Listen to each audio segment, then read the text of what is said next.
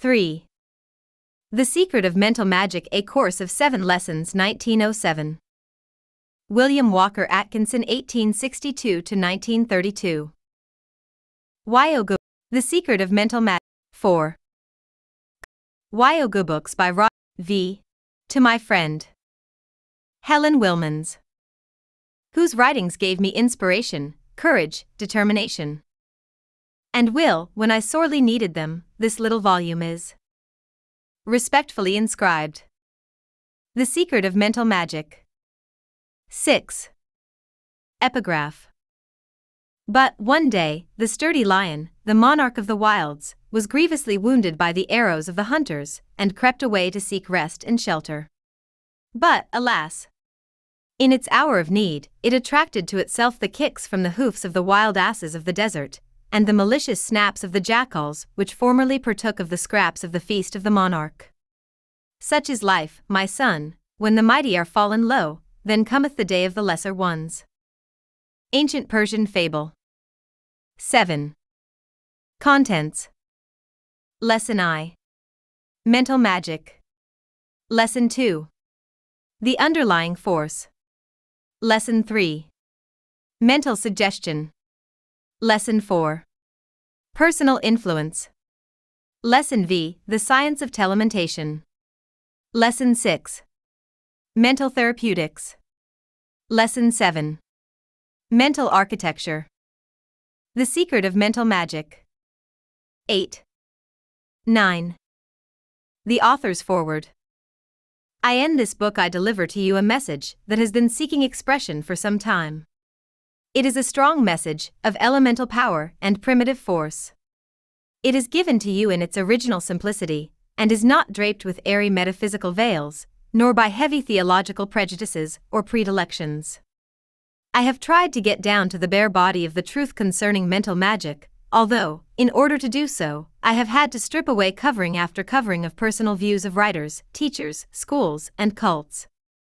I have cast aside these discarded draperies, and now present to you the simple, natural truth as I have found it. Some who are partial to these added draperies may resent their disuse, I can't help it if they do, I am not writing this book for such. Others may be shocked at the nakedness of the unadorned truth. I cannot help this either. This book was not written for mental prudes, so let them stalk off hiding their faces with the hands if they wish. They will sneak a hasty glance over their shoulders, though, when they think that no one is looking, such people always do. These lessons are solid and contain much strong food for strong people. There is nothing of the Charlotte Russe or meringue about these lessons. They are solid food and must be partaken of as such. Partaken of properly, they will nourish. The secret of mental magic. X. And strengthen you, building up muscle, tissue, and bone. But, bolted or swallowed at a gulp, they may give you a bad case of mental dyspepsia. Hygienic laws operate on the mental as well as the physical plane. The lessons are full of concentrated, condensed information, and must be partaken of in small bites, well masticated, in order to ensure perfect digestion. You must study each lesson before you proceed to the next one. You cannot skim over these lessons in a single reading if you expect to master their contents. They need reading and rereading, and each time you go over them, you will find something new. I have compressed in this book enough matter to fill six books, if properly diluted and spread out. The original size of this book was about 200 pages, but after the original manuscript was placed in the hands of the printer, I kept on thinking of this thing and that thing that should go in the book. And so, from day to day, I sent the printer enough additional matter to bring the book up to its present proportions, about double the original size, the price being kept the same, of course. This additional matter has been inserted and dovetailed in, among the original matter, until to the proofreaders the lessons seemed like a mosaic or grandmother's quilt. The advance notices were out, so I could not devote as much time as I would have liked to the work of polishing up the connecting joints, or rounding up the corners, occasioned by this insertion of new matter in the different parts of the several lessons. Consequently, there may be apparent a lack of smoothness and finish about the work, arising from this cause. I trust that you will understand and pardon such, in view of what I have said to you. But, after all, I must confess that I do feel that I have given you good measure, heaped full, and running over, and have managed to deliver my message according to my best desire. And that's the principal thing, after all, isn't it? To all the students of these lessons, I send a message of good cheer, courage, and self confidence. You are centers. The author's forward. 11. Of power in the great ocean of universal power. Realize this truth, and you will have attained that which you seek.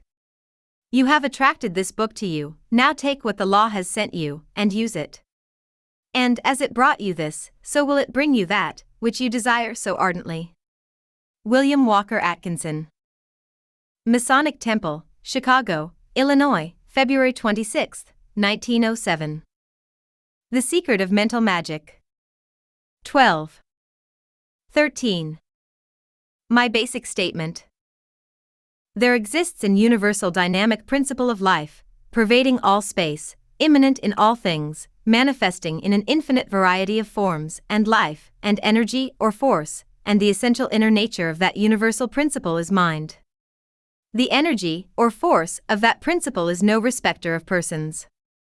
Its services are open to all, and it operates in response to the proper effort no matter by whom it may be exerted.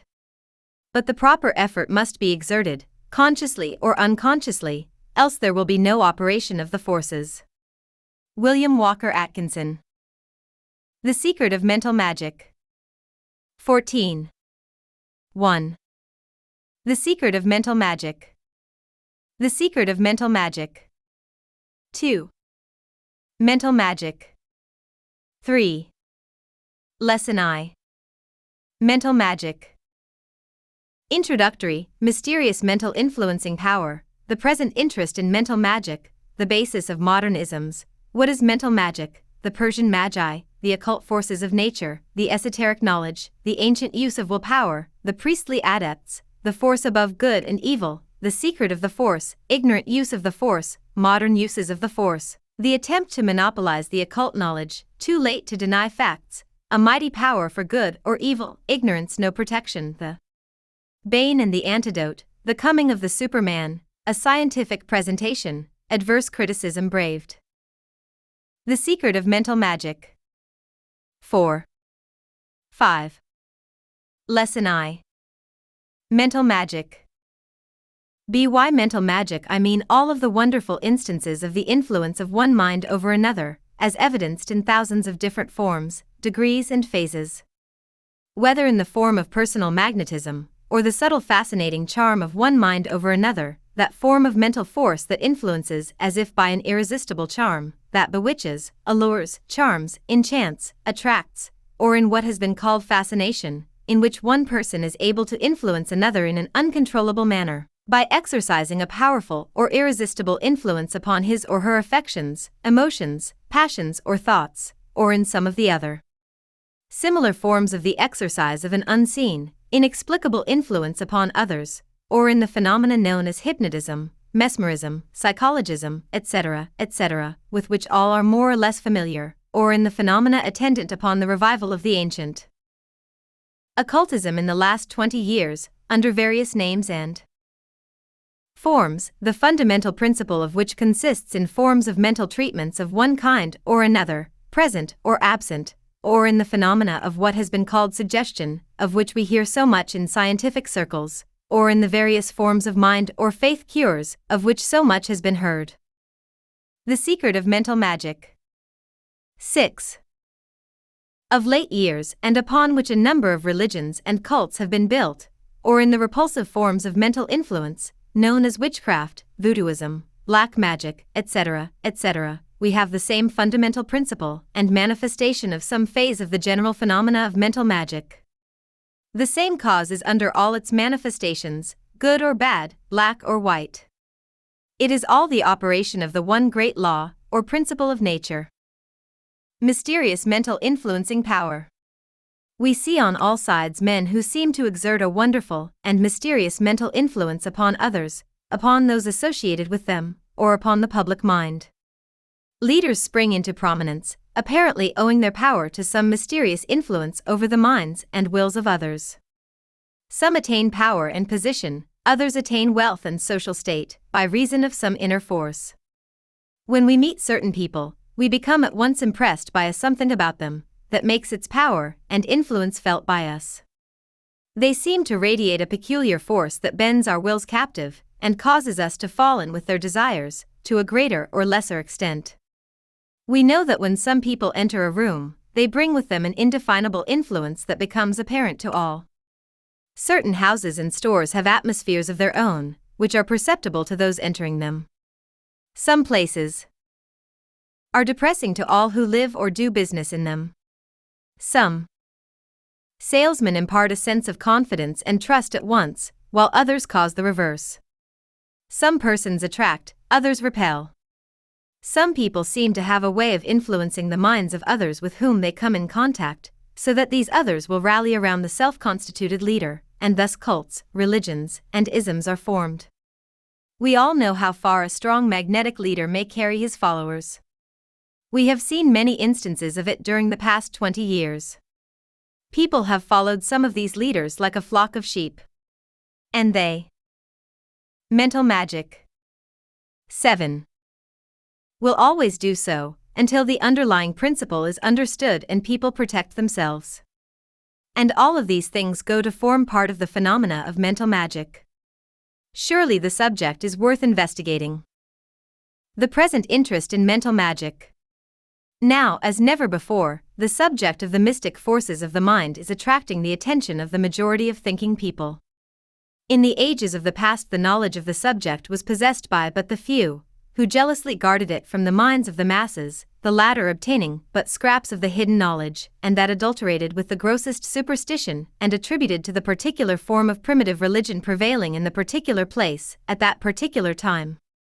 And even now, notwithstanding the popular interest in the subject, but very few have arrived at a scientific understanding of the matter, and the majority take their knowledge of the new psychology in the capsule of dogma and theory advanced by some particular cult or section.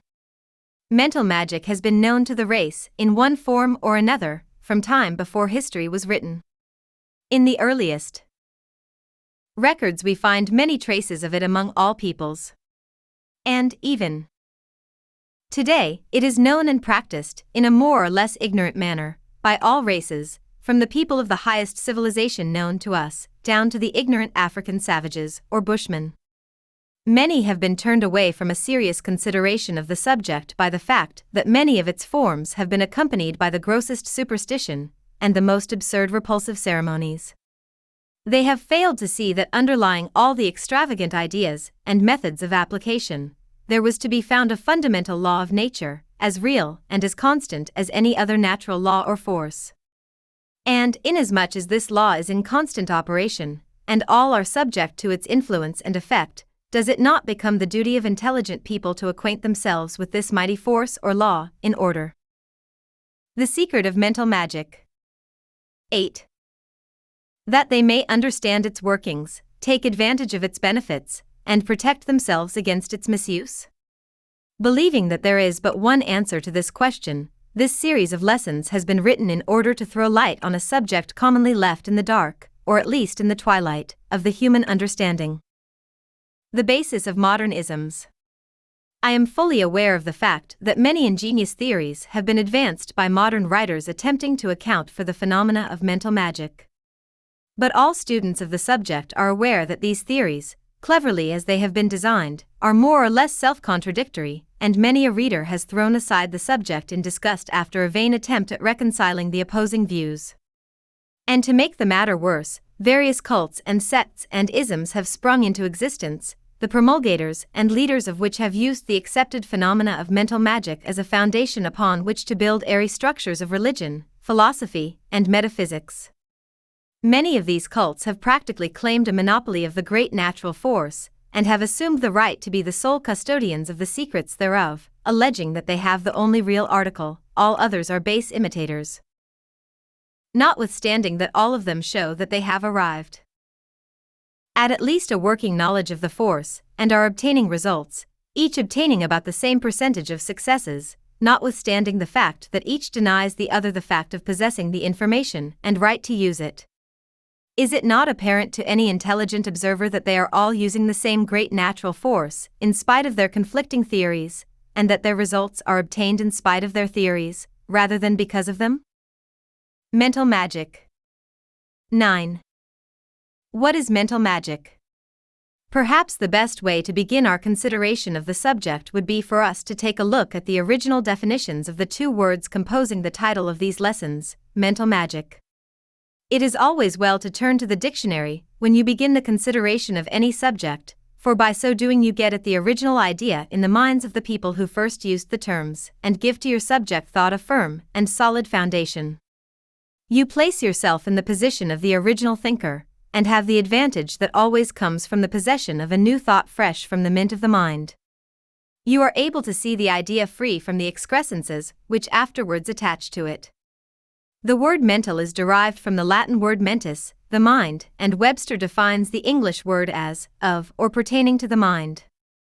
The definitions of the word mind are more or less imperfect and unsatisfactory, necessarily. So, because men do not know the real nature of mind and can define it only in the terms of its own states. Perhaps this definition is as clear as any. By mind, we mean simply that by which we perceive, think, feel, desire, and will. So we may consider mental as meaning of, or pertaining to, that by which we perceive, think, feel, desire, and will. So much for the first word. The Persian Magi. The second word, magic, was derived from the Persian word mag, meaning a priest.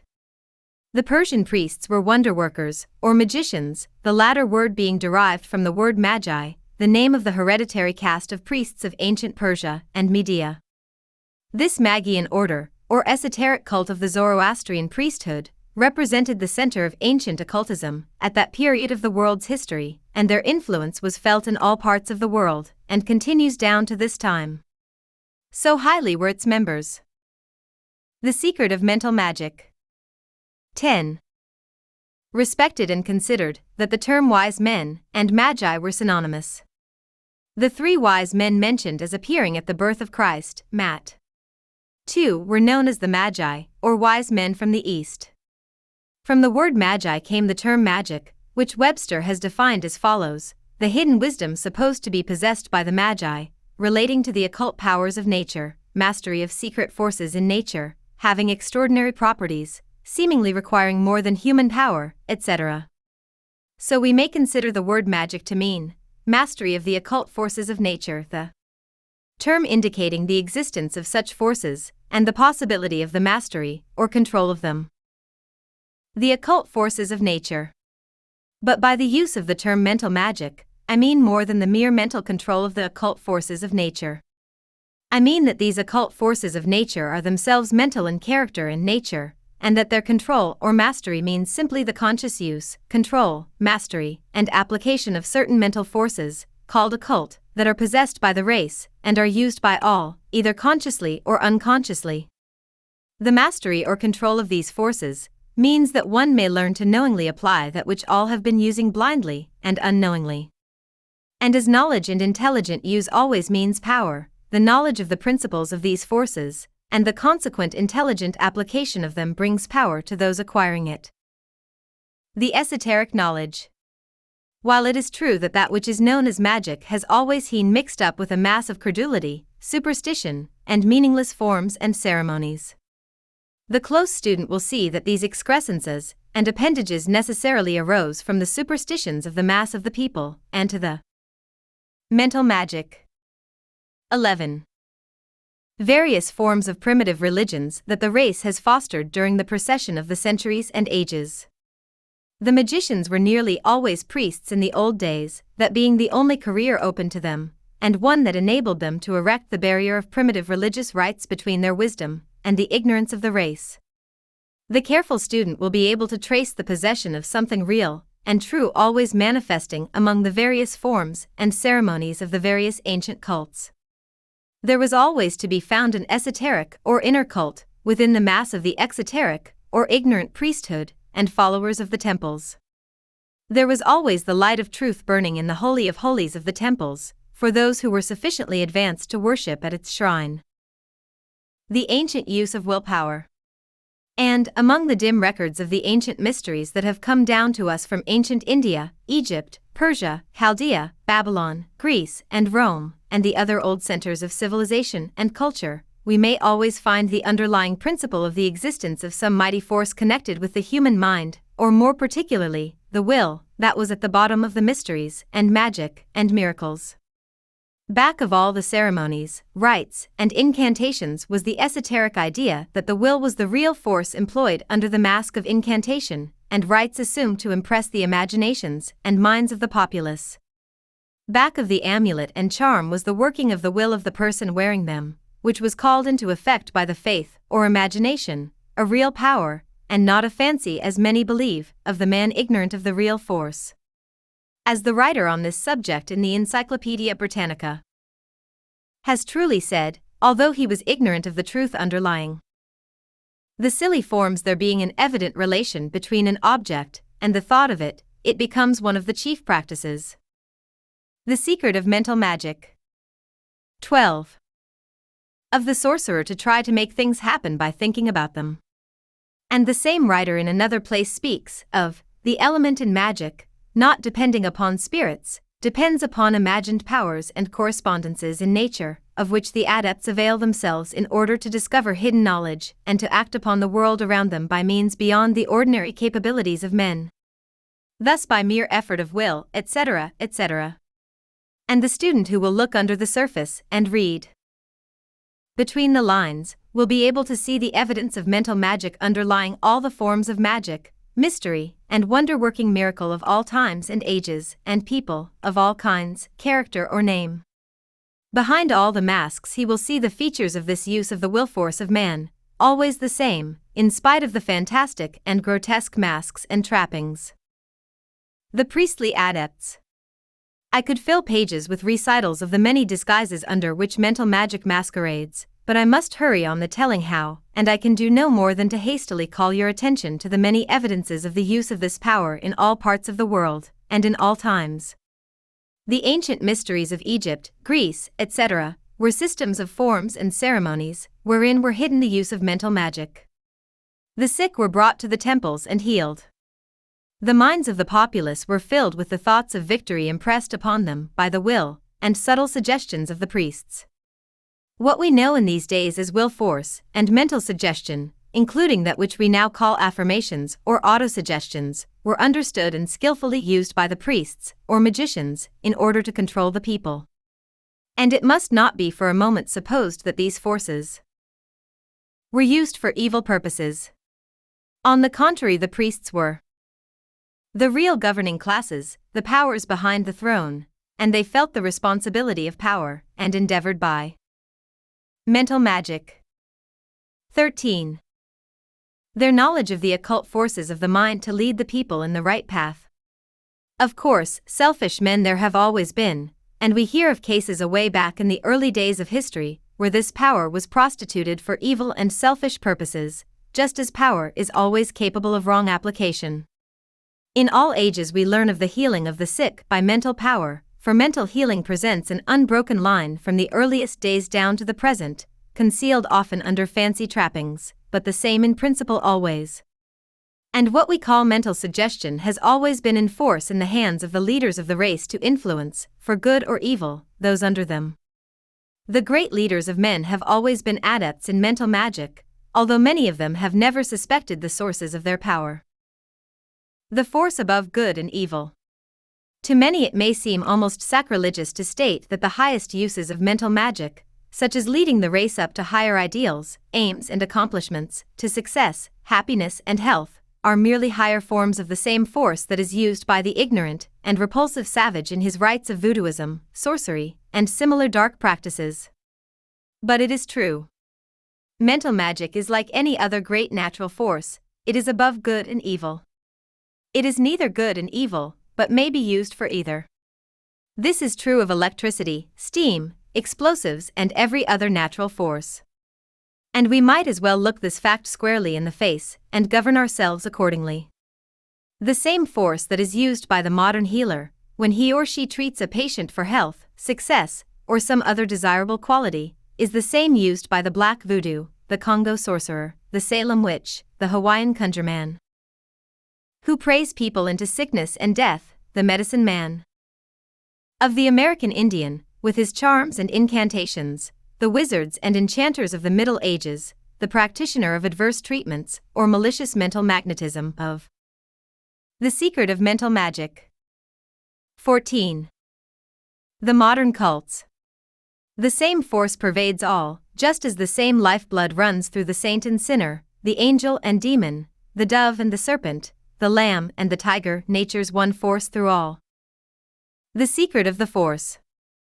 And just as the mental magic brought into operation through the prayers of the faithful of all religions, before their shrines, images, and holy objects, so may the same force be brought into operation through the fetishes, conjurations, enchantments, charms, spells, and devil worships of the ignorant and depraved minds. The secret is this the power does not come from the supposed source, but from within the mind of the man employing it. And, still more startling, to the uninitiated, is this statement which is equally true, the power of the mind of the person affected is the real cause of the effect, rather than the power of the mind of the supposed causer, the latter merely calling into operation the power of the mind of the person affected. Ignorant use of the force. Passing from the past to the present age, we see in greater use than ever this wonderful mental magic. No longer the property of the few, the information has filtered out among the masses, through various sources, and we see the force in use on all sides. Often, the persons using it have not the true knowledge of its real nature, and such persons often involve themselves in a terrible whirlpool of effects by reason of a selfish and base employment of this power. Many are playing with this force like children playing with dynamite. It is one of the purposes of the lessons to call the attention of such people to the nature of the force they are employing, and the possible, nay, probable results of a misuse of it. Not that they are punished for such misuse, but rather by reason of it. Black magicians are invariably caught in the meshes of their mental magic. 15. Own nets are entangled in the psychic machinery of their own manufacture and are blown up by their own psychic high explosives. These things will be dealt with in their proper places in these lessons. Modern uses of the force. In concluding this little consideration of the subject, I would call the attention of the student to the fact that now, for the first time in the history of the world, mental magic is being employed for furthering commercial aims and ends. Treatments for wealth are commonly known and advertised. Instructions in the use of suggestions for commercial purposes are furnished both personally and in correspondence courses. The laws and principles are explained, partially, at least, in books written for the instruction of those selling or advertising goods and otherwise soliciting the patronage of the public. It is true that the few strong men in business life have always made use of this force, consciously or unconsciously, but never before has it been taught generally as a part of a business education. It has been reserved for America to recognize the force and to boldly apply it in this way, i.e., to the making of dollars. And other countries are fast falling in line. And in view of this fact, is it not time that those who know of the real nature, principles, and laws of this force should give to the world their knowledge, that the race may know with what they are dealing, and may be enabled to extract the good from it by proper use, and, seeing the evil possibilities of improper use, may avoid such prostitution of one of nature's greatest forces. The attempt to monopolize the occult knowledge. Many students of the occult have sought to keep from the general public a knowledge of the fundamental principles of the great law of nature underlying the phenomena of mental magic. They have claimed that it was dangerous for people generally to know that such a force existed and could be used. They have. The Secret of Mental Magic. 16. Held that such knowledge should be carefully guarded by the few, and that its very existence should be denied to the many. This may have been good reasoning in the earlier days of the world, when the masses were grossly ignorant, and when the only knowledge was locked up in the minds of the caste of priests and other leaders of the race. But the argument no longer applies, for the general intelligence of the race has refused to allow any locked doors in the temple of knowledge, and has insisted that all doors be thrown open to them. The result has been that a considerable body of occult knowledge has been opened to the gaze of the public, and they are clamoring for more. Much of the knowledge possessed by the public regarding mental magic is but quasi knowledge, half truths, and the time has come when the whole truth should be taught. Too late to deny facts.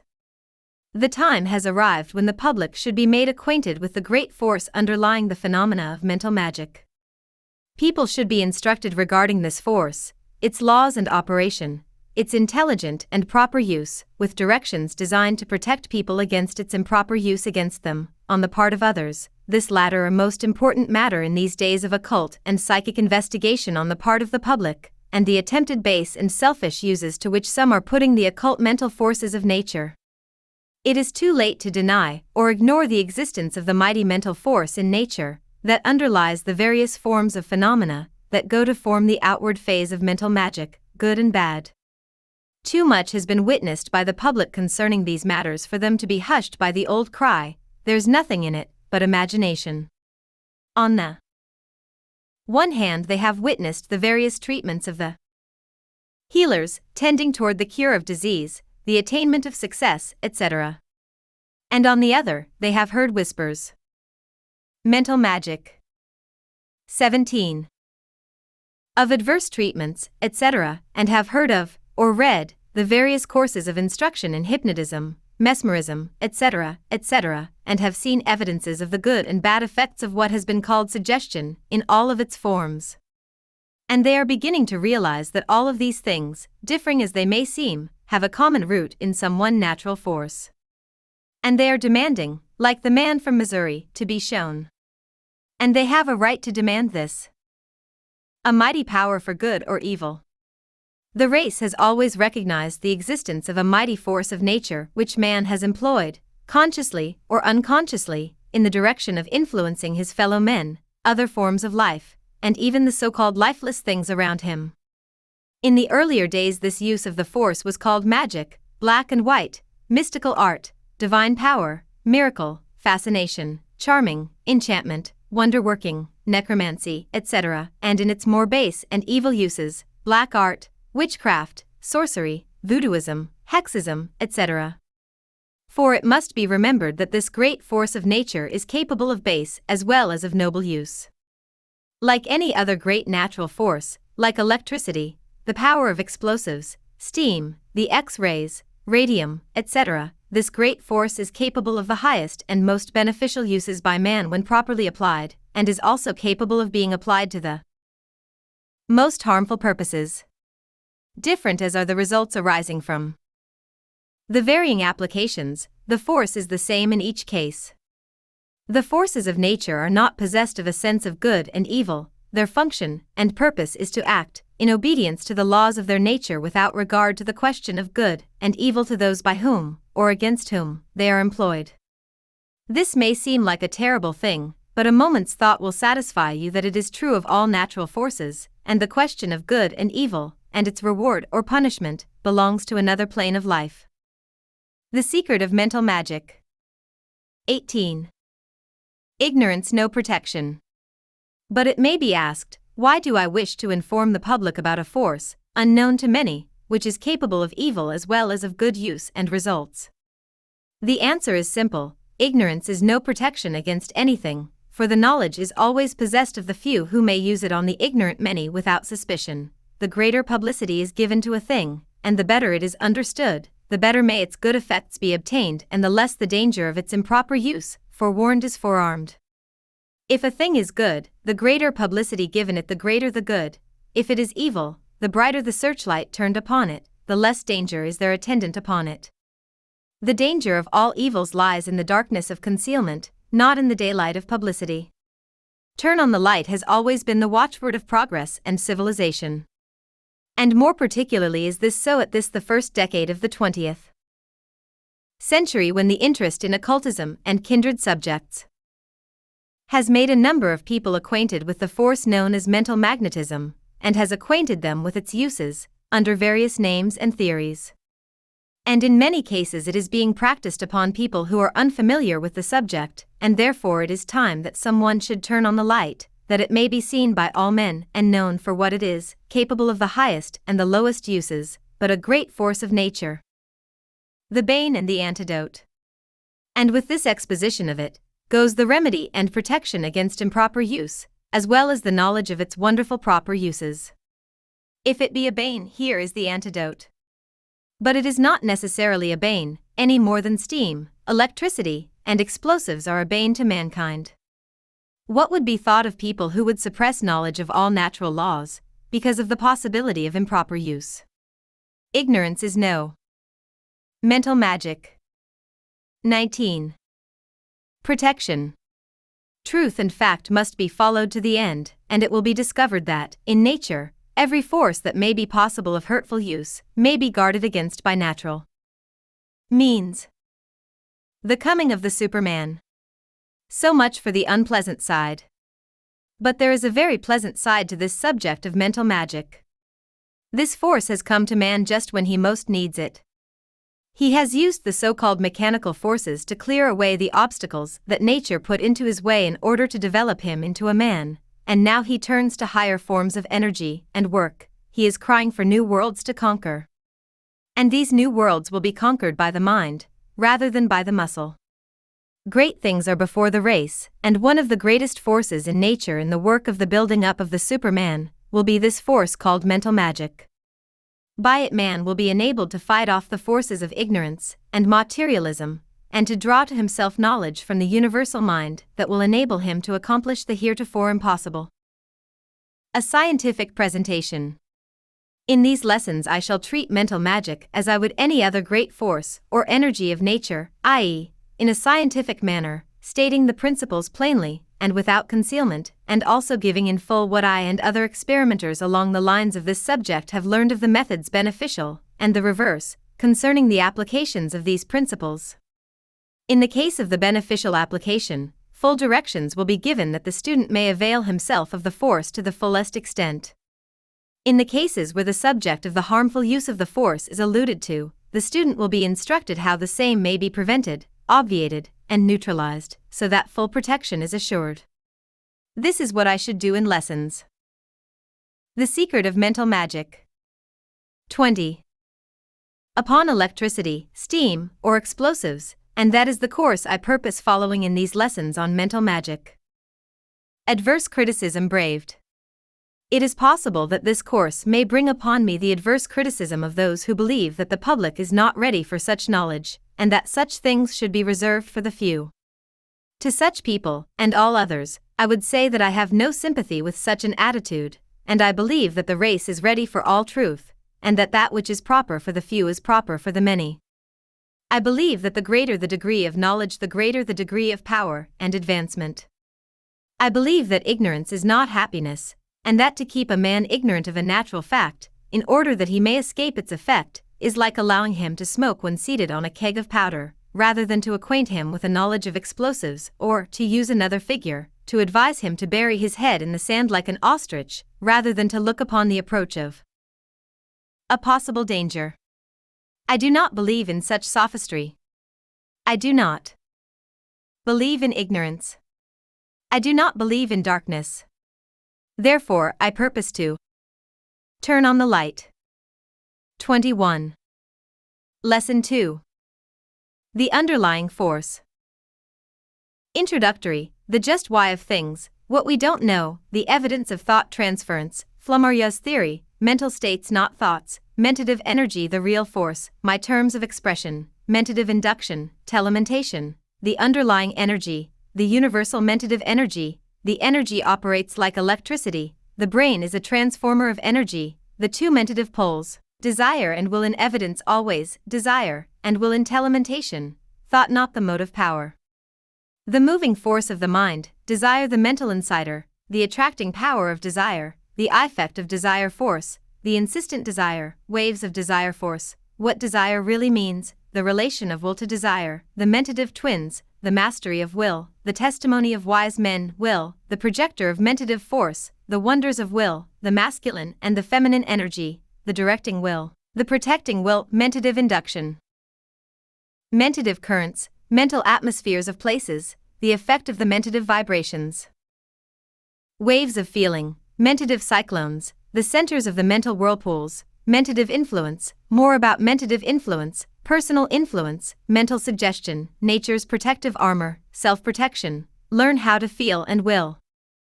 The secret of mental magic. 22. 23. Lesson 2. The underlying force.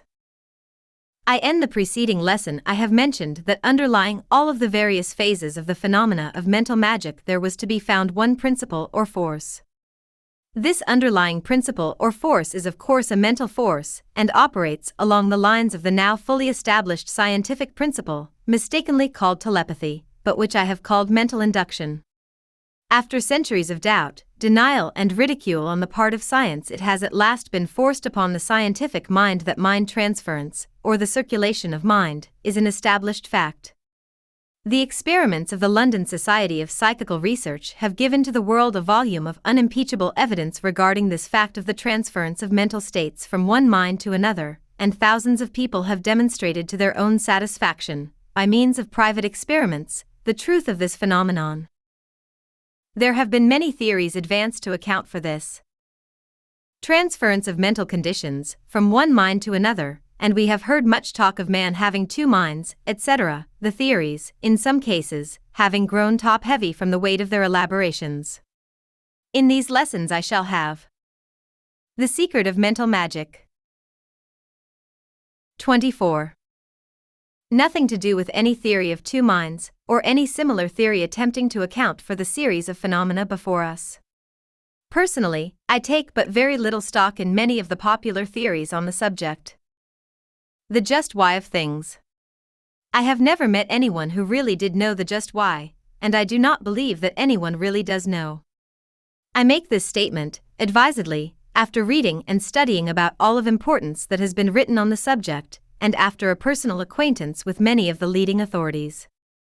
They all have a clear understanding of the fact of the phenomena, but when it comes to the underlying cause, the just what is mind, part of the question, they either frankly confess that they do not know, or else take refuge in some metaphysical or fanciful psychological theory, and hypnotize themselves and their followers by a flood of words and play upon words. Personally, I believe that this just what is locked in the subject of the just what of life and being. Until we know the latter, we cannot expect to know the former. And so I, for one, have cut loose from all the theories regarding the nature of mind those soap bubbles with which the grown up children of science amuse themselves and shall make no attempt to formulate one here. You will have to take the facts as I present them, and prove them by personal experiment if you want a theory of the nature of mind, make one for yourself, for I have retired from the business. I have learned to say I do not know what we don't know. And for that matter, we do not know the just what of anything, no matter how much we may know about the phenomenal side of the thing. Nobody knows just what is anything. If one knew the just what is of a single thing, he would have the key to the riddle of the universe, but he doesn't know and may never know. We know of the existence, the underlying force. 25. Of electricity, for example, and we know how to use it, manage it, control it, but we do not know just what it is. Do you remember the story of the youth in college, who, when asked by the professor what is electricity, replied, Well, sir, I did know, but I have forgotten. The professor replied, Drilly, now, isn't that too bad? Here is the only person in the world who ever knew what electricity is, and he has forgotten it. How very sad. What a loss for mankind. And in view of the facts just mentioned, I am able to confess without embarrassment that I do not know the just why, or just what is side of the subject of mind. But I do know the laws and principles of its operation, how it acts, and how it may be used, and I shall confine myself to the how side of the subject, rather than to the why. The evidences of thought transference. I shall not attempt to offer evidence to prove the existence of the fact of the transference of mentative energy at this time and place. The evidence may be had elsewhere, if needed, but I believe that everyone who reads these lessons will have had some personal experience in his or her own life that will render further proof unnecessary. In case, however, such proof is needed, I refer the doubter to the pages of any recent work on the subject, or the pages of the reports of the London Society for Psychical Research, the said society being composed of men of worldwide reputation in science and learning, their honesty and capability being beyond question. Flammarion's theory. I shall, however, quote the following passage from Camille Flammarion, the eminent French astronomer, who is also an investigator of this subject. He says, We sum up, therefore, our preceding observations by the conclusion that one mind can act at a distance upon another, without the habitual medium of words or any other visible means of communication. It. The secret of mental magic. 26 appears to us altogether unreasonable to reject this conclusion if we accept the facts. This conclusion will be abundantly demonstrated. There is nothing unscientific, nothing romantic in admitting that an idea can influence a brain from a distance. The action of one human being upon another, from a distance, is a scientific fact, it is as certain as the existence of Paris, of Napoleon, of oxygen, or of Sirius. He further states there can be no doubt that our psychical force creates a movement in the ether, which transmits itself afar like all movements of ether, and becomes perceptible to brains in harmony with our own. The transformation of a psychic action into an ethereal movement, and the reverse, may be analogous to what takes place on a telephone, where the receptive plate, which is identical with the plate at the other end, reconstructs the sonorous movement transmitted, not by means of sound, but by electricity. But these are only comparisons. Mental states, not thoughts. The entire subject of mental magic rests upon the fact that mental states may be transferred from one mind to another. You will notice that I say mental states, instead of thoughts. I do this purposely, because I hold that the most powerful phases of mental action do not rise to the plane of thought, but are far from elementary in nature, and belong to the feeling, or emotional plane of mind. And I believe that the real force has more to do with desire, and will than with thought. I will bring out these points as I proceed. Mentative energy, the real force. At this point, I wish only to call attention to the fact that there is a something, some kind of force, that is generated and then passed from one mind to another, conveying mental states, feelings, emotions, thoughts, etc., with it. Now, what is this something? We do not know just what, as I have said, but we recognize its existence and effects, and see that it is a real. The underlying force. 27. Something. We may not understand its ultimate nature, it's just what is, but we know it is, and we have a right to name it. What shall we call it? What name best fits its characteristics? You may call it what you like, but I purpose calling it mentative energy and the stream or current of this energy I shall call mentative currents. And the process of its affecting other minds, either by personal influence or by mentative currents, I shall call mentative induction. And the act of producing this energy I shall call mentation. Let us examine these terms for a moment. My terms of expression. You will notice that all of these terms arise from the word mentation. Now, what is mentation? Let us see. The first part of the word comes from the Latin word, mentis, meaning the mind. The second part, ation, is a suffix meaning acting. So the word mentation means mind in action. Then, consequently, we have the following definitions mentation, mental activity. Mentative, relating to mental activity. Mentate, to manifest mental activity. Mentator, one who mentates. Mentative energy, the energy arising from mental activity. Mentative current, a stream or current of mentative energy. Mentative induction, induction by mentation. Please acquaint yourselves thoroughly with these terms, for they will be used very frequently in these lessons. The term mentative current will be readily understood. The word mentative I have defined. The word current means a flowing or passing stream. Mentative induction. The term mentative induction will be readily understood by those familiar with the phenomena of electricity. The word. The secret of mental magic. 28. Induction comes from the word induce, which means to influence. In electrical science, the word induction is used in the sense of the process whereby one body possessing magnetic or electrical properties reproduces that property in another body without direct contact. In textbooks on physics, a simple experiment is often given students to illustrate magnetic induction, as follows A magnet is so placed that its poles project over the edge of a table upon which it rests. An iron nail, or steel needle, is held a little distance below the magnet so that it will not actually touch the latter, but will be near enough to be magnetized by induction, that is, without direct contact. The nail, or needle, will have an induced property of magnetism produced by the current from the magnet, and will support another nail, or needle, by direct contact. This induced magnetism renders the nail, or needle, a magnet, possessing all the properties of the original magnet so long as the current flows. And, just as a magnet may communicate its properties by induction, so may an electrified body communicate electrical states in another body without actual contact. The textbooks are full of examples to illustrate this law. The theory accepted by science is that the induction is the action of the electrical current through the ether by waves of vibration. And I hold that just as the vibratory waves of magnetism and electricity pass through the ether, and produce similar properties in other bodies by means of induction, so do the vibratory waves of mentative energy, from one mind, pass through the ether, and by induction set up similar mental states in the minds of other persons within the field of induction. We shall see many evidences of this as we proceed in these lessons. Telementation.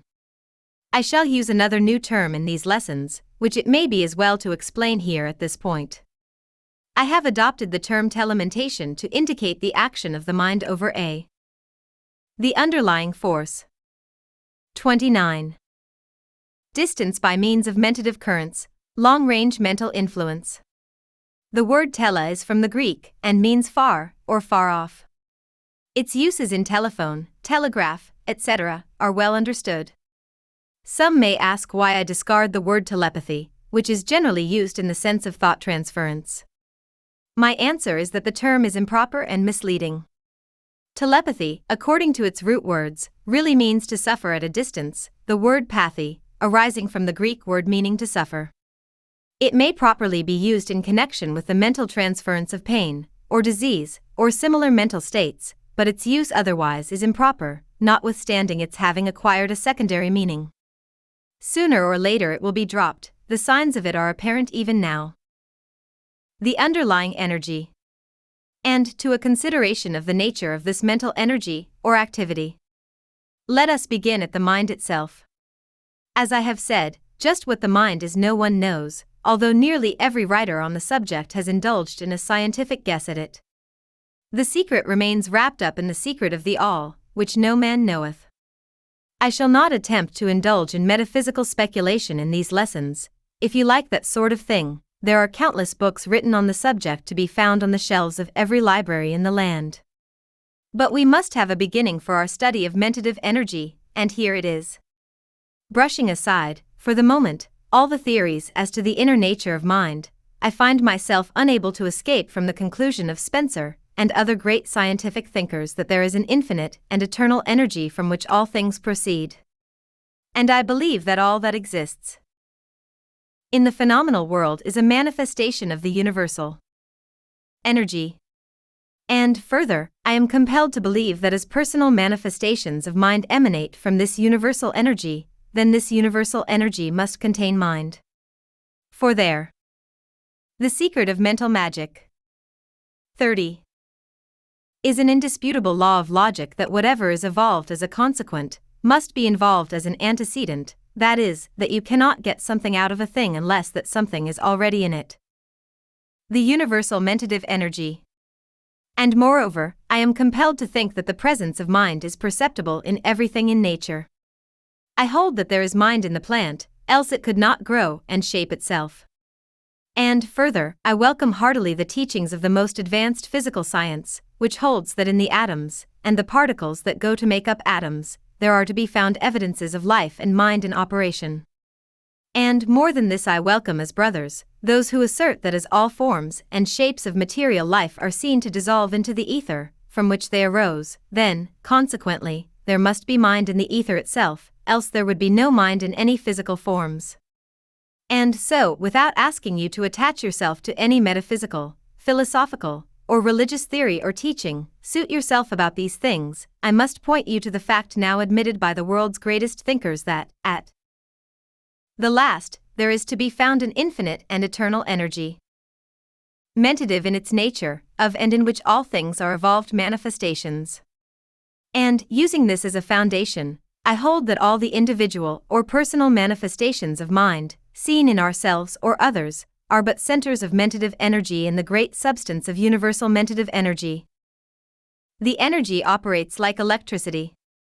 Whatever mind may be, in its ultimate nature, the leading thinkers on the subject now hold that in its working nature or phase of operation it seems to work along similar lines to those followed by electricity. Like electricity, the mind undoubtedly. The underlying force. 31. Has two poles or phases. Like electricity, it travels in currents. Like electricity, it operates by induction. Like electricity, it is vibratory in its nature. And, like the higher forms of energy, superelectrical in nature, it possesses radioactivity, or radiant energy, that is like many other forms of radiant energy, it is constantly throwing off streams of active energy, in the shape of rays, vibrations, or waves.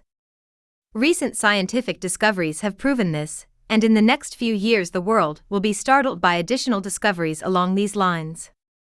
Already we are receiving hints of mental photographs, or radiographs, and before long we shall have mentometers that will register the telemental waves. Please mark this prophecy, made in January 1907, and see how soon will be its fulfillment. The brain is a transformer of energy. The brain I regard as in the nature of a transformer of the universal mind energy, or possibly as a converter of the energy into thought, desire, will, etc. The brain cannot create, its office is merely to transform, or convert an existent energy into usable forms and phases. Science agrees in the belief that in all brain processes there is an employment of some kind of energy, and a burning up of brain substance. Just as there is a constant burning up of the elements of an electrical battery in the production of electricity, so is there a burning up of brain matter in the production of mental activity. And yet, science teaches us that no electricity is ever created, simply a portion of the universal electricity is converted or transformed. And I believe that the same holds good in mental action in the brain. The two mentative poles. And now it is time for us to begin our consideration of the two mentative poles. The secret of mental magic. 32. In these lessons, I shall hold to the fact there is evident in the manifestation of mentative energy in any and all forms, two distinct poles or phases. I find myself compelled to coin two more terms for these poles or phases, for there are none now in common use. I shall call these two mentative poles respectively the emotive pole and the motive pole. The word motive means that which acts, wills, moves, chooses, controls. The word emotive means that which manifests feeling, emotion, agitation, passion, sensation, etc. These definitions apply to my use of the terms in these lessons. You will be able to fix these two ideas connected with the mentative poles by thinking of the motive pole as will and of the emotive pole as feeling. The two active manifestations of the two mentative poles are as follows the emotive pole manifests actively as desire, the motive pole manifests actively as will. Desire and will in evidence always. You will find these two phases, desire and will, manifest in every mental action. There must always be a preceding desire and a responding will, even in the production of a thought. One must desire to know a thing, and then will to know it, before the thought is evolved. The thought is the child of the two parents, desire and will. Think over this a moment. You may not always recognize the two elements because they often follow each other so closely as to seem one impulse. And then again, the desire may manifest outside of the conscious field, but it is always present.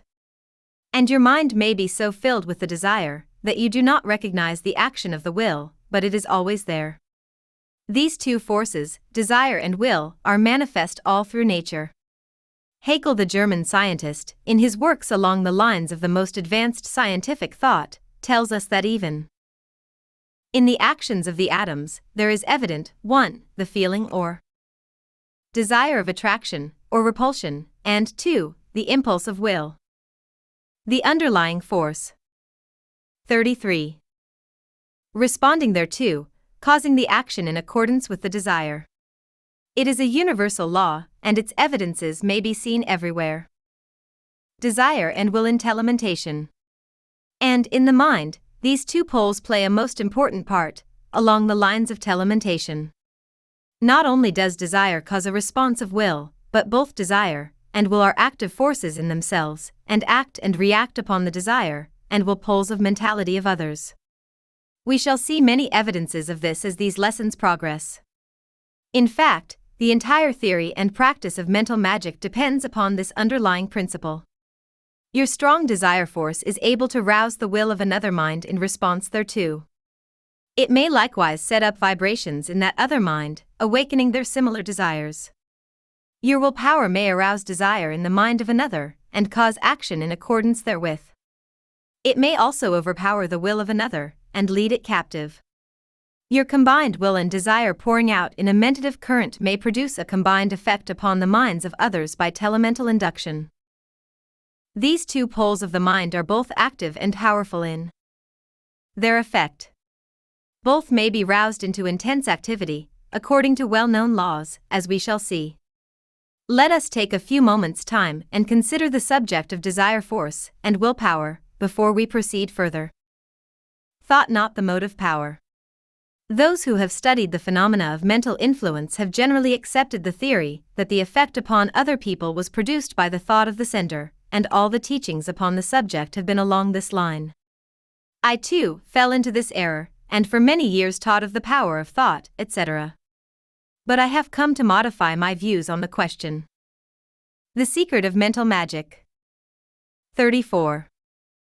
Of course, everyone who has paid any attention to the subject knows that thought transference is a fact, telementation being an established reality.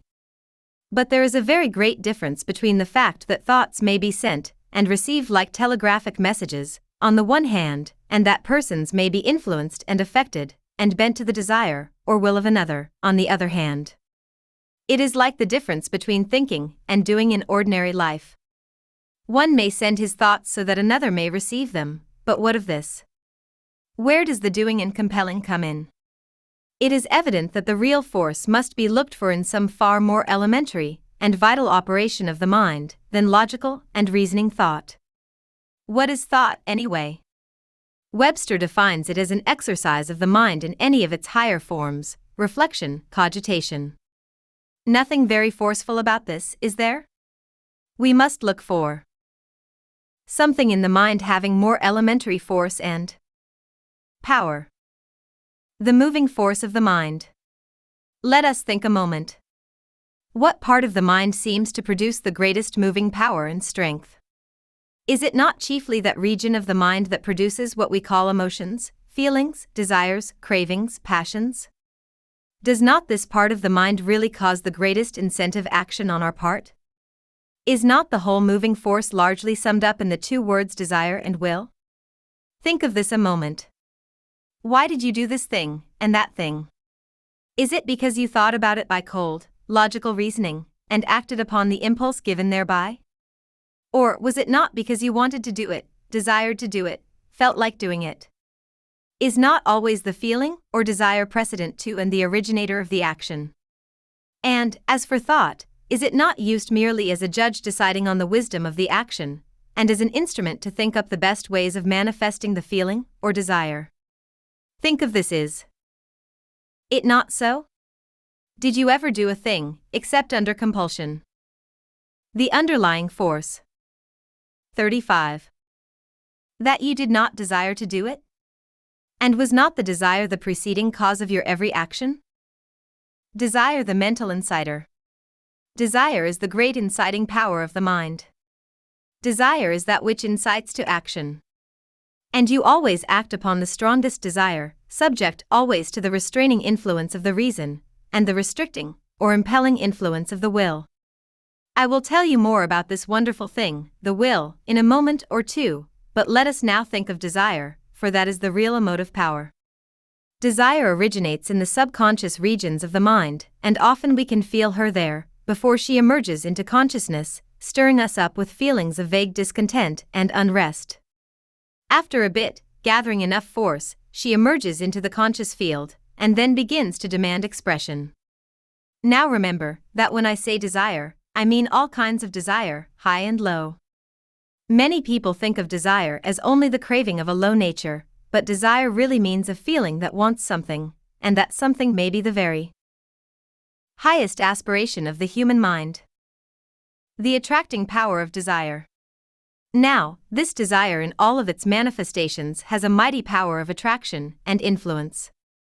It manifests as the law of mentative attraction, which is constantly drawing toward us the things we desire, and also drawing us toward them. Not only is this true on the conscious plane, but even on the subconscious. Our desires constitute our nature, and our nature is always operating a mighty power of mentative attraction. The trouble with the most of us is that we allow our desire force to be scattered and diffused, thereby lessening its attractive power. It is only when we learn the secret of concentration and focusing the desire force by the will that we are able to get results above the average. The will is the secret of mental magic. 36. The director and controller of the desire force, and upon its training and management depends the powerful use of the latter. The effect of desire force. Desire force not only has its effect upon the person and others near him, but it may be, and often is, sent for thousands of miles where it affects and influences others in ways. Desire force is the mighty force which makes many of the forms of mental magic possible. It spreads out from the mind of the person, affecting and influencing others even at other parts of the world, if concentrated and directed by the will. It is a force beside which the X ray and electricity fade into insignificance. It moves not merely blind, lifeless things, but the living minds, thought, emotions, passions, and actions of men. It is the force that rules the world and its destinies. Like any other great natural force, it is capable of being used for good or evil. It is neither good nor evil, it is either or both, according to the mind in which it originates. The insistent desire. What phase of mental effort is more apt to be a motive force, the cold, lifeless thought about an abstract metaphysical proposition, or a mathematical problem, on the one hand, and a warm vital wave of feeling, emotion, or passion, such as love, hate, ambition, aspiration, courage, and desire on the other. And remember that these last mentioned all belong to the feeling side of the mind, and all are manifestation of elementary desire. Desire is at the bottom of all feeling. Before we can love or hate, there must be desire. Before we can have ambition or aspiration, there must be desire. Before we can manifest courage and energy, there must be desire. Desire for something must underlie all life action, desire conscious or subconscious. Abstract thought is a cold, bare thing, lacking vitality and the underlying force. 37. Warmth, desire is filled with life, throbbing, longing, wanting, craving, insisting, and ever pressing outward toward action. Desire indeed is the phase of our mental action that is a motive force. Waves of desire force.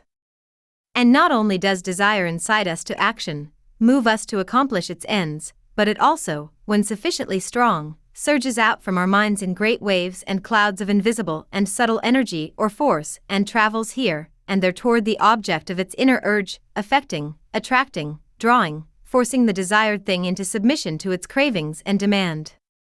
In the presence of some strong man or woman, that is, in the presence of one whose desire burns fiercely and strongly, and whose will has learned to concentrate the desire force, one may actually feel the impact of the elementary principle of mind as it vibrates in great waves from the brain and nervous system of such a one. Who has not met people who actually seem to be living desire and will? What desire really means. The source of desire force exists in every person, and it may be developed to a wonderful degree. The desires of many of you, of the majority of the race, in fact, never get further than the faint want to stage. These people wish for things in a faint pink tea way. They never want a thing hard enough to stir their desire force into action and make the thing come to them, or else make it take them to the thing. The majority of people do not know how to desire. They do not know what it is to be filled with that intense, eager, longing, craving, ravenous desire that fills them with a new and mighty force and makes them demand things instead of merely asking for them. They are like sheep, pigeons, or rabbits, and sit meekly around while the strong ones of the race, the ones filled with masterful desire, walk around and pick up every good thing in. The Secret of Mental Magic 38. Sight. And it serves them right, too, for they are not exercising the force which nature has given them for the purpose of self protection and use. They have had the elementary vigor and virility bleached out of them by the refinements of one phase of civilization, and have nearly lost all that goes to make up manly men and natural women. They have become beggars instead of masters, mendicants of nature, instead of masters of her. The forces of nature are at the disposal of the man of vigor and determination and desire. Such a one has but to knock at the door of attainment and have it opened to him. Instead of doing this, the majority of us sit around the doorsteps whining that the door shall be opened to us. In the name of human power, friends, get up and fill yourself with powerful desire, then march up to the door and smite it fiercely with your mailed fist, demanding masterfully, Open for me, the master. And, lo! It will fly open at your call. The relation of will to desire. I have shown you that desire force is the great mental force underlying the phenomena of mental magic. But desire force without the aid of the will is like steam unconfined and directed, and gunpowder fired in the open air, both wasted energy. The will is the lever and director of the great power of desire, and without its aid, the latter is almost inoperative and ineffectual. Let us examine into the operation of the will. The will has two offices in connection with desire. These two offices may be spoken of as 1. the directing office, and 2. the protecting office. The will acts as the arouser, director, restrainer, concentrator, and manager of the great occult force of desire. What is generally known as willpower is often in reality merely desire power strongly concentrated and directed to a focus by the power of the will. Remember this, please, for it will enable you to form a better idea of the subject of willpower. Often. The underlying force. 39. When you hear willpower spoken of, Whatever is attributed to it is really said of and attributed to desire controlled, directed, and focused by will. The effort of the will is operated in the direction of this directing, focusing, concentrating, etc., and in the degree that the will is trained to do this, so is the degree of willpower of the individual. Not only is the will able to do this, but it is able also to direct the desire force into the mind of other persons, awakening similar vibrations there, and then by its own power the will is able to direct the desire force of the other persons into action, taking away that office from the will of the other persons, if their will be not strong enough in its protective office to resist the attack. The Mentative Twins The idea of willpower is more familiar to the minds of people than is that of desire force. All recognize the wonderful power of the will, and know of many instances of great accomplishment by reason of its power. And yet, how few have stopped to consider that unless there was a preceding desire, there could be no manifestation of will. Unless a person desires, that is, wants to do a thing, he will manifest no willpower. But, on the other hand, one may desire to do a thing, and unless the will is aroused and applied, no action will occur. Desire arouses willpower, and will may stimulate desire. The two act and react upon each other. The two should work in unison, and the trained mastermind has both under control and pulling well together, like a well trained team. Willpower is more than a mere determination to act, although that mental attitude and action is manifested in willpower. It is a living force. Desire is the sister, and will the brother twin. And both, together, manifest that which we know as mentative influence. Willpower is more than a mere mental faculty, it is a mighty attribute, the influence of which may extend far beyond the mind of the person manifesting it. The greatest feats of the occult. The secret of mental magic. 40. Magicians depend upon telementation operated by trained willpower. And the so called great men of history ancient and modern, had their source of strength in this willpower, which they trained and developed to an extraordinary degree. The mastery of will. The exercise of will shows itself in two ways 1. The mastery of one's own mind, and 2. The mastery of the minds of others. The second is well nigh impossible unless the first be accomplished. One must first train his mind so that he will hold it firmly in the grasp of the will, and prevent it from jumping this way and that way, instead of moving ahead to its purpose. When one has so trained his mind to be obedient to his will, that it can be held steady and one pointed, as the Hindus say, then is he in a position to direct his mentative currents upon others to the best advantage. But so long as his mind is in a state of disorganization, one faculty pulling this way, and another that way, and so on, he cannot hope to concentrate upon others the force that is being wasted in keeping order at home. When the mind is mastered by the will, then may new territory be conquered. The term willpower is commonly used in connection with the manifestation of firmness or determination. The determined will is known as a mighty factor toward attainment and accomplishment.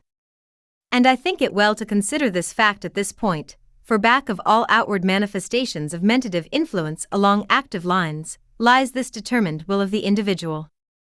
The more determined and firm be the will of the individual, the stronger the mentative influence emitted and emanated by him. This statement should not require proof, for its truth is apparent to all who have made a study of man and his powers. It has been recognized by writers in all times. Here are a few quotations that will tend to fix the matter firmly in your mind and create in you a desire to manifest the the underlying force. 41. Determined will, the lever that directs and concentrates mentative influence. The testimony of wise men. Buxton said, The longer I live, the more certain I am that the great difference between men, between the feeble and the powerful, the great and the insignificant, is energy, invincible determination, a purpose once fixed, and then victory or death. That quality will do anything that can be done in this world, and no talents, no circumstances, no opportunities will make a two legged creature a man without it. Donald G. Mitchell said, Resolve is what makes a man manifest, not puny resolve, not crude determinations, not errant purpose, but that strong and indefatigable will which treads down difficulties and danger, as a boy treads down the heaving frost lands of winter, which kindles his eye and brain with a proud pulse beat toward the unattainable. Will makes men giants. Disraeli said, I have brought myself by long meditation to the conviction that a human being with a settled purpose must accomplish it, and that nothing can resist a will which will stake even existence upon its fulfillment. Sir John Simpson said, A passionate desire and an unwearied will can perform impossibilities, or what may seem to be such to the cold and feeble. John Foster said, It is wonderful how even the casualties of life seem to bow to a spirit that will not bow to them, and yield to subserve a design which they may, in their first apparent tendency, threaten to frustrate. When a firm, decisive spirit is recognized, it is curious to see how the space clears around a man and leaves him room and freedom. But these matters will be touched upon in other parts of this book, and I must hasten on to consider the manifestations of willpower as the director of mentative currents affecting persons and things outside of the individual manifesting it. The secret of mental magic. 42. Will, the projector of mentative force. As we have seen, the use of the will as the projector of mentative currents is the real base of all mental magic, under whatever name it may manifest. And the phase of will known as telementation is the form the results of which strike the observer with the greatest force. The will currents of a strong man reaches out far beyond the limits of his brain and influences people and things, causing them to be inclined toward his wishes. Many men have worked their will upon others far removed, and much that is known as thought transference, telepathy, mental influence, etc., is really this working of the will currents over space. What occultists have called thought forms, etc., are really manifestations of the energy of the will. Will is a living force that can be projected and operated at a distance.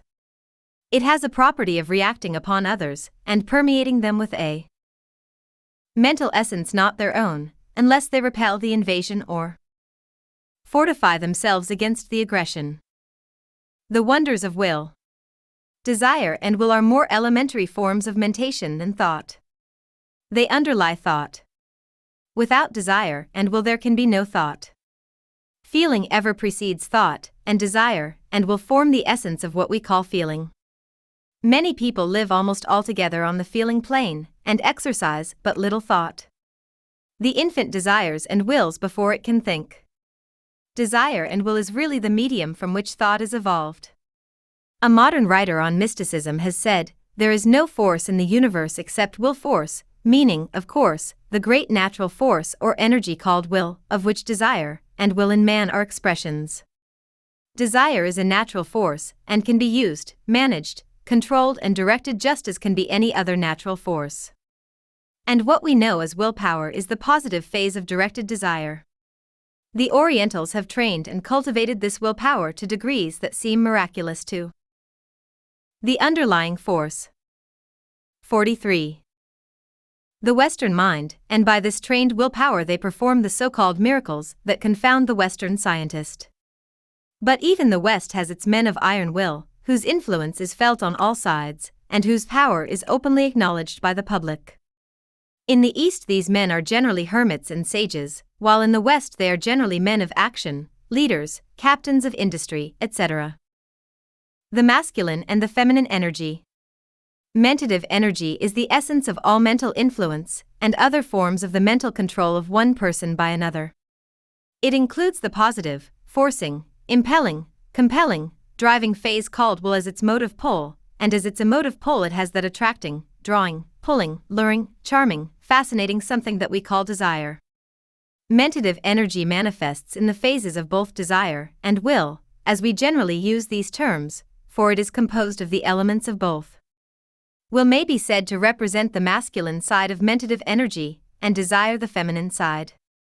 It may help you to fix in your mind the attributes, characteristics, and nature of these two phases of mentative energy by associating them with the idea of masculine and feminine.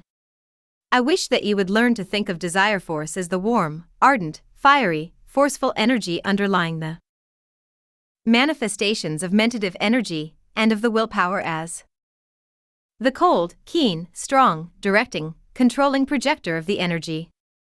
By fixing these mental images in your mind, you will be better able to manifest the two phases as occasion arises. The directing will. Besides its office as the director of the energy, the will serves a very important office as the restrainer of desire force. It, when under the control of the I of the person, and taking the suggestion of reason and judgment, is able to prevent one from expressing undesirable or hurtful desires. It refuses to. The secret of mental magic. 44. Project the desire force, or to allow the desire to take effect in action. It also turns back the desire upon itself and refuses to allow it to manifest. It is the utmost importance that the individual acquire a mastery of his will, for by doing so he will be able not only to express his desires with the greatest force and effect, but will also be enabled to restrain hurtful desires and to prevent their manifestation upon the plane of action. The protecting will. And the will has still another important office. It acts as a protector. It is the willpower that repels the influence or vibrations of another mind, and which renders its possessor immune from undesirable thought waves of mentative induction. It creates a protective aura around the individual, which will turn aside the thought waves or vibrations which may reach him, whether such be sent directly to him, or whether they are the vibrations emanating from the minds of others and unconsciously sent forth. The will, when properly used, acts as an insulator for attacks upon the desire pole of one's mind and prevents the vibrations from reaching their mark and if it be well trained and strengthened, it will be able also to resist the most powerful attacks upon it by the wills of others, and will beat back the vibrations which would force their way into its stronghold to take it captive. Mentative induction. And now let us examine into the subject of the operation of the mentative energy, in the phase of its employment, consciously or unconsciously, to affect the minds of others. It is true that this subject will be considered in detail in our lessons on personal influence and telementation, but it will be well for us to take a glance at the general workings at this point. I shall cover the points briefly the elaboration being made at the proper points in the lessons.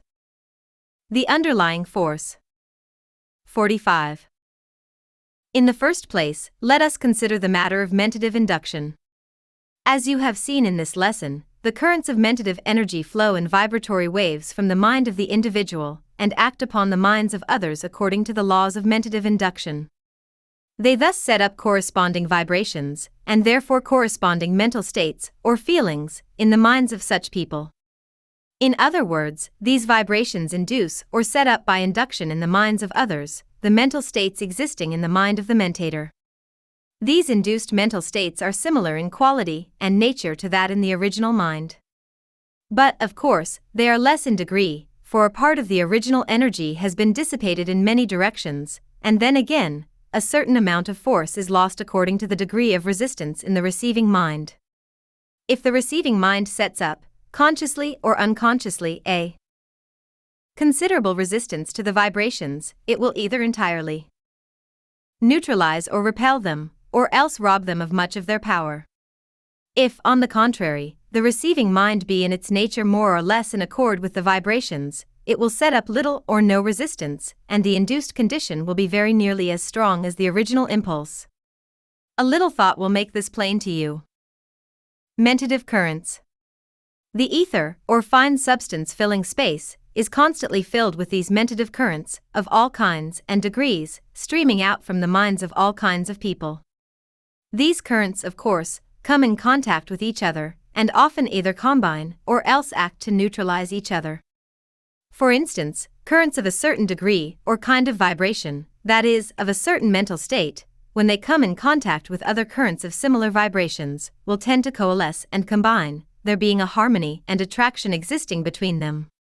But if they are opposing vibrations, they will antagonize each other and act in the direction of neutralizing each other's force. The secret of mental magic. 46. If they be of equal strength, both will lose power, but if one be much stronger than the other, it will lose only in the inverse ratio of its strength, and the weaker will suffer likewise. That is, the weaker will lose twice as much power as the stronger, and the stronger will lose only half as much as the weaker, supposing that the stronger is of twice the strength of the weaker. Mental atmospheres of places. In this way is accounted for the well known fact that places, towns, cities, etc., have their own personal atmospheres, which affect persons living in them or visiting them. These personal atmospheres of towns arise from a combining, neutralizing, etc., of the various vibrations arising from mentative currents from the minds of the people living in the town. An average vibration is struck, which is strongly felt by all within the field of induction of that town. A little thought will make it clear to you that this is a correct statement of the mental conditions manifest in various towns, cities, etc., all over the world.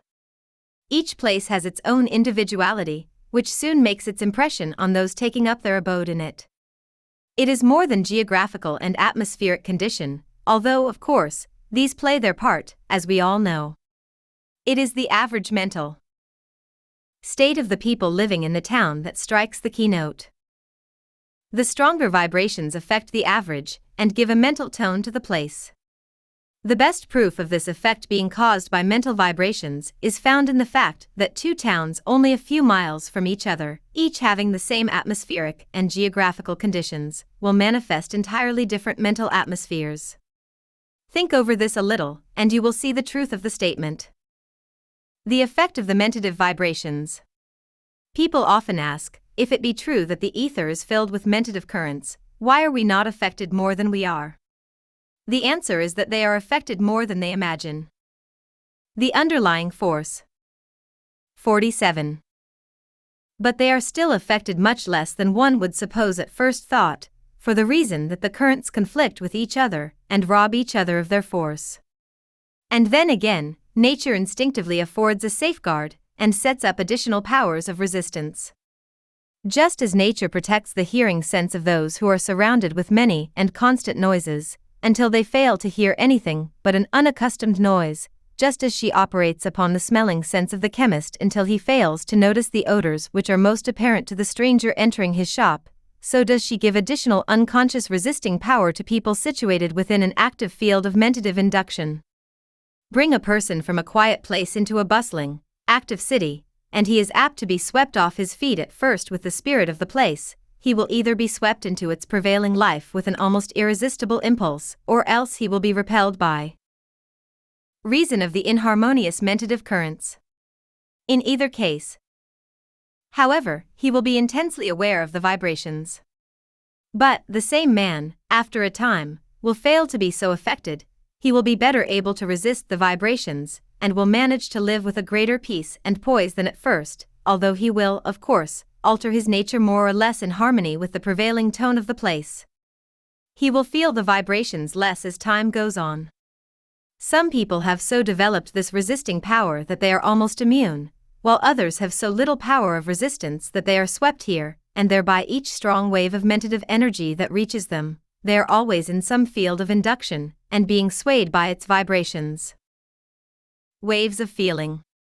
This phase of mentative induction explains the phenomena attendant upon those great waves of feeling that sweep over a country, like the emotion that followed the sinking of the Maine in the harbor of Havana. You will remember the first shock that came to you when you read the account in the morning. The Secret of Mental Magic. 48. Papers. Then there came upon you a growing sense of some impending event of great moment, mingled with a feeling of horror and indignation followed by an almost irresistible desire to join in a movement to avenge the outrage. This latter feeling grew perceptibly as wave after wave of feeling passed over the country in mentative currents, setting up increased mental feeling by induction. Older people will remember many similar waves that swept over the land in past days. Mentative cyclones. These things are common, and give you a clue to the apparent mystery of the forming of, and action of, mobs composed of a number of individuals who combine in numbers and then commit acts that no one man of the lot would think of perpetrating singly or individually. The conscience of the mob is apparently a thing apart from the individual consciences of the units composing it. After the excitement, the morning after, many, if not all, of the persons concerned feel a sickening horror and wonder at their work. A mob is a cyclonic center of mentative currents, resembling a whirlpool or whirlwind, with an active center and a less active circumference. Great waves of religious fervor noticeable in communities during the progress of revivals are accounted for in the same way. A few active revivalists start a whirlwind of fervid feeling and emotion, and it spreads out in constantly widening circles. Increasing until a climax is reached, and then a diminishing. Strength is apparent, which gradually settles down into the accustomed mental state of the community. These whirlwinds or whirlpools of emotional excitement, of whatever kind, are, of course, strengthened by the constantly repeated suggestions of those participating in it, which, with the constantly growing volume of mentative energy being thrown forth, serves to add fuel to the fire. This force would go on forever, steadily gaining in strength and volume, were it not for a provision of nature which causes the law of rise and the underlying force. 49 fall, increase, and decrease, that universal law of rhythm, to manifest in this as in all else in her domain. Everything has its rise, its climax, and its decline. So far for these general waves of mentative energy, or mentative currents. But there is another phase to be considered, many phases, in fact. Let us examine them. The centers of the mental whirlpools. First, there are mentative currents, arising from the strong centered desire of some person, who, forming a strong mental image, by means of visualization, creates for himself a center of desire force, which, guided by his willpower, attracts to himself all that will fit into his plans. He constitutes himself a mentative center, around his visualized idea, and constantly sends out strong mentative currents charged with the strongest, most ardent thought force, guided, directed, and projected by his developed willpower. He thus sets into operation the great mental law of attraction, of which the early writers on mental science talked so much. These mentative currents, charged with desire, spread out, and soon begin a rotary movement like a whirlpool, sweeping around and around, always drawing in toward its center persons and things tending to fit in with the plans of the center. The original desire in the man's mind is reproduced in kind. In the minds of thousands of people by the law of mentative induction, and they all fall in with the plan, the degree, of course, depending upon the degree of positivity, or negativity of the receptive mind, multiplied by the degree of positivity of the mentator. The great plans of the so called captains of industry are carried out by reason of this law. Many of these great centers of desire force, these successful men, who attract to them that which they want, and those whom they need, do not realize the nature of the force that they are using, but there is a constantly increasing number who do know it, and they are working it for all it is worth. Many. The secret of mental magic. 50. Of these steady, cool business leaders are really deeply versed in occult laws. If the true facts of the case were to creep out, there would be the greatest sensation that the country has ever known. Mentative influence. Then there is still another phase of the matter.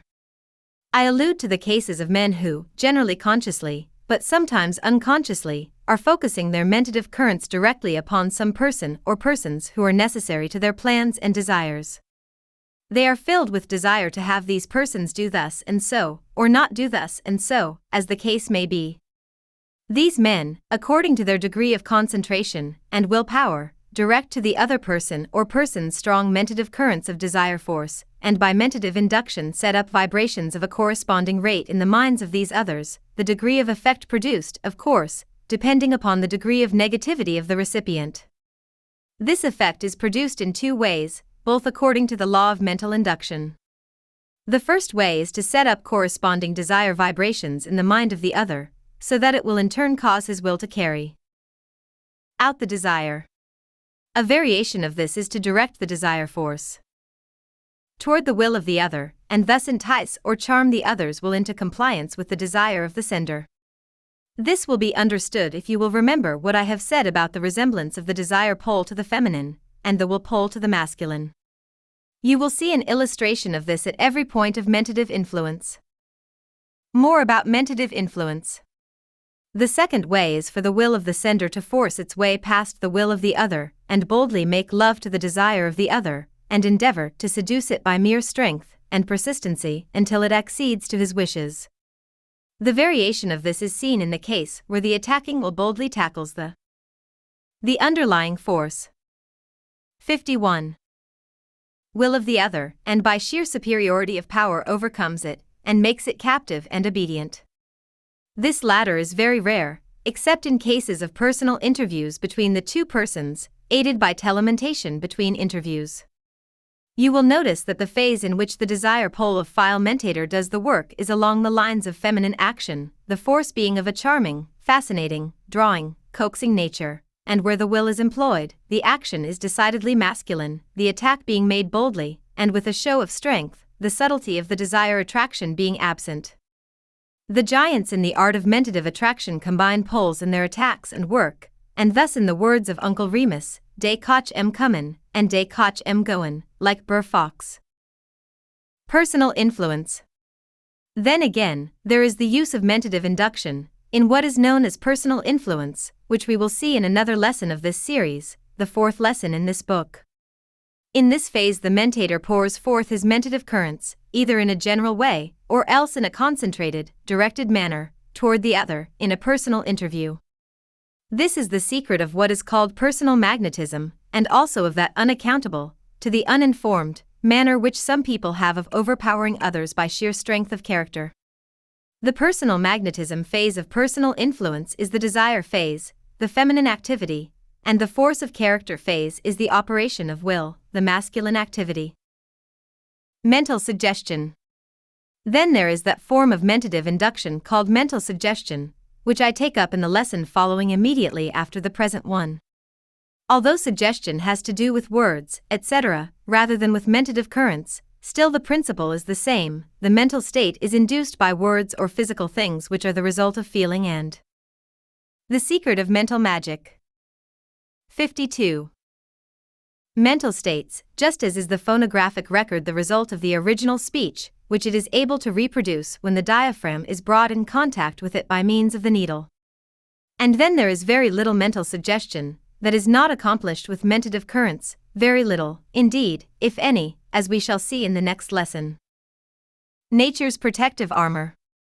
Now, in closing this lesson, I wish to caution my readers to refrain from manifesting, or feeling anything like fear at what I have said about the use of mentative energy by other people. Remember that fear in itself is the most negative influence and most weakening mental state known. It renders negative the most positive man if freely indulged in. No matter how potent may be these mentative currents, there are none that may not be rendered impotent and ineffectual by your own willpower set in motion by your own desire force. Each and every one of you have within you, and under your own control, a force that will render you perfectly and absolutely immune from undesirable mentative influence, no matter who may use it against you. Nature has blessed all of us in this respect, it makes no bane without its antidote, and does not depart from its rule in this phase any more than in any other. It supplies the means of self protection to everyone, and always furnishes the defensive weapon to match the offensive one. As a matter of fact, you are defending yourself constantly, although you may not know it. Much of this defensive work is done along subconscious lines, but you are doing much of it consciously by the use of your will and spirit of individuality. You are using the mental no all the time, that is, unless you are some poor creature who is afraid to say no, even mentally, and if you are that, then this book is doubly needed by you. The underlying force 53. Self protection. I shall instruct every student of these lessons, in many different ways, as we proceed with the lessons in this art of self protection.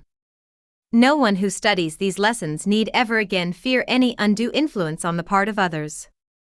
I purpose to make mental masters of you, and to teach you to throw off the bonds and shackles of mental slavery. I intend to make you strong, positive individuals, instead of weak, negative personalities. There is nothing to be afraid of except fear, so the sooner you cast off fear, the better you will be, and the more advanced on the road to mastery. While this is not the place for exercises, still I want each and every one of you to start right in now and form a mental attitude of fearlessness and strength, that you may begin at once to send forth mentative currents of that rate of vibration. If you do so, and you will, I know, then you will begin to notice an improvement at once. You will begin to realize your increasing power, and you will also see that others are beginning to feel it. Begin today, this moment, to radiate mentative currents of strength and power in all directions. Stimulate the currents by arousing a strong, intense, burning desire to be strong and to radiate strength vibrations, then back this up by the application of a strong, steady, masterful, and dominant will, and then the trick will be done. Learn how to feel and will. But right here, remember, first, last, and all the time, that it is not a mere matter of thinking, but a matter of feeling. Thoughts are cold, but feelings are warm, alive, and vital. Therefore, you must not merely think I am strong, or say it like a parrot, but you must stir up your nature to its depths, until you can really feel that you are indeed strong and possessed of radiant energy of mentative force. Feeling is living thought. Everything that is worthwhile was produced by this feeling thought. Feeling, desire, emotion, passion, wanting. The secret of mental magic. 54 willing, these are the things that have creative power, not mere clear, cool thinking. So do not deceive yourself with this holding the thought, or any such nonsense of which you have heard so much until you get sick at the mention of the words. It is not simply holding the thought, it is holding the desire, and backing it up with the will, that does the work. To create a thing, you must want it with a burning, eager want that brooks no denial, backed up by a will that knows no such word as can't or no. Now get to work. 55. Lesson 3 Mental Suggestion. What is mental suggestion? The phases of suggestion. Suggestion entirely emotional. The meaning of the term. My own definition. The power of words. The subtle insinuation. Impression and induction. Degrees of suggestibility. Ideas induced by feeling. Feelings versus reason. The four lines of action. The first line of action. Man. An obedient animal, the origin of obedience to suggestion. The confidence men, extreme instances, the keynote, those easily affected, the degree of power, the second line of action, human sheep and apes, imitative mental contagion, the third line of action, words but symbols, associated feeling, the art of the suggester, the master key, the spell of oratory, the power of words, the actor, how to protect yourself, the fourth line of action, the secret of this form, cuckoo feelings, mental impressions, the force of repeated statements, a warning, the three forms of application. The first form. Children and suggestion, the rule of involuntary suggestion, the second form, suggestive.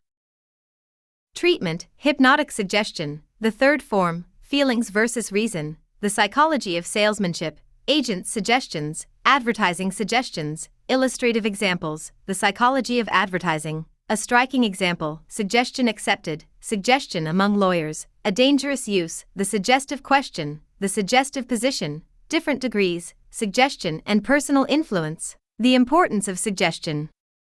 The secret of mental magic. 56. 57. Lesson 3. Mental suggestion. E. very student of psychology and mental science has heard and read much of that phase of mental phenomena called mental suggestion. Much has been written and taught about it, and the term has been claimed by some teachers to cover all phases of mental influence. I do not entirely agree with these extreme advocates of suggestion, however, for I find much in the subject that calls for a further explanation. But, nevertheless, I feel certain that mental suggestion plays a most important part in almost every instance of this class of phenomena, and must be seriously considered by all careful students of the subject. Combined with mentative induction by means of mentative currents, it accounts for nearly every phase of the phenomena of mental influence. Therefore, I shall devote an entire lesson to the consideration of its underlying principles, Laws and Method of Application. I feel that no one can be a successful practitioner of telementative influence or personal magnetism who is not a good suggestionist because the very knack of projecting strong suggestions is necessary for the forceful projection of mentative energy and mental currents. The secret of mental magic. 58. What is mental suggestion? While all who have examined the subject are aware of the force and effects of mental suggestion, few have found it possible to correctly define or describe the term, or to explain it to others. And so, in this lesson, I shall have to undertake a task that many other writers on the subject have dodged. But I feel assured that my theory of mentative induction, and the two poles of the mind, will enable you to form a very clear and comprehensive knowledge of the underlying laws of the subject, so that, understanding it from the ground up, you will be able to apply its method of application to the best advantage. The term mental suggestion, used in the sense of personal influence, means that influencing or controlling of the mental states of others by means of words, actions, appearances, etc. The phases of suggestion. I divide the phenomena of mental suggestion into two general classes or phases, i.e., 1. Active suggestion, and 2. Passive suggestion, as follows. By active suggestion, I mean the induction of mental states in others by means of positive command, affirmation, statements, etc., bearing directly upon the desired mental state. By passive suggestion, I mean the induction of mental states by the subtle insinuation, introduction, or insertion of ideas into the minds of others, which insinuated ideas act in the direction of inducing the desired mental state. Active suggestions are associated with the use of the motive pole of the mind of the suggester, and passive suggestions are associated with the emotive pole of the suggester.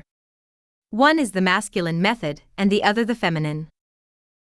Suggestion entirely emotional. And right here is a good place in which to direct your attention to a very important phase concerning the operation. Mental suggestion. 59. Of suggestion in inducing mental states in others. I allude to the fact that suggestion operates along the line of emotional mentality, or feeling, and has nothing to do with judgment, reason, argument, proof, etc. It belongs clearly to the feeling side of the mind, rather than to the thinking side. One's reason may be appealed to by clever reasoning, argument, logic, proof, etc., and an effect gained, but this belongs to an entirely different phase of mental action. The induction of mental states in others by means of suggestion has to do entirely with the feeling phase of the mind. It deals with the production of emotional mentality, rather than with rational mentality. This is a most important point, and one that should be thoroughly understood by all students of the subject. It is true that suggestion may accompany an appeal to the reason or judgment of the person influenced, and indeed, is generally so used, but, strictly speaking, it constitutes an appeal to a part of the mind entirely removed from reasoning and judgment. It is emotional, first, last, and all the time.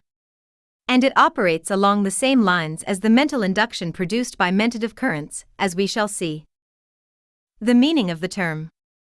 And now, with this preliminary understanding, let us pass on to a considering of the meaning of the terms used. There is nothing like a clear understanding of the terms employed in treating of a subject. If one understands the exact meaning of the terms, he has progressed very far to an exact understanding of the subject itself, for the terms are the crystallized ideas involved in the subject.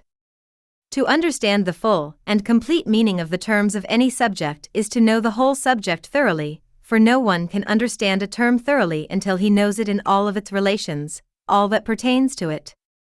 Let us start with the word suggestion, as used by the writers on mental suggestion. Some authorities give the broad. The secret of mental magic. 60. General definition of anything that is impressed upon the mind through the senses, but this I consider entirely too sweeping, for this definition would make the term cover knowledge of all sort, no matter to what part of the mind it appealed, for all knowledge of the outward world is obtained through the senses. Other authorities define the term as anything insinuated into the mind, subtly, cautiously, and indirectly, this definition fitting nearly the one favored by the dictionaries in defining the word suggestion in its general sense, which is as follows a hint, a guarded mention, an intimation, something presented to the mind directly, an insinuation, etc. But this last definition of mental suggestion does not fit all the phases of the subject. It fits admirably into the phase known as passive suggestion, as above described, but it leaves undefined the phase of active suggestion, which operates by direct, forceful command. Statement, etc. My own definition. And so I must give my own definition of the term to fit my conception of and understanding of its meaning. I, therefore, here define my use of the term mental suggestion as follows a physical agent inducing mental states. This is a broad definition, which, I think, will cover all the observable phenomena of mental suggestion. I use the word physical to distinguish suggestive agent from the mental agents inducing mental states by the operation of mentative energy, mentative currents, telementation, etc. Of course, this distinction will not please those who would claim all mental action as a form of the physical, or vice versa. But as I have to draw the line somewhere, I prefer to draw it between the physical agent and the mental, and I think that the majority of my readers will approve of this position. The word agent means, of course, an acting power or cause, etc. Mental suggestion 61. The word inducing, as I have used it, has been defined in the previous lesson. So again, here is my definition of a mental suggestion a physical agent inducing mental states. Better commit it to Memory. The power of words. In my use of the term physical in the above definition, I include all words, spoken, written, or printed, mannerisms, physical actions of all kinds, physical characteristics and appearances, etc., etc. All of these physical manifestations act as agents inducing mental states under favorable circumstances. By mental states, I mean states of feeling or emotion, not abstract ideas or manifestations of reason, intellect, or judgment. It may be urged that the use of words, spoken, written, or printed, may be employed, and are employed, in every appeal to the mind of another, whether the appeal be along the lines of suggestion or argument, reason, etc. Certainly.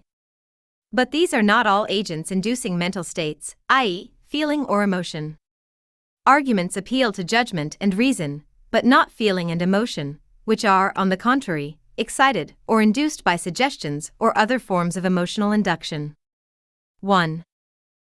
May present an idea to the mind of another in a bold, forcible, logical manner, accompanied by argument or proof, but this is an appeal to reason and judgment, not to feeling or emotion, which belong to an entirely different field of the mind.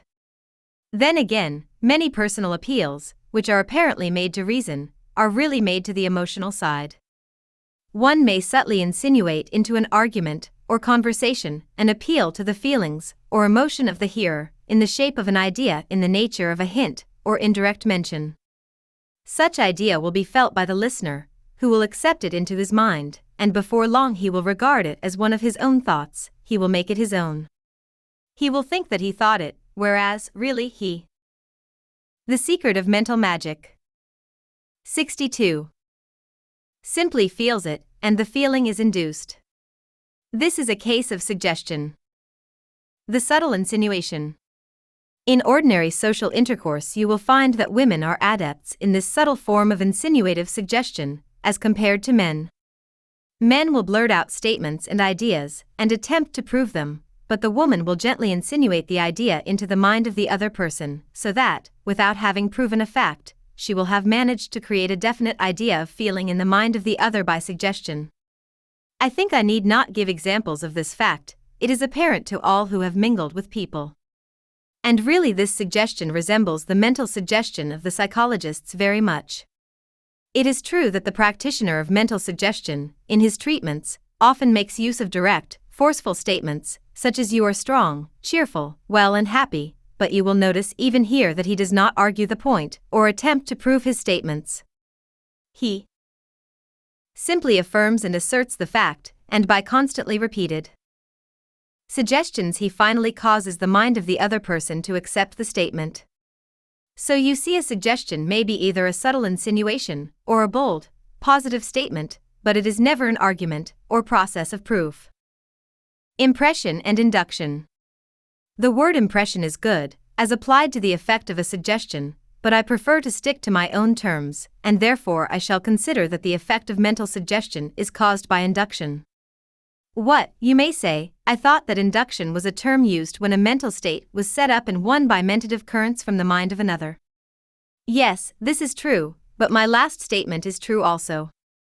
An induced mental state is one set up by outside influence of some kind, whether that outside influence be a mentative current or by suggestion through a mental suggestion. 63. Word, a book, a sight, or anything else. The word induce, you know, means to lead, to influence, to prevail on, to affect, to cause, etc.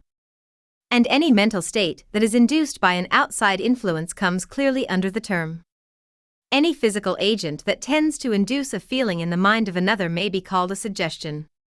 Even the well known instance mentioned in the textbooks on psychology comes under this rule. In that instance, it is related that a soldier was carrying some bundles and a pail to his barracks when some practical joker yelled to him in an authoritative voice, Attention!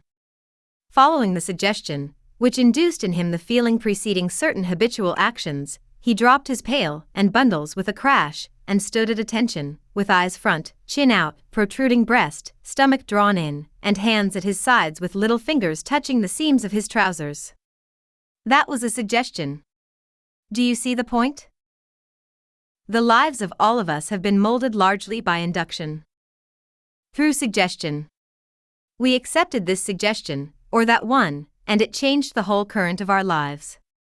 Certain things induced certain feelings, called into activity certain mental states, and action followed close upon the heels of feeling.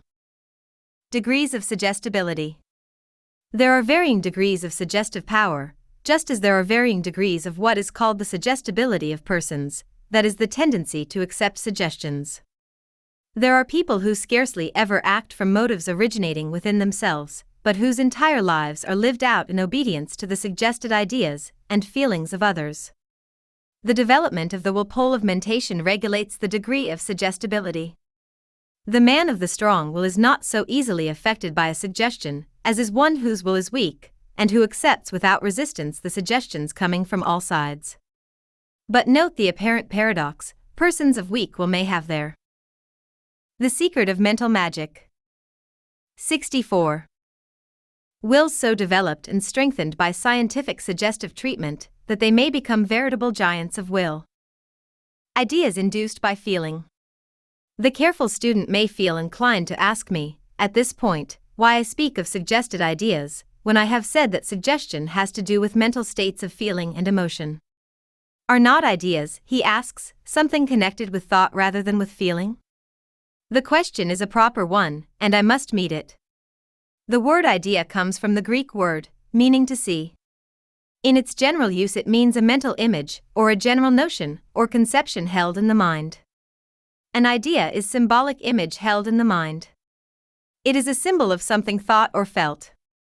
Ideas are not formed by thought alone, feeling contributes its share of these mental images. To tell the truth, the majority of people scarcely think at all, in the highest sense of the word. Their reasoning and logical faculties are by rudimentary. They accept their ideas at second hand or second hundred hand, their thoughts must be predigested for them by others, and the handed down idea is the result. The majority of ideas held in the mind of the race arise from feeling and emotion. People may not understand things, but they have experienced feelings or emotions regarding them, and have consequently formed many ideas and ideals therefrom. They do not know just why an idea is held by them, they know only that they feel it that way. And the majority of people are moved, swayed, and act by reasons of induced feelings, rather than by results of reasoning. I am not speaking of intuitional feelings now, but of the plain, everyday, emotional feeling of people. Feelings versus reason. Do you know what a feeling is? The word, used in this sense, means a mental state, emotion, passion, sympathy, sentiment, susceptibility, etc. And emotion means an excitement of the feelings. Feelings belong to the instinctive side of our mind. Mental suggestion. 65. Rather than to the rational or reasoning side. They spring up from the subconscious strata of the mind, in response to the exciting cause coming from without. The instinctive part of our minds are stored with the experience, feelings, emotions, and mental states of our long line of ancestors, reaching away back to the early beginnings of life. In that part of the mind are sleeping instincts, emotions, and feelings, our inheritance from the past, which await, but the inducing cause to call them into activity. The reason or judgment, by means of the will, act as a restrainer, of course, according to the degree of development of the individual. And these outward agents, if of a physical nature, are suggestions of all kinds. Look around you at the world of men and women. Then tell me whether they seem to be moved principally by reason or feeling. Are their actions based upon good judgment and correct and careful reasoning? Or are they the results of feeling and emotion? Do people do things because the things are considered right in the light of reason, or do they do them because they feel like it? Which produces the greatest motive force, an appeal to the reason of a number of people, or an appeal to their feelings and emotion? Which sways a gathering of people, the votes of a people, the actions of a mob, reason or feeling? Which moves even you, good student, reason or feeling? Answer these questions honestly, and you will have the key of suggestive influence. The four lines of action. Mental suggestion produces its effect upon the minds of people along one or more of four general lines, or paths of action. All the phenomena coming under this head can be placed in one or more of the four classes. These four paths, or lines of action, along which mental suggestion operates, are as follows 1. Obedience. 2. Imitation. The secret of mental magic. 66. 3. Association. 4. Repetition. I shall now proceed to consider these four paths, or lines of action, separately, in order, and in detail. Beginning with the first mentioned line of action, let us consider the first line of action. Suggestion through obedience. Suggestion operating along these lines consists of the induction of mental states, etc., by the agency of a positive statement, assertion, assumption, authoritative attitude, etc., which so impresses itself upon the mind of the person suggested to that he sets up no opposition or resistance, but acquiesces quietly to the suggestion made to him. The most common form of this first form of suggestion is seen in the very general acquiescence to real, or pretended authority on the part of the majority of people. Such people hearing a statement made, positively, and in a tone of conviction, by some person in authority, they accept the statement and the feelings arising from the accepted statement, without resistance, and without any attempt to submit the matter to the exercise of their reason. And this is true not only when the person speaking has really a right to speak authoritatively, by virtue of his knowledge, experience, wisdom, etc., but also when some pretender sets up an appearance of authority, and speaking in a positive style, along the thus saith the Lord manner, impresses his hearers with the idea he wishes to suggest to them. And then the good folk meekly acquiesce without question, and allow their feelings to be aroused accordingly, for the feelings are generally followed by actions in accord therewith. Man, an obedient animal. It is astonishing, from one point of view, to see how obedient to this form of suggestion the masses of people are. They will allow their mental states, feelings, and emotion to be induced. Mental suggestion 67. By the impudent statements and claims of cunning, shrewd, and designing men, as well as by ignorant, self deluded fanatics, who thus influence and sway them. These self constituted authorities utter their oracular statements and opinions in a tone of absolute certainty, and the crowd takes them at their own valuation. It seems to be only necessary for some positive man to attract the attention of the people, and then make some bold claim or statement, in the proper manner and tone, and with their appearance of authority, and lo! Some of the people, at least, fall into line. Did you ever think that people as a rule are obedient animals? Well, they are, providing you can manage to impress them with your authority. It is much easier for them to acquiesce than to refuse to do so. They find it easier to say and think yes rather than no. Their will is not often called into action by their reason and judgment, it being too often entirely under the control of the feeling and emotional side of them. The origin of obedience to suggestion. There is a fundamental law under this phase of suggestive action, and in order to find it, we must go back to the beginning of the race, perhaps further. In the earlier days, among animals and men, there were natural leaders, who ruled by force of might of body or mind. These natural leaders were implicitly obeyed by the masses, who had learned by experience that it was better for the tribe, or herd, as a whole, to be governed by their strongest and sharpest witted members. And so gradually this dominant idea of acquiescence and obedience to authority developed, and became a fixture in the race mind. And it is firmly planted in the mind of the race today, so much so that only the strongest minds are able to free themselves from it to any great extent. It is authority here and authority there in law, letters, religion, politics, and every other field of human endeavor. People do not begin by asking themselves, What do I think about this matter, but instead start off by saying, What?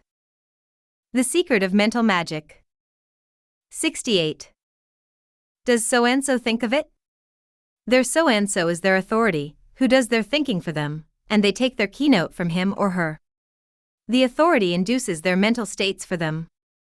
If these leaders and authorities were really the wisest of the race, it would not matter so very much, although even then it might prevent the development of individuality in the masses. But the worst feature is that the majority of these authorities don't know, and know that they don't know, but the people haven't found them out. They assume the manners, air, appearance, etc., of the real thing, and the people being accustomed to these symbols of authority, and mistaking the imitation article for the real, are impressed by the authoritative utterance and accept the suggestion. The confidence men. This fact is well known to the classes that prey upon the public. The confidence men, in and out of the criminal class, assume this air of authority, and their suggestions are accepted by the people.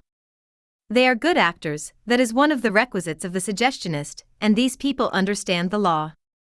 They proceed upon the theory accredited to Aaron Burr, that remark, you may remember, was that the law is that which is boldly asserted and plausibly maintained. And so these folk keep on boldly asserting, and plausibly maintaining, and find that it generally goes. Extreme instances. To see a principle in its naked simplicity, one should look for its operation in extreme instances. And the extreme instance in this case is the hypnotic somnambule, who has surrendered his judgment entirely to the mind of the operator. The somnambule will acquiesce in the most absurd suggestions from the operator and proceed to carry them into effect. And suggestion, you know, is the active factor in hypnotism, the mental suggestion. 69. Hypnotic condition being only a psychological condition in which the effect of suggestion is heightened.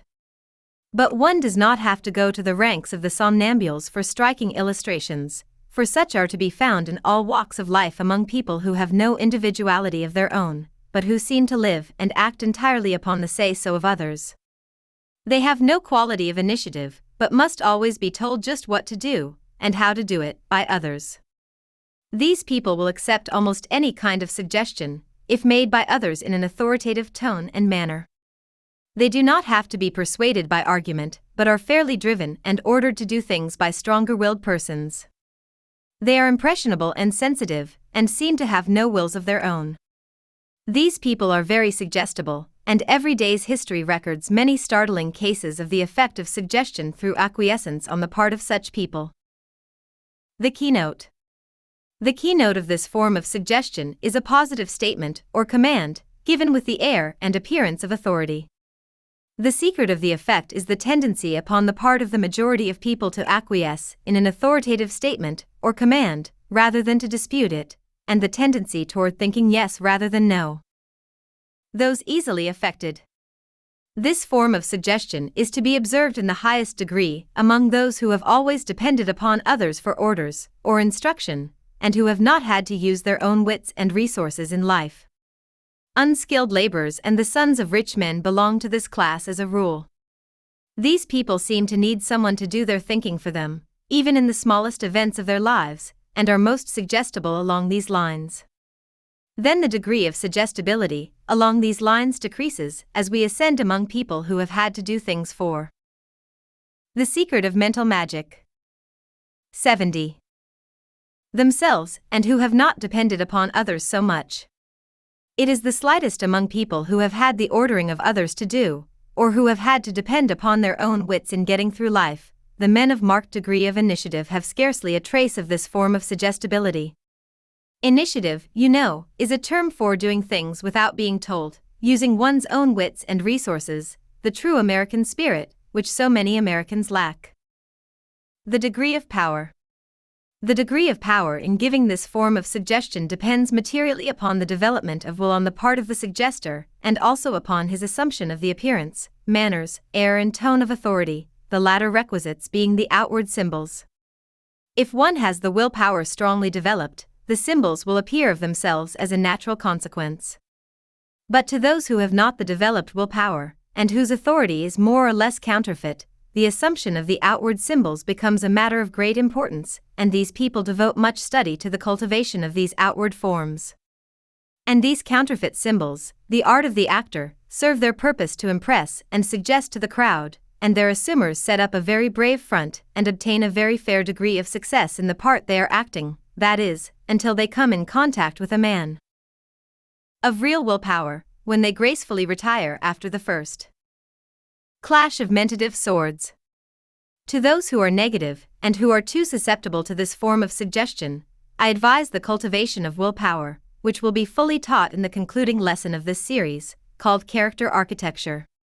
Nothing but the cultivation of the will will render them positive and impervious to suggestive influences of this sort. Mental Suggestion 71. The second line of action. The second line of action of mental suggestion is that called suggestion through imitation. This form of mental suggestion is very common, perhaps the most common of all the forms. Man is essentially an imitative animal. He is always copying the actions, appearances, and ideas of others, thereby going to prove his descent from the monkey like ancestors, in whom this trait of character was largely developed. Personally, I believe that this trait of imitation may be traced back to the early days of the race, or before, when animal and man were in a wild state and exposed to constant danger of attack of enemies.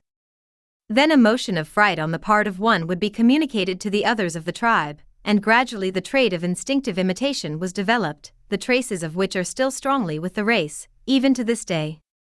We may find instances of this trait all around us.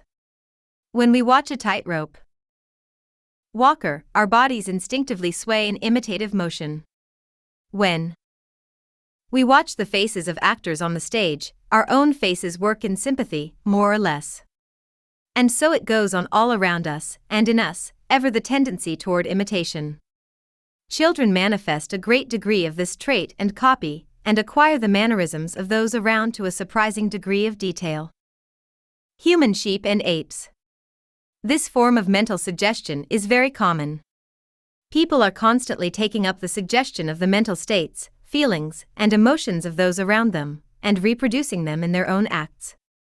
The majority of people are like human sheep, who will follow a leader everywhere and along all sorts of paths. Let the old bellwether jump over a rail, and every sheep in the flock will do likewise, and they will keep on jumping over the same place, at the same height, even if the rail be removed before the whole flock gets over. We are constantly doing things simply because other people do them. We are constantly aping after others. In our fashions, styles, forms. The secret of mental magic. 72. Etc., we are serval imitators. Harry Lehr shows a vest button hung by a thread, and all the young apes in the land follow suit. Funny. Isn't it? Imitative mental contagion. This law of imitation plays an important part in the phenomena of mental suggestion along these lines. Somebody does a certain thing, and at once other people take up the suggestion and copy the original actor. Let the newspapers record a certain crime, and many others of the same type follow closely after. Let there be a suicide, and many others follow, usually adopting the same methods. Let there be a number of cases of some kind of folly and dissipation, and immediately there is an epidemic of the same thing. Let the papers say much about the appearance of a new disease, and at once a number of people manifest symptoms of it. Diseases get to be quite the fashion in this way. The feelings and emotions of the instinctive part of the mind are called into sympathetic action along the lines of imitative suggestion and physical effects follow shortly after. Shrewd men take advantage of this tendency of the human mind, and, by getting a few people interested in certain things, they manage to set the fashion, and the crowd follows like sheep. Get people talking about a thing, and the contagion spreads until everybody is interested in the matter. The majority of people are more or less susceptible to this form of suggestion, the degree depending upon their habit of thinking, judging, and acting for themselves. The man or woman who has ideas of his or her own is not so apt to be impressed by every wave of popular fashion, style, and thought as those who maintain a more negative attitude toward the minds of others. The method of curing an undue tendency toward imitative action is to start in to build up your individuality and to develop positivity along the lines mentioned in the concluding lesson of this series. The third line of action. The third line of action of mental suggestion is mental suggestion. 73. Suggestion through association. This form of mental suggestion is very common. It is based upon the acquired impressions of the race, by which certain words, actions, manners, tones, appearances, etc., are associated with certain previously experienced mental states. Mental states take form in physical action and expression, as we know. A man feeling in a certain way is apt to express himself by certain actions or in certain words.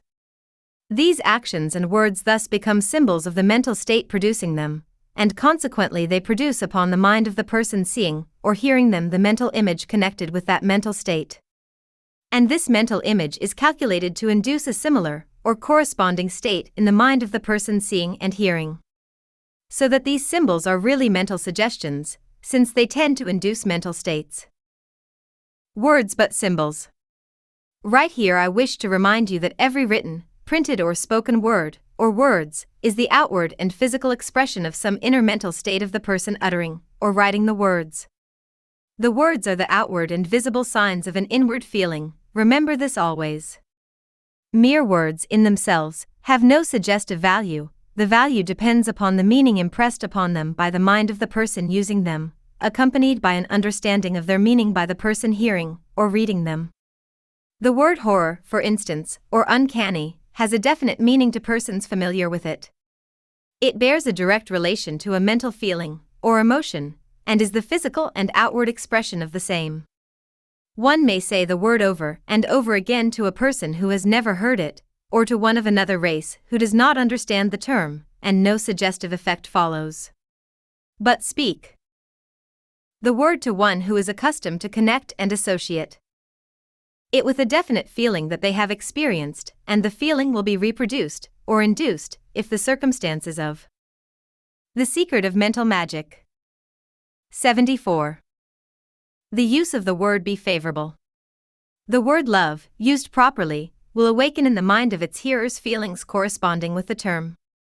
And these feelings must have been experienced before, either directly or indirectly, before they may be induced by suggestion.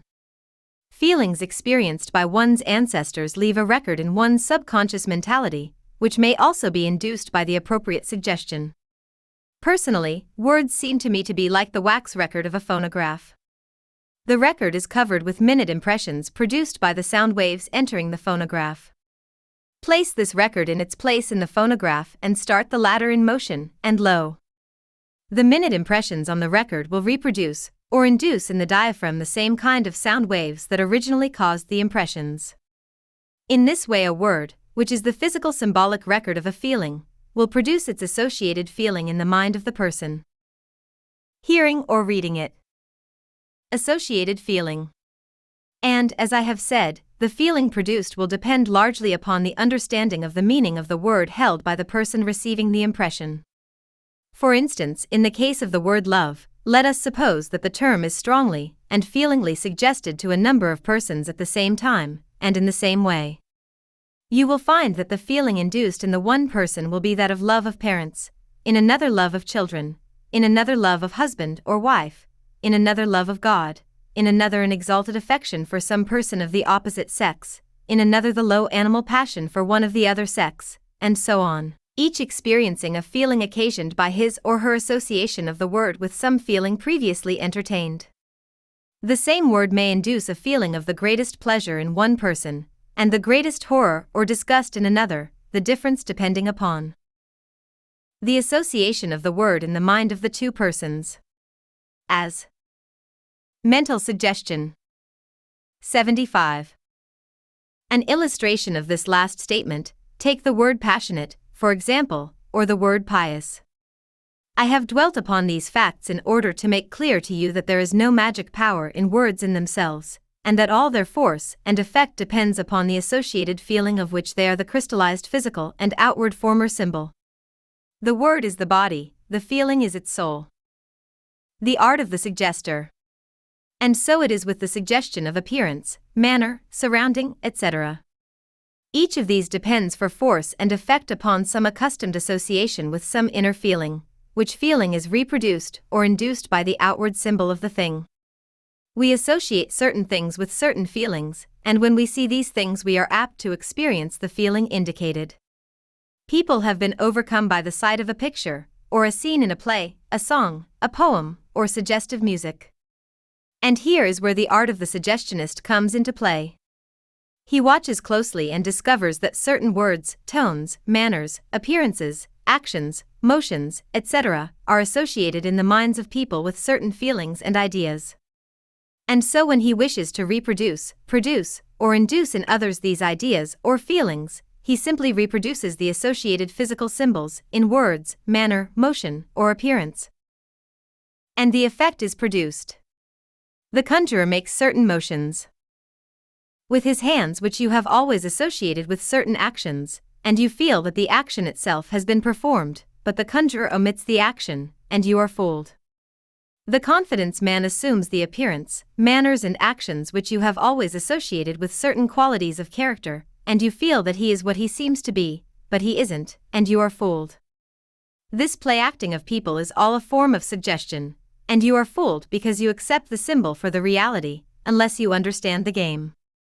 The The Secret of Mental Magic 76. Actor assumes the actions, tones, dress, and words of certain characters, and if he is a good actor, you forget the reality, and laugh and weep, and otherwise feel that what you see is reality, although you really know underneath it all that it is only a play. And all this is mental suggestion, remember. The Master Key Remember, now and always, that a mental suggestion operates by the presentation of the outward symbol associated with the feeling to be induced. Put the right record in the phonograph, and the corresponding sound is produced or induced. Do you see? This law underlies all the phenomena of mental suggestion, understand the law of suggestion, and you have the master key to the phenomena. The spell of oratory. Oratory, and other forms of appeal to the feeling by spoken words, gives us a typical example of the operation of this form of mental suggestion. The orator, the lawyer, the preacher, each uses words calculated to induce mental states, feelings, and emotions in the minds of his hearers. Such a one soon begins to learn the suggestive value of words, tones, and expression. He avoids the use of cold, abstract words and drifts into the use of those which are symbols for deep feeling and emotion, knowing that these word symbols uttered with the proper tone and expression will induce the feelings for which they stand in the minds of the hearers. The hearer's emotions and feelings are played upon, in this way, like an instrument. The emotion or passion, whether it be love, fear, hate, greed, patriotism, courage, jealousy, sympathy, etc., etc., is awakened by the skillful use of the words, tones, and expression which stand as symbols for these feelings. If you will remember how you were touched by an address that afterward seemed trivial and flamboyant to you, without argument, proof, or sense, then you will realize how you were. Mental suggestion 77 made the subject of mental suggestion through association. The skillful salesman operates upon you in the same way. So does his twin brother, the advertising man. The revivalist has this art reduced to a perfect science. The power of words. Words, words, words, inciters to action, inducers of feeling, symbols of mental states, and reproducers of mental states, despise them not, sneer not at them, for they have brought down low the mightiest of minds, when properly used. Even when written, their potency is great. Countries have often been made captive by a clever phrase, which when analyzed meant nothing in reason, merely an awakener of feeling. Let me make the catchphrases of a country, and I care not who makes its laws. The actor. The man best adapted to employ this form of suggestion is he who is more or less of an actor, that is, who possesses the faculty of throwing expression and feeling into his words, actions, and manner. Good orators, pleaders, salesmen, and others have this faculty largely developed. It belongs to the feminine side of the phenomena, for it has the charming drawing, leading aspect, and works by the employment of the emotive pole of mentation, rather the will or motive pole, as in the case of the first mentioned phase of suggestion, that of authoritative statement or command. It operates not by beating down the will of the other person, but rather by inducing a sympathetic rhythm of feeling and emotion, which overpowers his own will and causes it to act accordingly. How to protect yourself? One should ever be on guard against this kind of influence. The best way to escape it is to adopt the policy of never acting immediately in response to an appeal of this kind. Rather wait. The secret of mental magic. 78. Until the effect has worn off, and then submit the matter to the consideration of your reason and judgment. Of course, the cultivation of willpower will act as a shield or armor, protecting you from the subtle vibrations of this kind, for this form of suggestion is usually accompanied by strong mentative currents from the mind of the speaker. Fence yourself off from a too ready response to sympathetic appeals along the emotional lines. Let the head stand by the heart, ready to prevent its running away with you. Men should have the reason in the ascendant, not the emotional nature. When you feel yourself being carried off of your feet by some emotional excitement, steady yourself and ask your mind this question Is this not a mental suggestion? The question will tend to bring you to your state of equilibrium. When you know what a mental suggestion is, then you will learn to recognize them and be on the lookout for them. This state of mind will act as a strong neutralizing agent for the most. Skillfully put suggestion. Have your torpedo nets out, no matter how secure you may imagine yourself to be. One caution more be especially cautious and slow to accept a suggestion when you are worn out, tired, or in a passive, pleasurable state, that is, whenever your will is resting, or else exhausted. On these occasions, when in doubt, say no. You will save yourself much regret by remembering this bit of advice. It is based on a proven psychological law. I have learned this law by bitter personal experience. Remember it. The fourth line of action. Let us now consider the fourth line of action of mental suggestion suggestion through repetition. This form of mental suggestion is quite common, and the study of its manifestations is quite interesting, for it brings into operation a well known psychological principle, which has its correspondences in the mental suggestion. 79. Physical world, constant dripping will wear away the hardest stone. You know the story of the man who told his favorite lie so often that he believed it himself? Well, this is a psychological fact. People have started in to make a certain appearance of truth, in words or manner, by assuming something to be true that was not so. Then they kept on repeating the thing, adding a little here and a little there, until the thing got to be a fixed idea with them, and they actually believed it. And if a person can suggest himself into accepting a false belief in this way, you can see how it will operate on others. The secret of this form. The secret of the operation of this form of suggestion lies in the psychological facts of weakened resistance through repetition of the attack and the force of habit.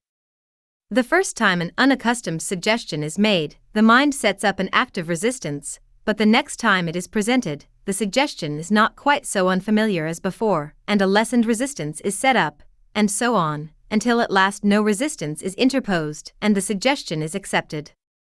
You know the old verse Vice is a monster of so frightful mien, that to be hated, needs but to be seen. But seen too oft, familiar with her face, we first endure, then pity, and then embrace. And this rule holds good with suggestions. We first resist them, then endure them, then accept them, unless we understand the game. Cuckoo feelings. The psychological fact involved in this form of suggestion is that impressions upon the brain cells become deepened by constant repetition. It is like sinking a die into a cake of wax. It. The secret of mental magic. 80. Goes deeper at each pressure. The mind is very apt to accept as true anything that it finds deeply impressed upon its records. It has become accustomed to finding these deep impressions only when they have been made by repeated efforts of its own intellect, or judgment, or experience, and so when it finds these deep impressions that have been placed there by repeated suggestions of others, it is not apt to discriminate. It finds itself feeling these things that have been repeatedly impressed upon it. Like the cuckoo's egg in the robin's nest, these illegitimate mental impressions are nurtured as one's very own. Mental impressions. There is a constant struggle for existence upon the part of the ideas, or mental images impressed upon one. The strong crowd out the weak.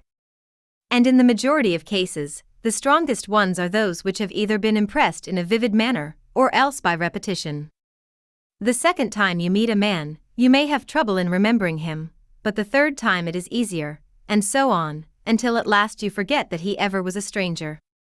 And so it is with these suggested ideas, you grow familiar with them through repetition, they lose their strangeness to you, and at last you cease to concern yourself about them.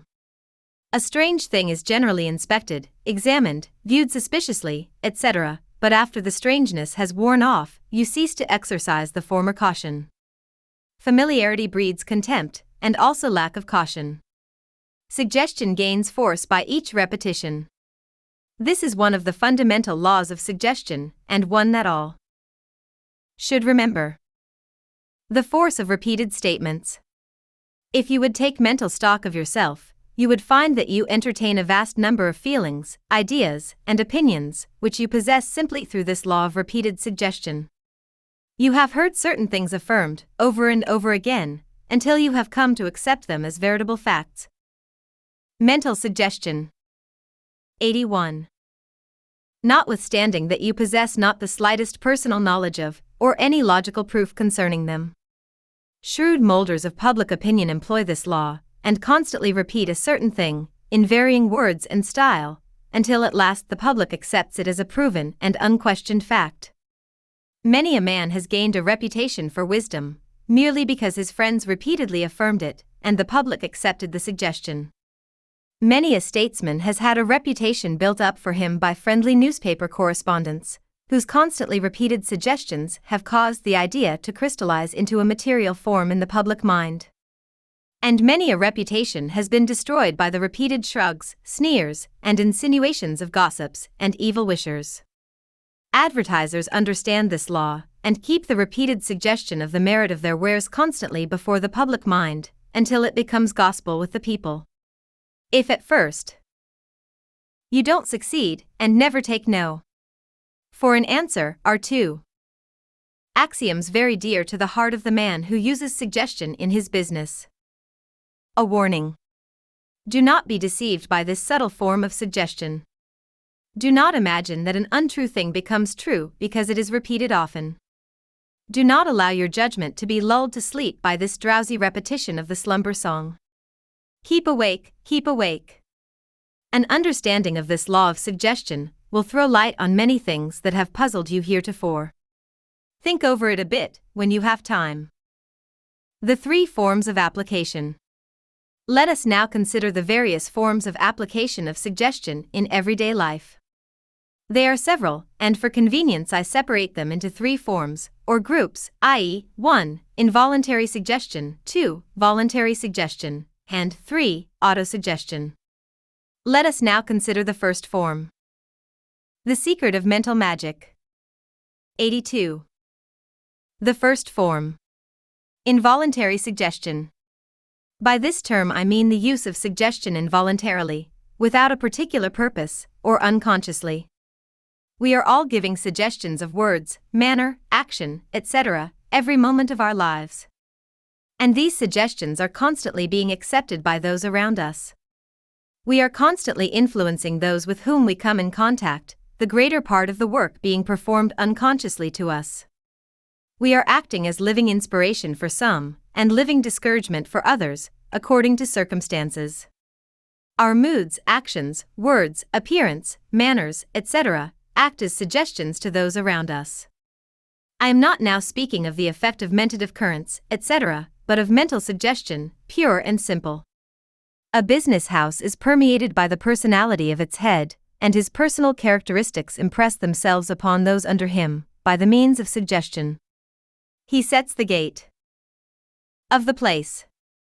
If he is active and enterprising, so are the workers employed by him, and if he is careless and shiftless, so will they be apt to be.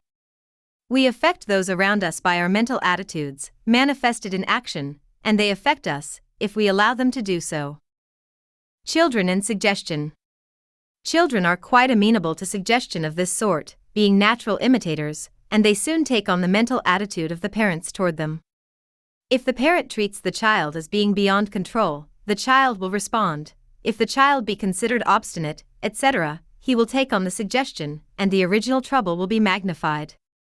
People talk before their children, little realizing that the little minds are very suggestible, and are constantly taking suggestive color from those around them. One should endeavor to present to their children only the best, positive, helpful, uplifting, and encouraging mental states. One should avoid giving the child the impression that mental suggestion 83 it is bad, or mean, or deceitful, or shy, or anything of that sort. The child will be apt to accept the suggestion coming from a source that it naturally looks to for information, and it will be very apt to proceed to act upon the suggestion and make the words of the parent come true. I have heard of children who had become so impressed with their parents' suggestion that they would come to some bad end, yet that they had to fight against it the balance of their lives. Sow the suggestive seeds that you desire to sprout into reality, be careful to select the right kind. This subject of suggestion to children can be merely alluded to here, for it would fill a book of itself. I felt impelled to say a few words about it in this lesson, because my experience has taught me its extreme importance. The rule of involuntary suggestion. This is the rule of involuntary suggestion our words, actions, manner, tones, appearance, and general personality convey suggestions to those around us, inducing mental states in accordance therewith. Therefore, act out only the character that you wish to impress upon the world, and act it the best you know how. The world will connect you with the part you are playing, according to the suggestions thus made, sometimes you will get a better verdict than you really deserve, sometimes a worse one, but in either event, your mental attitude, reflected by your involuntary suggestions, will have caused the verdict, whatever it may be. Therefore, form a correct mental attitude, based upon some ideal of the part you wish to play, and then play it out to the best of your ability. Observe the outward appearance of the part you are playing, for this is what the world sees first, last, and all the time, and you are judged by your suggestive makeup and stage action. Act well your part, for thereupon rests the verdict of the audience. The secret of mental magic. 84. The second form. The second form of the application of suggestion is voluntary suggestion. This form of the application of suggestion is manifested in cases in which the suggestion is deliberately and purposely made with the end of impressing other persons. Its manifestations may be grouped into three classes, as follows A. Suggestive treatment, B. Hypnotic suggestion, C. Suggestion in the form of personal influence. Suggestive treatment by a suggestive treatment, I refer to the practice of mental suggestion used as a form of treatment for physical ills or mental deficiencies, etc. The treatments for physical ills come under the term of suggestive therapeutics and will be spoken of in my lesson of that title. Treatment by suggestion for mental deficiencies, etc., is a branch of science that is rapidly coming to the fore. For some time it was clouded by its mistaken connection with hypnotism, but now that it has been divorced therefrom it is being used to a much greater degree by scientists in all parts of the world. Its principle rests on the fact that brain centers and brain cells may be grown, developed, and increased by properly directed suggestions so that one may be practically made over mentally. New qualities may be induced and objectionable ones decreased. Objectionable habits and traits may be eliminated and desirable ones substituted or newly induced. The wonders of this form of practical psychology are being unfolded rapidly, and a great era is before us in this branch of science. I have conducted many experiments along these lines, with a surprising degree of success, during the past seven years, and I purpose making the results of this work public at no distant date. The broad principle of the treatment lies in the fact that the mental states induced by the proper suggestions tend to exercise and develop the portion of the brain in which they are manifested. Hence the theory once. Mental suggestion. 85. Understood, and the best method adopted, the rest of the treatment becomes as simple as developing any muscle of the body by the appropriate exercise. I call this form of treatment brain building, by suggestion, etc. Hypnotic suggestion. B. Suggestion in hypnotism is a subject that I shall merely refer to here, for this is not a manual of hypnotism. Sufficient it is to say that hypnotism is a combination of the use of mentative energy in a certain form, coupled with suggestion. The will of the hypnotic subject is overpowered by mentation, and the suggestions are then made him. It is a proven psychological fact that in the hypnotic condition, all suggestions have a greatly exaggerated effect, and a suggestion that would scarcely be noticed in the ordinary state, becomes a strong motive force to one in the state of hypnosis. In this state, the most absurd suggestions are accepted and acted upon, the most extraordinary delusions are entertained, and the suggestions of future action, or post hypnotic suggestions, are made effective.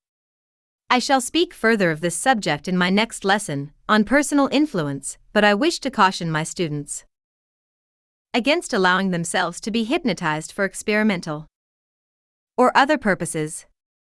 It is conducive to a negative condition, and I heartily disapprove of its use. I would not allow anyone to hypnotize me, and I would urge upon my students a similar attitude toward experimenters. The best effects of suggestion may be obtained without hypnosis, the latter is merely an abnormal and morbid state, most undesirable to normal people. Let it alone. C. Suggestion in personal influence is referred to in other parts of this lesson, and will appear more fully in my next lesson on personal influence, for it belongs to that phase of the general subject. The Secret of Mental Magic. 86. The third form. The third form of application of suggestion is what is known as autosuggestion.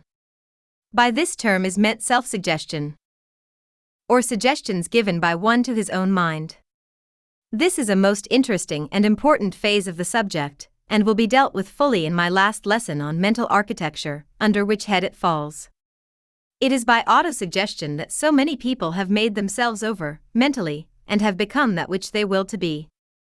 Its principles are precisely the same as in the other forms of suggestion, except that the treatment is given by oneself instead of by another person. The vehicles of suggestion, i.e., the voice, the manner, etc., have been alluded to in this lesson as we proceeded. But these points will be elaborated in the next lesson, on personal influence, as they form a part of that subject. Feelings versus reason. An eminent teacher of the use of suggestion in commercial pursuits, in speaking of the effect of suggestion in inducing mental states, says, You can make a man think with you if you work on his feelings or higher nature, even though you run counter to his ordinary judgment. If in this way you can dazzle his reason sufficiently, you can spur him to almost any action of which man is capable. And this teacher is perfectly right in his statement, although he follows the old subjective mind idea and identifies feeling with the higher nature, instead of treating it as belonging to the emotive pole of mentation as I do. And, if I may be pardoned, I would suggest that the above statement would be a little nearer the true state of affairs if he had said, You can make a man feel with you if you work on his emotive mentality, etc. Mental suggestion. 87. The psychology of salesmanship.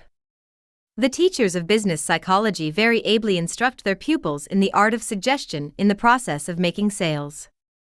They instruct the salesman to first gain the prospective customer's attention, then arouse his interest, then awaken desire, and then close the sale. These steps in the psychology of salesmanship apply equally well to the science of advertising, or any other appeal to the minds of people, and are logically correct. The attention once gained, the mind becomes more or less receptive, the mind once receptive, interest is aroused and a greater degree of receptivity is induced, interest is gradually led to desire, induced by the subtle suggestion of words and the exhibition of the article to be sold, and at last, when the proper psychological state is aroused, the trained salesman gently but firmly gives the positive suggestion of authority, or demand, pointing to the place where the customer must sign his name, thus using suggestion along both the lines of acquiescence and imitation, and the order is taken. Did you ever subscribe to a book at the solicitation of a good book agent? Well, if you did, and will let your mind run backward over the proceeding, you will see how the above rule works in practice. 1. Attention. 2. Interest. 3. Desire. 4. Sale. These are the steps of salesmanship by suggestion, and advertising sales as well. Great is suggestion in business. I have known salesmen to gently suggest the closing of a sale by handing the customer a fountain pen, placed at the suggestive slant, at the same time pointing to the space on the order blank, with the take it for granted tone and utterance sign right here, please. And it was signed. Agents' suggestions.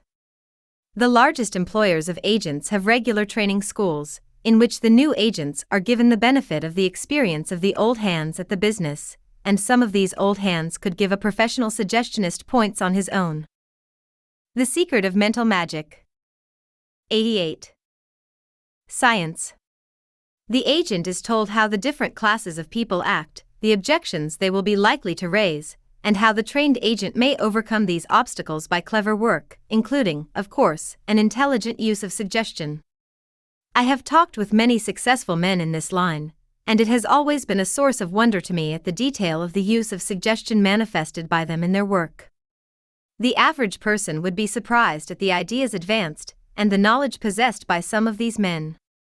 One of these agents once told me that one of the first things he learned when starting to work was that the agent should never permit the customer to take his prospectus, or sample pages, in his own hands. He said to me, I always keep the prospectus in my own hands, for if I let it get away from me, I will have lost the power of controlling the attention and interest of the customer. He will then have the matter in his own hands and will have gotten away from me, he will then do the leading, instead of my doing it. I always keep the upper hand of my man or woman. I do the leading, guiding, directing, and influencing myself. I keep the controlling gear in my own hands, always. I wish I could take the space and time to tell you other things I have learned in this way of suggestion in business. But this is not a treatise of suggestive salesmanship, and so I must hasten on. I trust that I have said enough, however, to give you the proper cue in the matter. Advertising suggestions. And in the science of advertising, also, there is a constant use of suggestion, usually conscious and premeditated. This is taught in the courses and schools of advertising and the ad. Men are well grounded on the subject. The use of the direct command as the ad. Men call it is very common. People are positively told to do certain things in these ads. They are told to take home a cake of Hinky Dink soap tonight, your wife. Mental suggestion 89. Needs it and they do it. Or they see a mammoth hand pointing down at them from a sign, and almost hear the corresponding mammoth voice, as it says, in painted words say, You. Smoke honey dope cigars, they're the best ever. And, if you manage to reject the command the first time, you will probably yield the repeated suggestion of the same thing being hurled at you at every corner and high fence, and honeydope will be your favorite brand until some other suggestion catches you. Suggestion by authority and repetition, remember. That's what does the business for you. They call this the direct command in the advertising schools. Illustrative examples. Then there are other subtle forms of suggestion in advertising. You see staring from every bit of space, on billboard, and in newspapers and magazines, you want a cracker, or something of that sort, and you usually wind up by acquiescing. And then you are constantly told that babies howl for grandmother Hankins' infantile soother, and then when you hear some baby howling, you think of what you have been told they are howling for, and then you run and buy a bottle of grandmother Hankins. And then you are told that some cigar is generously liberal in size and quality, or that some kind of cocoa is grateful and refreshing, or that some brand of soap is 99.999% pure, and that some pickle man makes 763 varieties, etc., etc., etc. Only last night I saw a new one somebody's whiskey is smooth, and every imbiber in the car was smacking his lips and thinking about the smooth feeling in his mouth and throat. It was. Smooth the idea, not the stuff, I mean. And some other. Whiskey Man shows a picture of a glass, a bottle, some ice, and a siphon of seltzer, with simply these words Old Boy's Highball, that's all. All of these things are suggestions, and some of them very powerful ones, too, when constantly impressed upon the mind by repetition. They get in their work on you. The Secret of Mental Magic 90. The Psychology of Advertising. A writer on the psychology of advertising advises, among other things, that advertisements of articles to eat or drink should contain the words calculated to induce the feeling of taste in the minds of the readers. Sweet, refreshing, thirst quenching, nourishing, etc., etc., how suggestive they are. And how effective. How do they act? You ask. How? Well, this way, just you read these words a nice, big, juicy lemon, tart and strong, I can taste it now. Just imagine these words accompanied by a picture of a man squeezing the juice of a lemon into his mouth, and where are you? I'll tell you where your mouth is filled with saliva from the imagined taste of the tart lemon juice. Now, isn't it? Tell this to some of your friends and see how it works. I heard a story once of a bad little boy who would stand in front of a German band, with a lemon to his mouth, sucking away for all he was worth. Result The mouths of the musicians became filled with so much moisture that they could not play on. Exit Boy, with Professor Umpa, the bass horn player, in full pursuit, the air being filled with Dunner und Blitzen, and worse. C. Business Psychology I have known of dealers in spring goods to force the season by filling their windows with the advance stock. I have seen hat dealers start up the straw hat season by putting on a straw themselves, their clerks ditto, and then a few friends. The sprinkling of straws gave the suggestion to the street, and the straw hat season was opened. Do businessmen understand suggestion? Well, rather. Even the newsboys understand it. The best ones are above asking, as the green ones do, want a paper, mister, or worse still, you don't want a paper, mister, do you? The good ones say, instead, boldly and confidently, here's your paper, mister, sticking it under your nose, and you take it. Let me tell you a tale about a barker at a pleasure resort in. Mental suggestion 91. Chicago, several years ago. He was the best I ever heard. Here is the story, it's a true one. A striking example. This man was the barker or spieler for one of the attractions of the place, the pony ride attraction. Many were the ponies lined up to carry the children around the ring for a nickel a ride. The spieler would wait until a crowd of children, with or without their parents, would enter the place, and then he would begin in the strongest, most strenuous, rasping, suggestive tones ride, ride, ride. Have a ride, take a ride, have a ride, take a ride. Anybody, everybody, anybody, everybody. Ride, ride, ride, r ride. Anybody rides, everybody rides, rides, rides, rides, rides, rides, rides, r rides. Take a ride, have a ride, take a ride, have a ride, take a ride, have a ride. Anybody, everybody, anybody, everybody, ride, ride. R ride. R ride. R ride. He would keep this sort of thing up for several minutes, apparently without taking a fresh breath. The very air seemed to quiver and vibrate in the rhythm of his R ride, R ride. And every child within hearing who could raise a nickel would surely ride. The word ride. Positively, authoritatively, and constantly repeated, was one of the most startling exhibitions of this form of suggestion that I have ever seen or heard. I have heard many imitators of this spieler, but have never met his equal. Perhaps he has now passed on to some higher form of usefulness, he was worthy of it. He was on to his job, surely. Suggestion accepted. I have seen men in bowling alleys caused to make false plays, by some bystander suggesting the false shot. The same thing is true in shooting galleries, etc. You have but to look around you and see these everyday instances of suggestion, in some form or other. Induced feeling, remember. That is the key of all. The secret of mental magic. 92. Manifestations of suggestion. Look out for it. And, in conclusion, I know of a little boy who exemplified the law of suggestion one April Fool's Day by placing a sign on the coattail of another boy. The sign read Kick me. And they did. Suggestion among lawyers. The skillful lawyer uses suggestion in his work in examining or cross examining witnesses.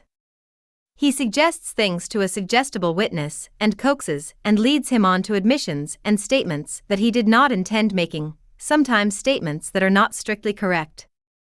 Such a one will say, You did so and so, or you saw so and so, didn't you, etc., the direct statement made in an authoritative manner causing the suggestible witness to acquiesce. Look out for this confident authoritative manner, in lawyer or anyone else. It is calculated to lead one into acquiescence, for man is an obedient animal, and it is so much easier to say yes than no. When you see that yes, is expected. A dangerous use. It is charged that police detectives have worked false confessions out of suggestible criminals in this way, by keeping hammering away at them until their wills are worn out, and they would say yes, to escape further questioning, like the girl who finally accepted the lover's repeated proposal in order to get rid of him. This firm, decided, authoritative statement or demand, when allied to the law of repetition, has caused much mischief in the world, and many have given into it, to their sorrow. I trust that these warning words will save some others trouble of this kind. When the law is once understood, it is comparatively easy to escape the suggestion. The strength in the suggester of this kind lies in the ignorance of the person suggested. Forewarned is forearmed in this case. You now begin to see my idea in turning on the light, don't you? Mental suggestion. 93. The suggestive question. I have heard of businessmen who would instruct their clerks to ask questions of their customers in this way You like this pattern, do you not? Or this is a beautiful shade, is it not? Etc., etc., etc. Do you see the point? The statement is made first, and the question is asked right on top of it. Isn't it easier to say yes? Then no. To this kind of a question? See there, now, I asked the question in that way, myself, although I had no intention of doing so. Took my own suggestion. The suggestive position. In this connection, I may add that it is a well known psychological fact that, when two persons are conversing, the one standing, or sitting higher than the other, has the advantage of a certain positive attitude or position. And the person seated below the speaker is forced into a relatively passive or negative condition or position. That is, everything else being equal, the person elevated will be positive to the other, and the one seated on a lower level will be passive, relatively. The raised platform of the teacher, speaker, preacher, etc., has a good psychological basis. And the power that a lawyer feels when talking on his feet to the jury seated in front of him is a manifestation of a law that he may not be aware of, but the judge has one better than him, for the lawyer must look up to him when he talks. Try the experiment of practicing the above position with some friend, first one being seated, and then the other, and see how you can actually feel the difference between the two. Positions The raised position of clerks in the large stores, and the low seats so accommodatingly placed for the customers, have good reasons. If you ever feel that someone is placing you in a negative or passive condition, rise to your feet, and you will feel doubly strong and forceful. This is a little hint that may be worth many times the price of this book to you, some of these days. Look over the fool things that you have been talked or influenced into, and see if you were not seated and the other. The Secret of Mental Magic 94. Fellow standing, or seated higher than you. This is a little thing, but it works big results, sometimes. Better heed it. Different degrees. There is a great difference in the suggestibility of persons, some being almost immune from suggestion, while others are so suggestible that they have but to be told a thing in a positive, forceful, confident, authoritative tone and manner, to accept the suggestion, particularly if it be repeated several times. They will likewise readily absorb the suggestions of imitation and association. But I have told you about this elsewhere in this lesson. Study those around you, and you will soon discover the different degrees. The hypnotic somnambule is at the extreme negative end of the scale. Suggestion and personal influence. And now, friends and students, we have come to the end of this lesson on mental suggestion. As you will have learned by this time, the subject of suggestion overlaps the subjects of several of the lessons to follow, this being notably true in the case of the next lesson on personal influence. But it was necessary to make you acquainted with the general nature and effects of suggestion, and with its laws, before taking you to the lesson on personal influence. Having now studied suggestion, you will be the better prepared to understand the subject when you meet it in the instruction on personal influence. Suggestion deals with the physical agents of mentative induction, while personal influence deals principally with the mental agents. But the two agents generally work together in personal influence, and therefore must be studied in connection with one another. You will see this more plainly as you proceed with the study. Mental suggestion 95. The importance of suggestion. But here a word of caution. If you desire to learn the mental forces, do not ignore the physical agents employed in suggestion. The physical agents appeal to the senses of man, while the mental forces reach another avenue of approach to the mind. And both are important. Of the two, suggestive influence is the most easily produced, and, in fact, is generally the first invoked by skillful users of mental influence because of its simplicity and its faculty of preparing a good foundation for the other influences. In your study of the subject of personal influence, you must first thoroughly post yourselves on the laws underlying the phenomena of suggestive influence. This is the first step toward the understanding of the whole subject. A good suggestionist is always a master of mental influence because his very knack of suggestion brings the mentative influences into operation. Suggestion brings about the proper Mental attitude for the higher phenomena. The secret of mental magic. 96. 97. Lesson 4. Personal influence.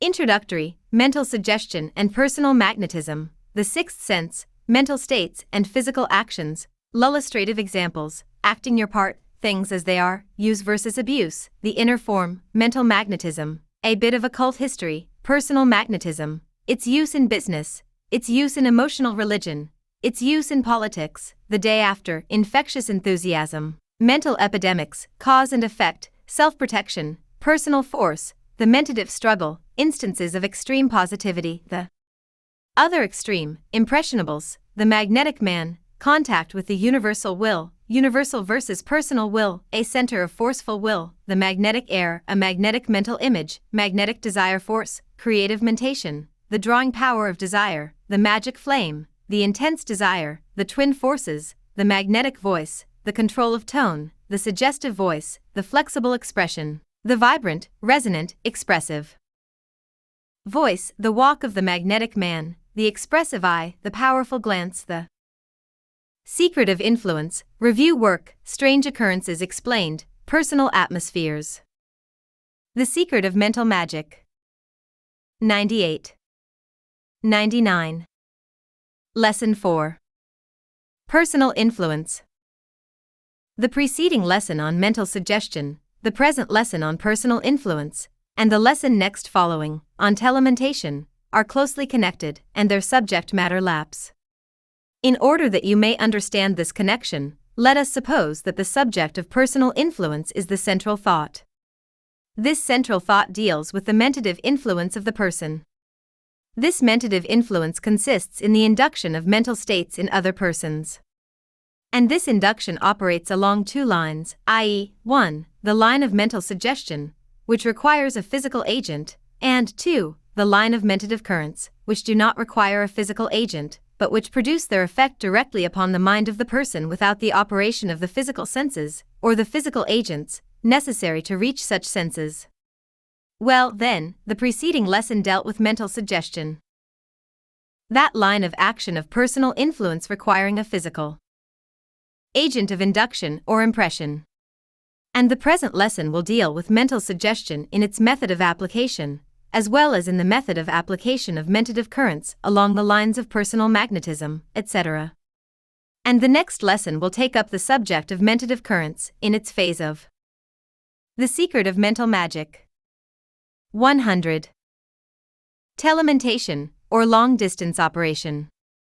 So you see that while all these three lessons deal, in a way, with the general subject of personal influence, yet each has its own special line.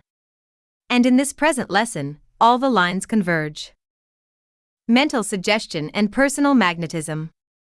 But before proceeding with the general subject of the lesson, I would ask you to remember this distinction between mental suggestion and what is called personal magnetism, or personal influence through the agency of mentative currents.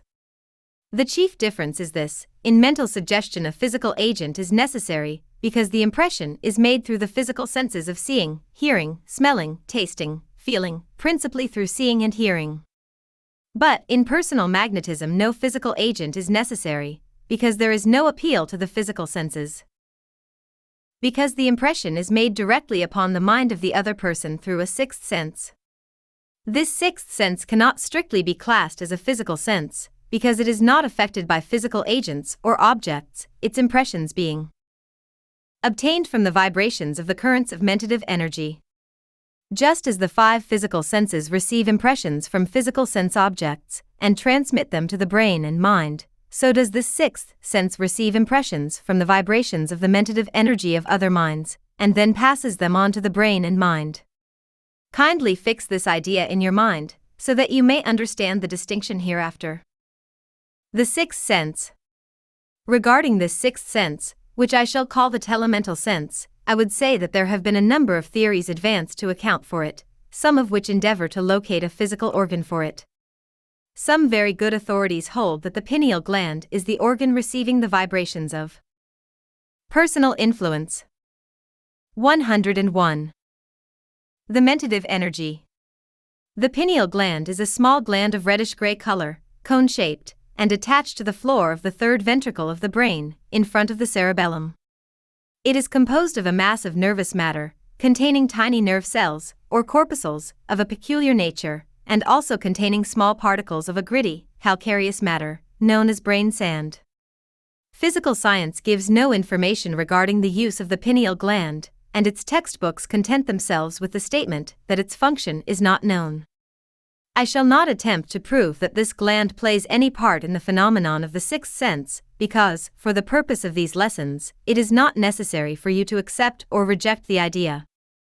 Personally, I believe that it plays its part, but I also believe that there are many other cells which have to do with the subject. In fact, I believe that every cell, or cell center in the body is capable of being impressed by vibrations of mentative energy, a fact that the latest investigations into mentative therapeutics go far toward proving.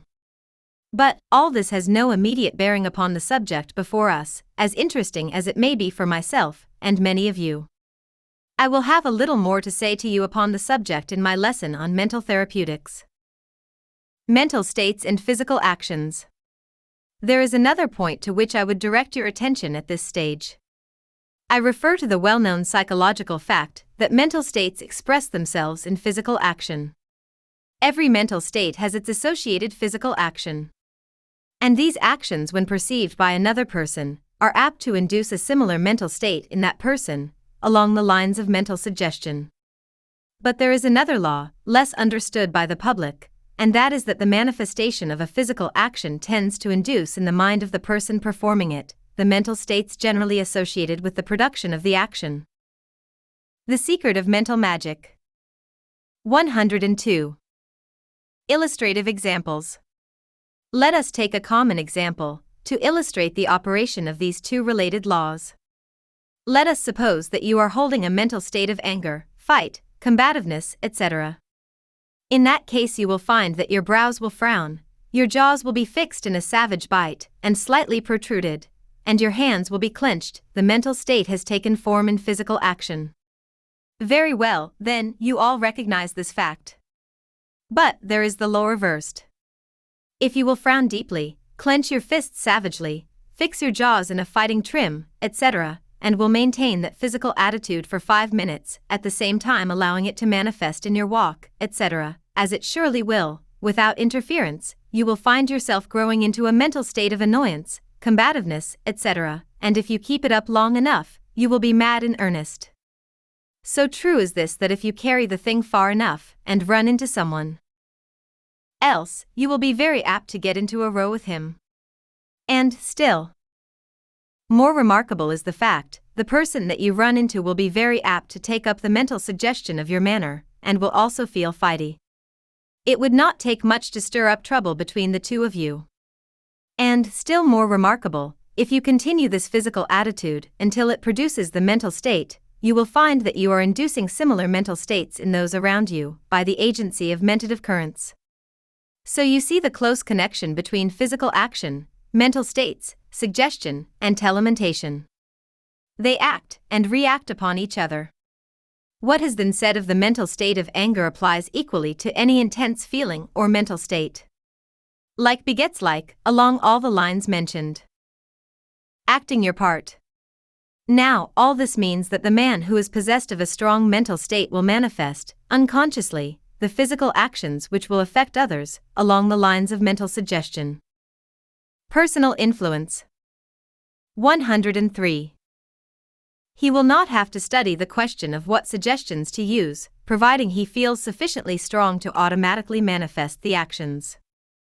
But when a man does not feel sufficiently strong to manifest the suggestive actions, he may produce the same effect by acting the part, without being actually involved in it, by first reproducing the physical actions, which will thus induce a sufficiently strong mental state to manifest itself both along the line of suggestion and also along the line of personal magnetism. Every good actor induces feeling in you in this way, along both these lines. And you may do the same if you want to, plenty of magnetic people are doing it every day. In this lesson, so far as I have gone, I have given you a most important secret of psychological influence, in a plain, practical way, so simple in fact that there is a risk of many of you entirely overlooking its importance. Better go back over this part of the lesson again, many times, until you are able to catch its inner meaning and are able to read between its lines. It's quite worthwhile, I assure you. Things as they are.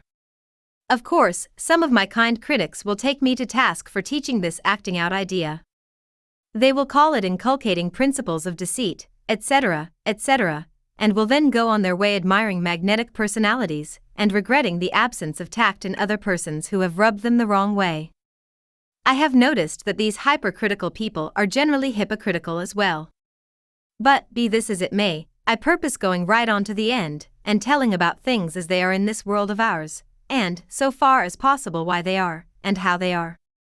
This is a lesson on personal magnetism, and not a treatise on social ethics, or a discussion regarding the dividing line between politeness and sincerity. I have known many good men who were not magnetic, and the world turned them down, and often jumped all. The Secret of Mental Magic 104. Over them. And I have known quite a number, not quite so good, who possessed quite a goodly degree of magnetism, and the world received them with open arms, and showered its praises and rewards upon them. But this does not mean that one cannot be good and magnetic at the same time. There are plenty of good men who are highly magnetic, and there are plenty of bad men equally so. And there are plenty both good and bad, who lack magnetism.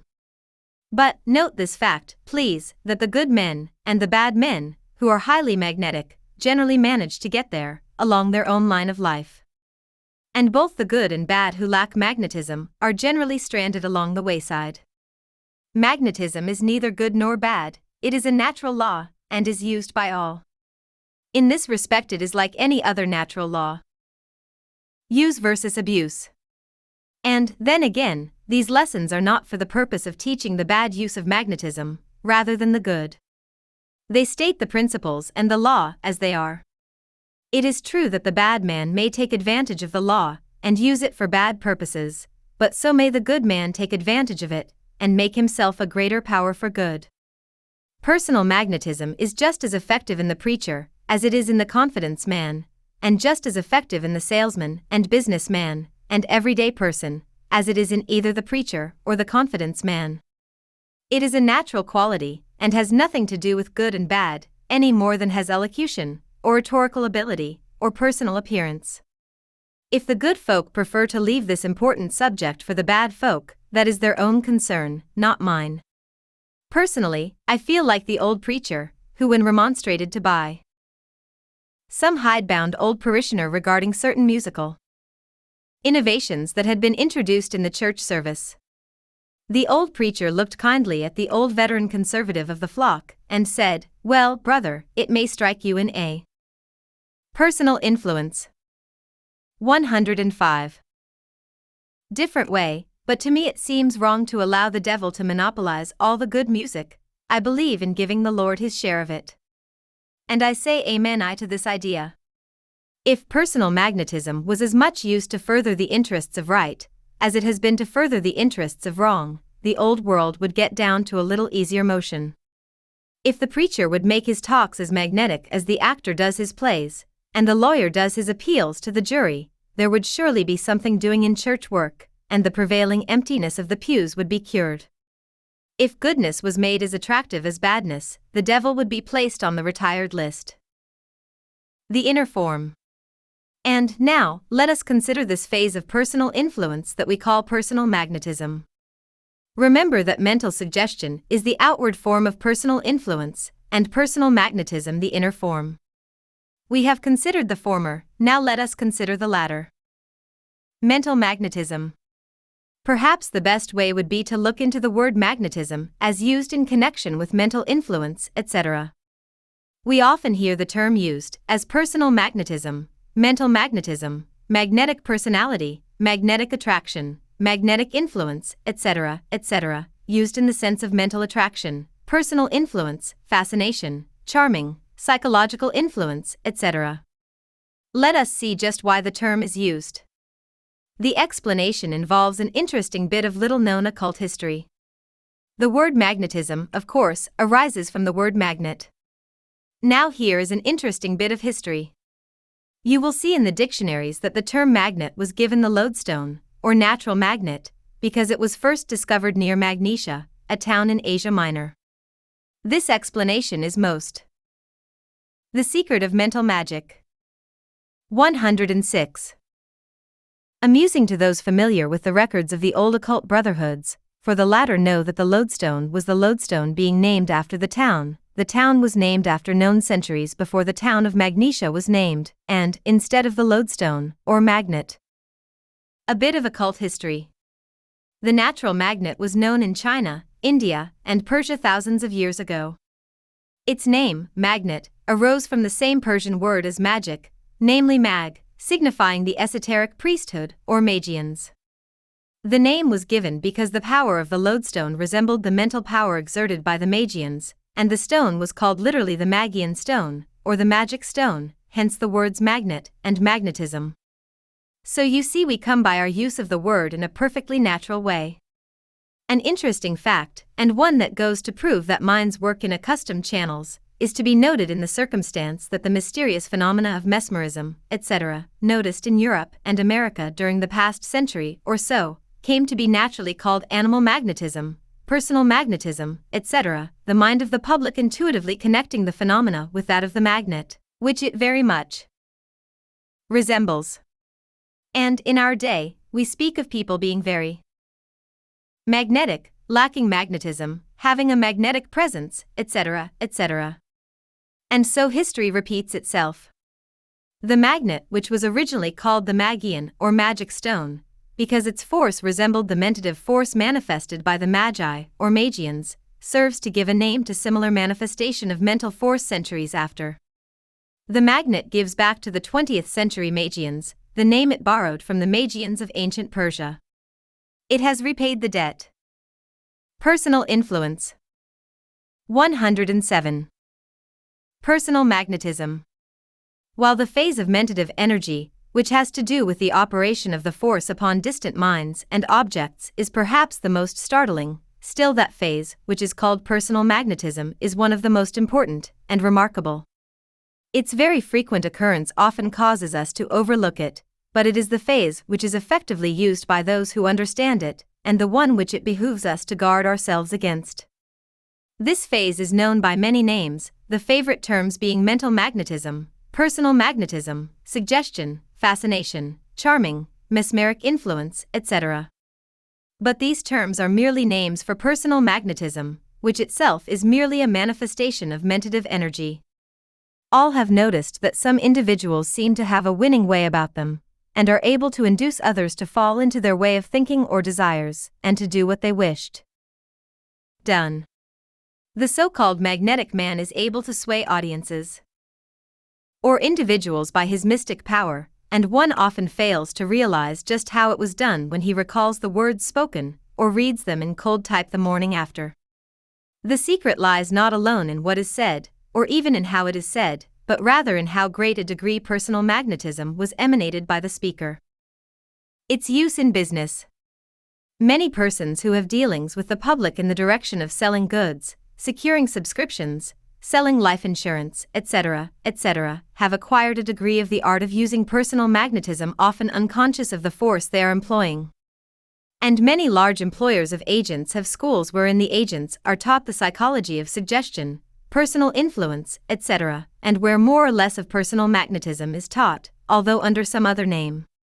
And, more than this, every person who is in earnest, when talking to another person manifests more or less personal magnetism, unconsciously or consciously. The secret of mental magic. 108. Its use in emotional religion. While the statement may bring down upon my head the wrath of those who believe that the phenomena of the old fashioned revival is due to the workings of the Spirit, I do not hesitate to affirm that all students of psychology know that the greater part of the fervor is due to emotional excitement produced by personal magnetism, manifesting along both the lines of mentative currents and suggestion. Anyone who has ever attended a Negro revival or camp meeting has carried away with him a memory of the effects of a certain kind of personal magnetism upon a certain type of emotional minds. Its use in politics. And not alone in the field of emotional religion does this force manifest itself so strongly, it is just as plainly demonstrated in the case of emotional politics. Let any man sit down and sanely consider the performances of the average man of the rank and file of either of the political parties during a campaign. See how men are swayed by emotional appeals to their prejudices and party spirit. See how they allow themselves to be blinded by glittering promises and statements, without a shred of reasonable argument, until they become fanatics. Their emotions are skillfully played upon by the leaders and speakers, and the current of personal magnetism and suggestion spreads over the body of the party until they become a mob possessed of certain fixed ideas that have taken possession of them. Families are split by factional differences, and hatred reigns when love formerly had its abode. The excitement grows fiercer and fiercer until at last the day of the election is at hand, and the country goes into a paroxysm of emotional excitement. Then the result is announced. The next day, everyone suffers from a relapse, and the country begins to laugh over what has happened. Personal influence 109. The day after. After the sting of defeat has worn off, and the elation of victory has melted away, it is found that the country is moving along about as usual, not going to the dogs because some man is defeated, nor taking great leaps forward because some other man has been elected town supervisor, or president, as the case may be. The people play their parts year after year, that is the majority of them, being swayed by emotional excitement rather than by reason, thought, or intelligence. And the men who pull the mental strings grin to themselves as they think over what fools these mortals be, and prepare themselves to pull the same strings again upon the next occasion, and to make their sheep like followers again dance to the tune of my party, right or wrong, my party. And in both revival and political campaign, the moving spirit is the same. Our old friend personal magnetism operates through the force of a few fixed feelings conveyed from the minds of the few to the minds of the many, aided and abetted. In its subtle influence by its mate, mental suggestion. Gaining force under the force of the desire and will of each person who adds his force to the original impulse, it swells in volume until, like the rolling snowball, it grows to mammoth proportions and sweeps all before it. Infectious enthusiasm. You have often heard that enthusiasm is infectious. Did you ever wonder why? Have you ever wondered why you enjoyed a theatrical performance more when the house was filled than when only half its seating capacity was used? Have you ever understood the cause of the wave of enthusiasm that has swept over the large audience, including yourself, until you felt all in a mental glow? Have you ever realized that what is known as the psychology of the crowd, by which term is meant the influence that can be gained over a crowd, whereas the separate individuals composing the crowd cannot be so? The secret of mental magic. 110. Affected is due to personal magnetism and mental suggestion, started into operation, and then spread from mind to mind by the added desire, and will manifest it in mental states and their associated physical actions? And there is another fact to be remembered while we are considering audiences and crowds.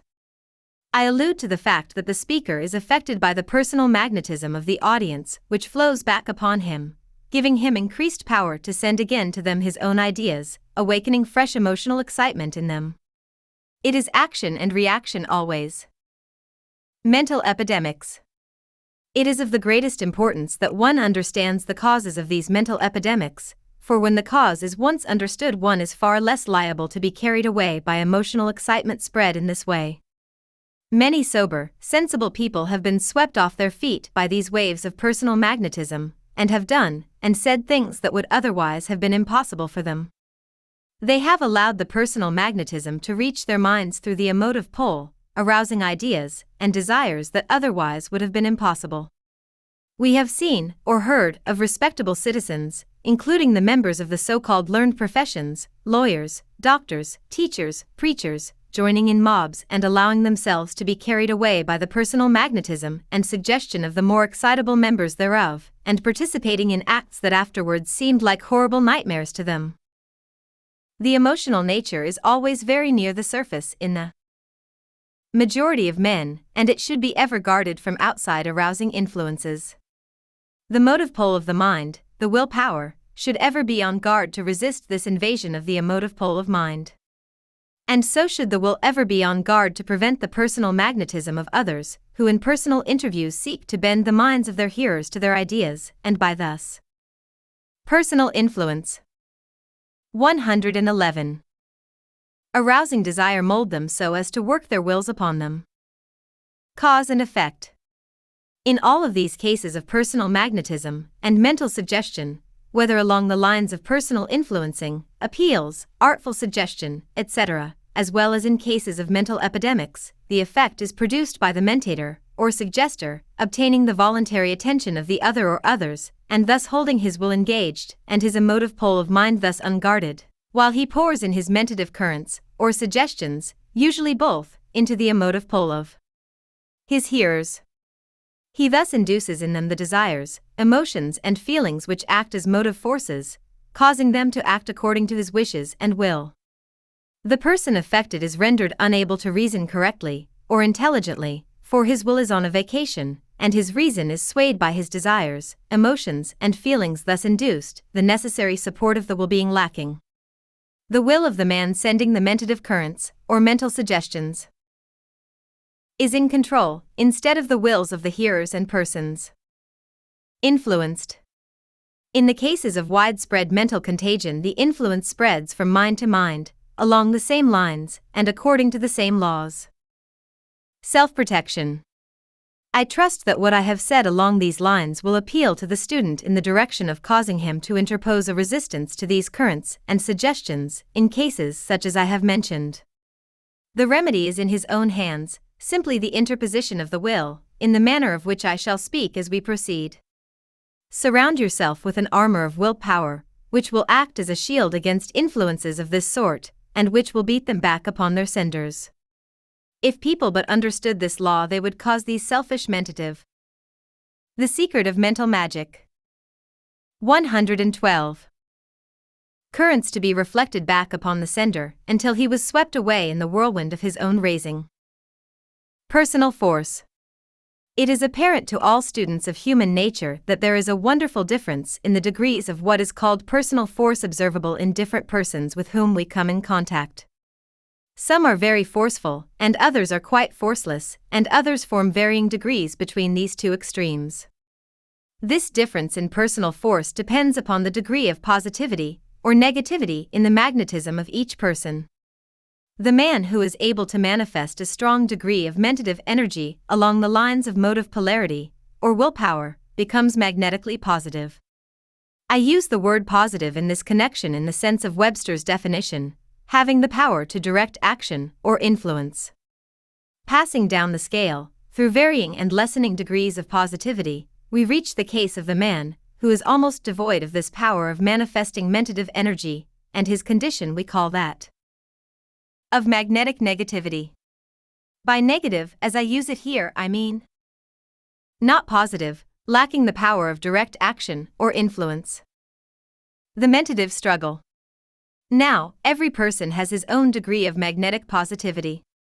Each one is magnetically positive to some others, and magnetically negative to others still, unless indeed one have reached the limit of positivity or negativity, which limit cannot be definitely fixed.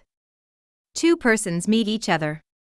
At once there ensues a silent, quiet struggle between their mentative magnetism, depending for its intensity upon the importance of the meeting.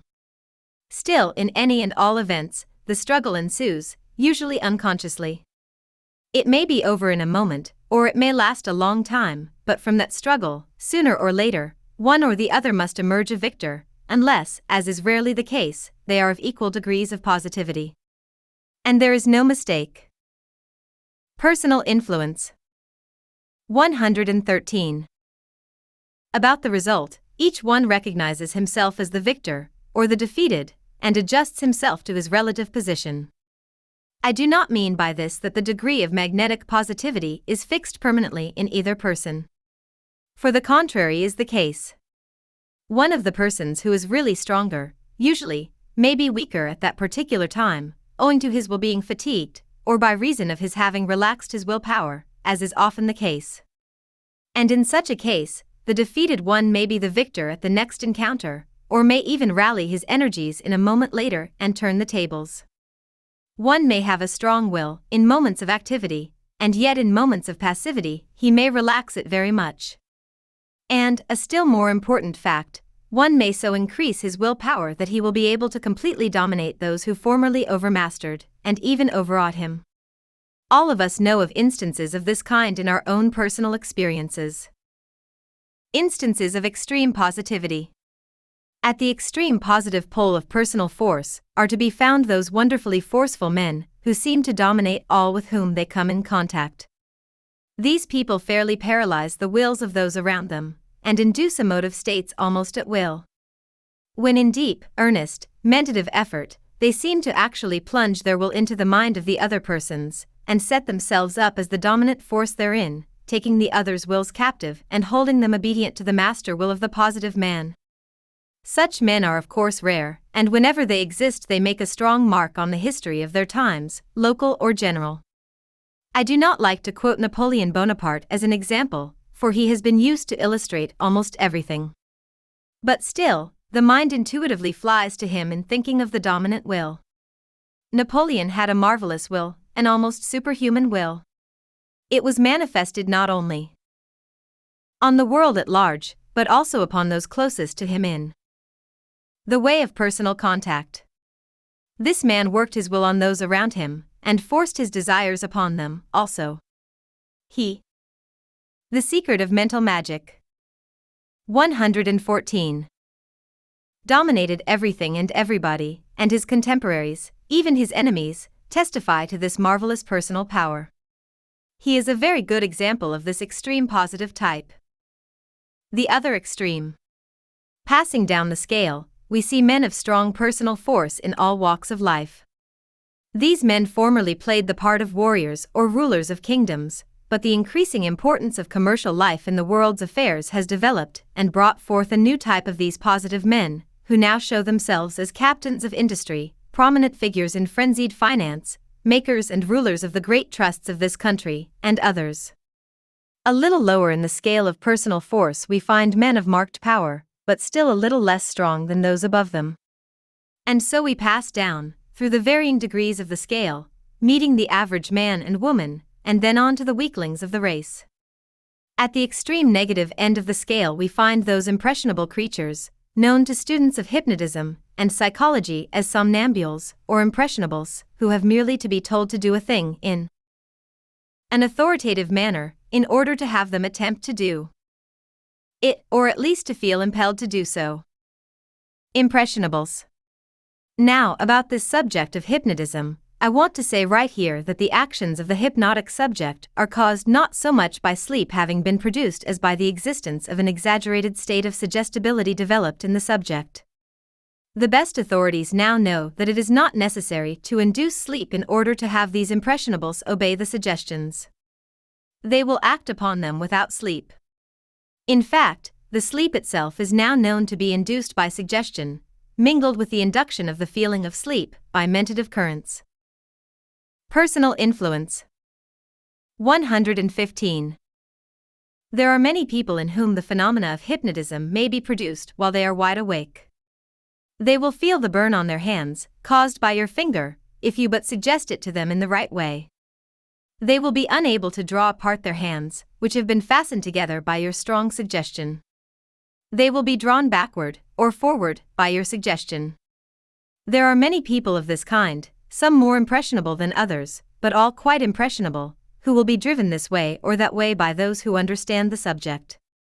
Fortunately, this fact is not generally recognized, or else we should hear of still mote cases of strange influence, etc., in the newspapers. But the subject is becoming more widely discussed and known now, and it is only a question of time when the law will be compelled to take cognizance of it. Fortunately, however, the extreme negative condition may be overcome by one, by developing his will and learning the principles underlying the subject. Knowledge of the nature of the subject robs the force of much of its effect, the latter depending largely upon the passive ignorance of the subject. Give him the proper instruction, and he will be able to interpose a resistance. Every man has his present place on the scale, but he may improve his position. The Magnetic Man now, for the purpose of illustrating the personal qualities of the magnetically positive man, along the lines of personal influence, in this lesson, I shall proceed to illustrate these qualities as existing in a suppositional individual whom I will call the magnetic man. We will consider this magnetic man as an actually existent individual in our treatment of him. You must endeavor to imagine him in this way, that you may understand his qualities. He is a very positive man, magnetically, one of the examples of a strong, forceful man of affairs, who is constantly meeting people and having relations with them. How does The Secret of Mental Magic 116. Such a man act, talk, look, move, and conduct himself. Let us see. In the first place, let us consider the appearance of the magnetic man. Well, he may be tall or short, dark or fair, stout or slender, these things do not count. But notice this that no matter which of the characteristics just mentioned he may possess or lack, he has a certain air about him that all may recognize, once they have seen it in any one. Let us notice this air carefully, for it may give us a clue. Well, the principal feature about this air of the magnetic man is its suggestion of self confidence and fearlessness. Our man seems to have a certainty of an inward power and force about him. Not the blustering, self important air manifested by the pinchbeck imitators of our man, but a calm, contained, poised consciousness of strength and self confidence. Our man seems to feel that there is something in him that gives him a strength and firmness unknown to the majority of people. Every magnetic man has this inner consciousness, and I shall tell you what it is. Contact with the universal will. As I have said in the second lesson, entitled The Underlying Force, there exists under all the manifestations of life and mind an infinite and eternal mentative energy, of which, and in which, all personal manifestations of mind are but centers of consciousness. Now, this infinite and eternal mentative energy, in its outward manifestations of one pole of its energy, at least, resembles an universal will. That is, while its inner nature cannot be known, yet in the outer aspect of one of its poles of energy it resembles an infinite will in operation everywhere. And so, we are justified in thinking of it as universal will power. Now, the more positive a man becomes in mentative magnetism, the closer does he become in contact with this universal will. And the closer he is to this universal will, the more positive does he become. It is a case of action and personal influence. 117. Reaction. To him that hath shall be given applies in this case. The quality of magnetic positivity draws one to the universal will, and the nearness to this will renders one more and more positive. Universal versus personal will. But there is this to be noted in connection with this truth. When a man feels the sense of power that comes from a mental relation with the universal will, and allows the energy to flow through him and manifest in his acts, he has a reservoir of will power back of him, which is inexhaustible and never failing. But if, in his conceit arising from some successful action, he begins to think that the power is due to some personal strength, then he becomes conceited and the pride of personality grows upon him. This is where he makes his mistake. By this personal view of the matter, he fences himself off from the universal will and limits his force to that portion which is locked up within his own mind, induced there by the will of the universe. Such a one separates himself from the source of power and puts up a barrier between himself and the universal supply. Now, do not jump at the conclusion that I am trying to preach to you or to force metaphysical teaching upon you. I am not doing anything of the kind. I am giving you the inner teachings of the great schools of occultism, and which teachings agree perfectly with the latest theories of modern science. There is a great ocean of universal will, in which we are but centers of activity, and if we will but open ourselves to the power, and will contain therein, we will have an unfailing store of power upon which to draw. A center of forceful will. And so our magnetic man places himself in a magnetically passive attitude only toward this great will, and in a magnetically positive one toward all else. In this way, he really becomes a most active center of force and will, which becomes manifest. The secret of mental magic. 118. To all with whom he comes in contact. He may not realize just what he is doing, and may know nothing of the truth herein stated, but still he feels that he is in touch with something that aids and assists him, and which gives him strength and magnetism. He may talk about his luck, or his lucky star, or he may secretly believe himself specially favored by Providence. This is a secret belief of the majority of successful men, but the fact remains that every positive and successful man feels, underneath it all, that he has something back of him. And this belief takes form in action and causes him to manifest that air of calm, positive power, and self confidence noticeable in such men in every instance. The magnetic air. I cannot very well describe this air to you, for unless you have met a man of this kind, you will not understand it. But it is a very different thing from the pompous, self sufficient, self important, fussy air and demeanor manifested by the cheap imitators of these great men.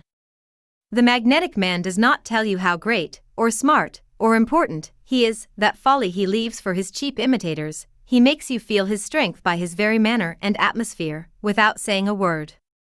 He has that something about him the people notice and wonder at. And that something comes from his conscious, or unconscious, relation to the universal will. A magnetic mental image.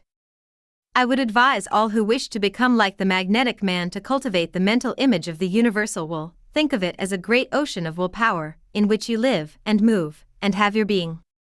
Feel yourself in touch with it.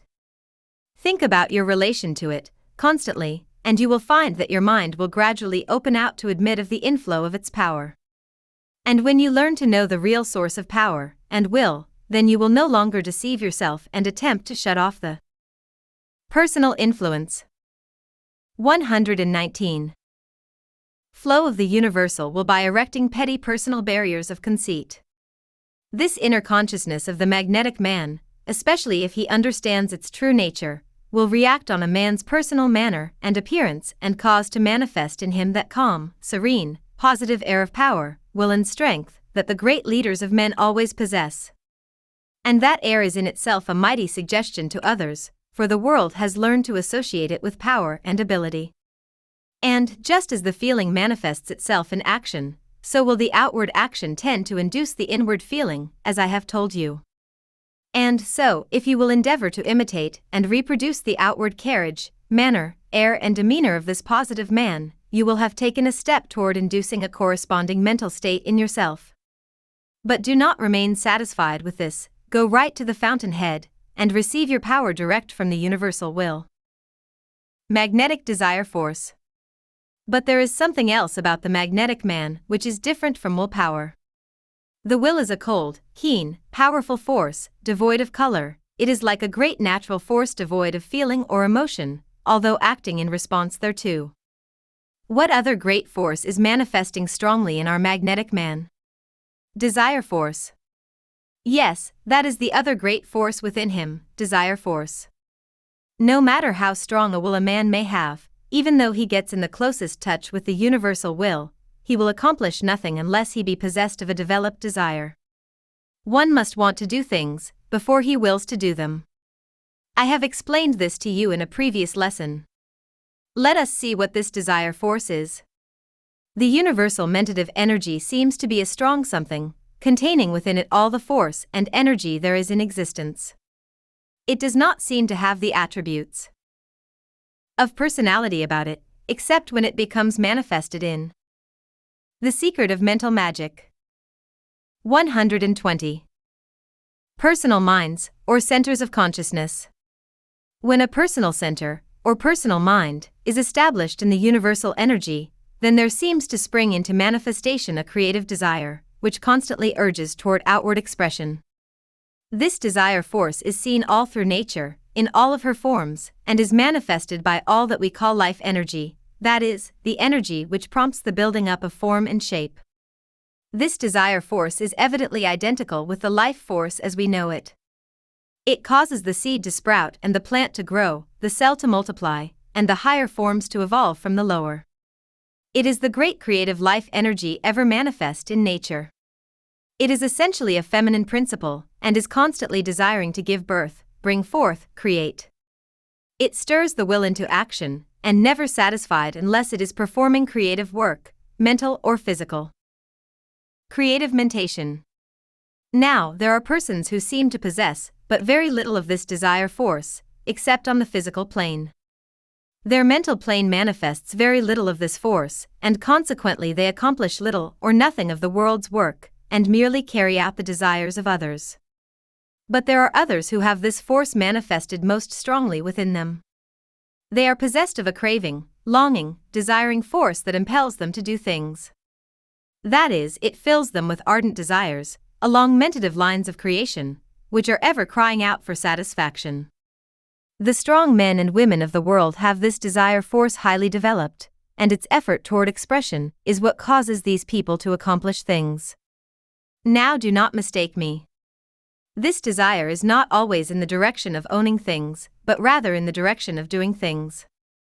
It is true that when one's desires are along the line of accumulation, the force will be bent in that direction, but it may be less along these lines, and in that case, the accumulation will be a mere incident of the doing. Personal influence 121. Our magnetic man has a great deal of desire force within him. He wants to do certain things, and he wants to do them very much. He wishes to accomplish certain ends, and the desire becomes an ardent, glowing force that stirs up the desires in those around him, and at the same time incites his own will into action. His desire force combines with his will, and wonderful things are accomplished. The drawing power of desire. When you come into contact with a man of intense desire, you can fairly feel the force emanating from him. Our magnetic man has learned to concentrate his desire force. When he wants some particular thing, he forgets about the minor things and focuses his desire upon the particular thing craved by him, and thus draws it toward him with intense energy. The will drives, forces, impels, and compels, with a push, the desire force draws, induces, pulls toward one, with an irresistible pull. When our magnetic man meets you and wants you to do something, you can feel the pull of his desire force, drawing, coaxing, inducing, alluring, and attracting you toward him and his objects. The magic flame. One who wishes to do things should keep the flame of his desire burning bright. He should continually pour upon it the oil of suggestion, and place before it the lantern slides of the mental images of the thing desired. If you will study the man of strong desire, you will see that he draws everything toward him that he wants. He has a pull upon things and leaves nothing undone in the direction of his want. He is hungry and thirsty with desire, and he seeks satisfaction wherever it may be found, his wits being sharpened by the intensity of the desire. And he draws people to him by the very strength of his desire force. You will find that people will instinctively fall in with the suggestions and urgings of the strong desire man. People as a the Secret of Mental Magic.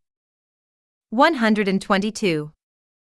Rule are drawn rather than pushed or forced into a thing. The seductive, drawing, charming, fascinating force of men is that of desire force, not of willpower. Yes, again I say to you that he who would succeed must, of necessity, keep his fire of desire burning bright and fierce, else it will not awaken into action his own will, nor stir the desire in others. The intense desire. We talk much about willpower and its possession, but the majority of men fail because they do not desire things hard enough. They must want things the worst way, and then they will bend everything toward getting them. This is true in the case of both good and evil desires, the law is the same in both cases, and operates along the same line. We are acquainted with the disastrous consequences attendant upon the possession of evil desires, and have seen many instances of the harm wrought upon others by reason thereof. But did you ever stop to think that the same degree and intensity of desire, turned in the right direction, would accomplish wonders of good works? If you will put into your plans of proper attainment and aspiration the same degree of energy that the evil man puts into his schemes of selfish gratification, you will be able to move mountains of difficulties. The twin forces.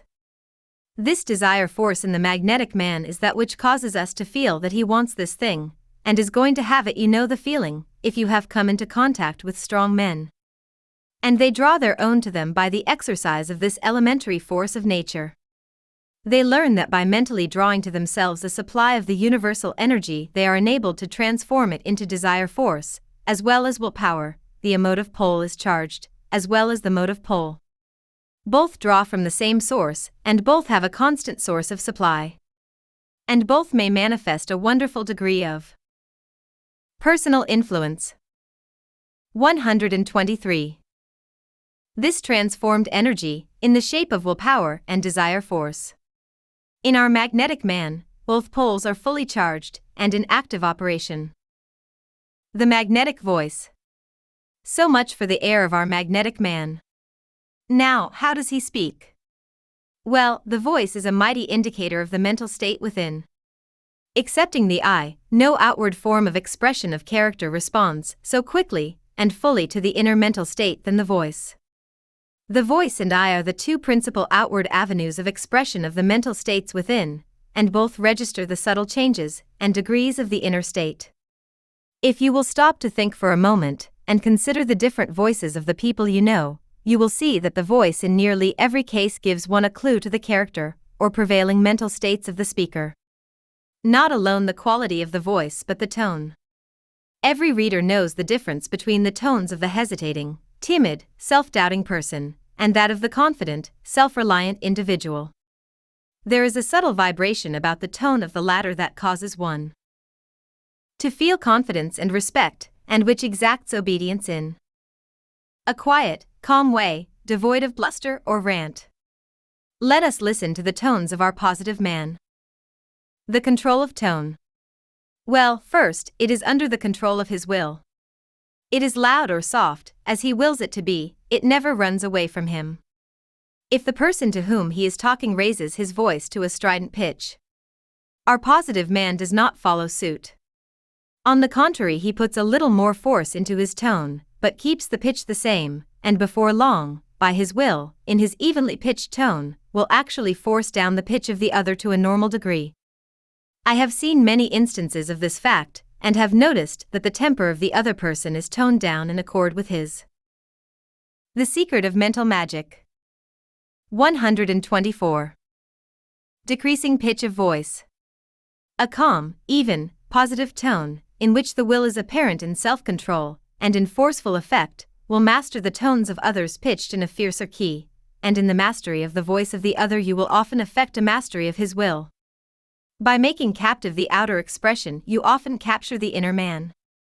There are two very good reasons for one studying the voice of the magnetic man, as follows 1 because it is by his voice that he manages to make one of the most powerful suggestions upon others, and 2. because by the expression in his voice, or rather the inner impulse causing the vocal expression, he causes to flow out strong mentative currents which affect and influence the other person.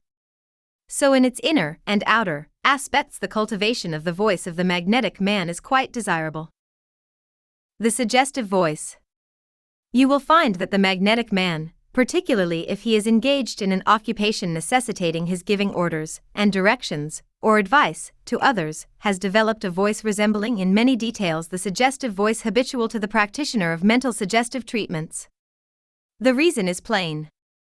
Both the man of business affairs and force and the suggestionist have accustomed themselves to speaking in a forceful, firm, positive manner, and thus fairly driving home their ideas expressed in words. The man of affairs does not know just why he does this, but his tone is the outward expression of his forceful mental states. And this is likewise true of the suggestionist, although he may have deliberately cultivated the suggestive tone the beginning of his practice. It is somewhat difficult to correctly define and explain the suggestive tone, although if one once hears it, he will never forget it. But I will try my best to make it plain to you here. In the first place, the suggestive tone is fairly charged with the mental idea back of the words. Each word has an inner personal influence. 125. Meaning, and the suggestive tone carries this idea with it, so that the hearer gets the full mentative benefit and influence of it.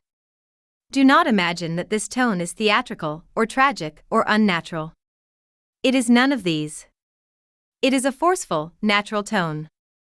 Its expression is that of being in earnest and meaning just what you are saying. You know how you would speak if you were earnestly telling someone to do some important thing, upon which much depended. Well, that's the tone, modified of course by the particular circumstances and necessities of each case. It must be in earnest, must be more or less intense, must have focused in it the feeling behind it, in such a way as to awaken in the mind of the hearer the feeling back of the words. The flexible expression. The voice of the magnetic man is flexible and adaptable to any mood or phase of feeling that he wishes to induce in his hearers. It may be positive and masterful, along the lines of suggestion by direct command or authority. Or it may be subtle and insinuating, along the lines of suggestion by association or imitation. Or it may assume a teacher like tone, along the lines of suggestion by repetition, in which the statement is made in a quiet, convincing way as a teacher makes his statements to his class, the repetition of which brings conviction to the mind of the hearer. Or it may take on that peculiar caressing tone, which is noticed in magnetic men of a certain type, who allure, charm, fascinate, and draw to them other people by reason of their subtle power of charming. This power, which finds its expression largely in the voice, always reminds me of a female leopard or tiger, for the feline is mingled with the feminine in a peculiar way, this tone of the voice can be best described as caressing. When it is exhibited by one well versed in its use, every word seems to be a soft caress and has a peculiar soothing effect upon the hearer, lulling his will to sleep and opening his. The Secret of Mental Magic 126. Emotive mentality to the suggestions and mentative currents of the speaker. The vibrant, resonant, expressive voice. In short, the magnetic man, in his use of the voice, has acquired to a certain degree the art of the actor and orator. He is able to express feeling, real or assumed, by his voice, so that a corresponding mental state is set up in the minds of his hearers. And one may acquire this art. By practice, a vibrant, resonant, expressive voice may be cultivated and used, too, with the greatest effect in personal magnetism. As an instance of this, let me cite you the case of Nathan Sheppard, the well known lecturer and authority on public speaking. Mr. Sheppard relates that when he first made up his mind to devote himself to public speaking, he was told by his tutors that he would be a perfect failure in such a profession, because, as he says, my articulation was feeble, my organs of speech were inadequate. If I would screw up my little mouth, it could be put into my mother's thimble. These facts were enough to discourage any man, but Sheppard rose above them, and determined to apply his will to the task of conquering these disadvantages and mastering the subject of public speaking. And he succeeded marvelously. By pure willpower, he, as he says, increased my voice tenfold, doubled my chest, and brought my unoratorical organs somewhat in subjection to my will. He became one of the best public speakers of his time. So there is hope for all of you, if you will but manifest persistency and earnestness in your application of the will. In my last lesson, I will give you some exercises and directions along this line. The walk of the magnetic man. And how does our magnetic man walk? How would you suppose, like a shambling, feet scraping, wiltless person, or firmly, deliberately, masterfully, like a true individual? Which of these walks do you think better represents and expresses the Personal influence. 127. Mental states of such a man? Answer this, and you will know how the magnetic man walks. I tell you, the inner mental state always expresses itself in the outer physical action. The expressive eye. And what kind of an eye has our magnetic man? Need you ask this question? What would you expect? Of all the physical avenues of expression of the mental state within, the eye is the most potent and nearest to the soul within. The eyes have well been called the windows of the soul, and they give a clearer idea of the inner man than all else combined. And, therefore, we may expect our magnetic man to have an eye that reflects the power within him. And we are not disappointed, for even a hasty glance will show that he has what people call an expressive eye. It manifests every mental state, at the will of its owner. Now stern, now tender, now commanding, now loving, now masterful, now caressing, it is an obedient instrument of the will operating it. And it produces the most wonderful suggestive effect upon those coming under its spell. As an inducer of mental states, the eye has no equal among the physical agents, even the voice, wonderfully potent though it be, must yield precedence to it. It is more than a physical agent, it is a direct avenue for the passage of mentative currents. Very magnetic people, when aroused by deep interest, emotion, or desire, combined with will, seem to have a constant stream of mentative magnetism flowing from their eyes, which is felt by those within their field of influence. I need not call your attention to the wonderful power of eye, for you are fully acquainted with it from personal experience. You know how power shows itself in the eyes of people. In cases where the will has been developed to a very high degree, it is true that the mentative energy can be so concentrated by a very earnest and powerful glance that an actual physical effect may be produced. The Secret of Mental Magic 128. The Powerful Glance. I have known and heard of cases in which a powerful glance halted people in their tracks. Cases of this kind are told of Napoleon and others of developed willpower. Andrew Jackson is said to have so paralyzed the will of a noted desperado by his glance that he surrendered meekly and accompanied his captor, although fully armed and heretofore deemed absolutely fearless and dangerous. The desperado afterward said that he could not understand just why he did not kill Jackson where he stood. It is related in some of the ancient histories, or tales, that one of the old Greeks paralyzed an enemy by a single burning glance. You have all seen people flinch and quail before the masterful glance of one possessed of a developed willpower. You, yourself, know how this feels. The secret of influence. But, after all, the secret of influence in honor magnetic man lies in his mental states. The outer forms are but reflections of the inner. If you will cultivate the connection between your mind and the great universal will, the universal mentative energy, then your will becomes so strong that the outward expressions will come of themselves.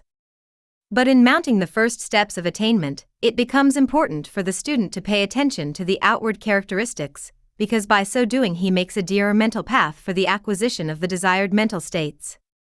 By the very laws of mental suggestion, he is able to imitate these outward expressions, and thus induce in himself the mental states, which, in time, become habitual. I do not mean that one should allow the suggestion of the other's appearance to move him in this way, this is not the idea.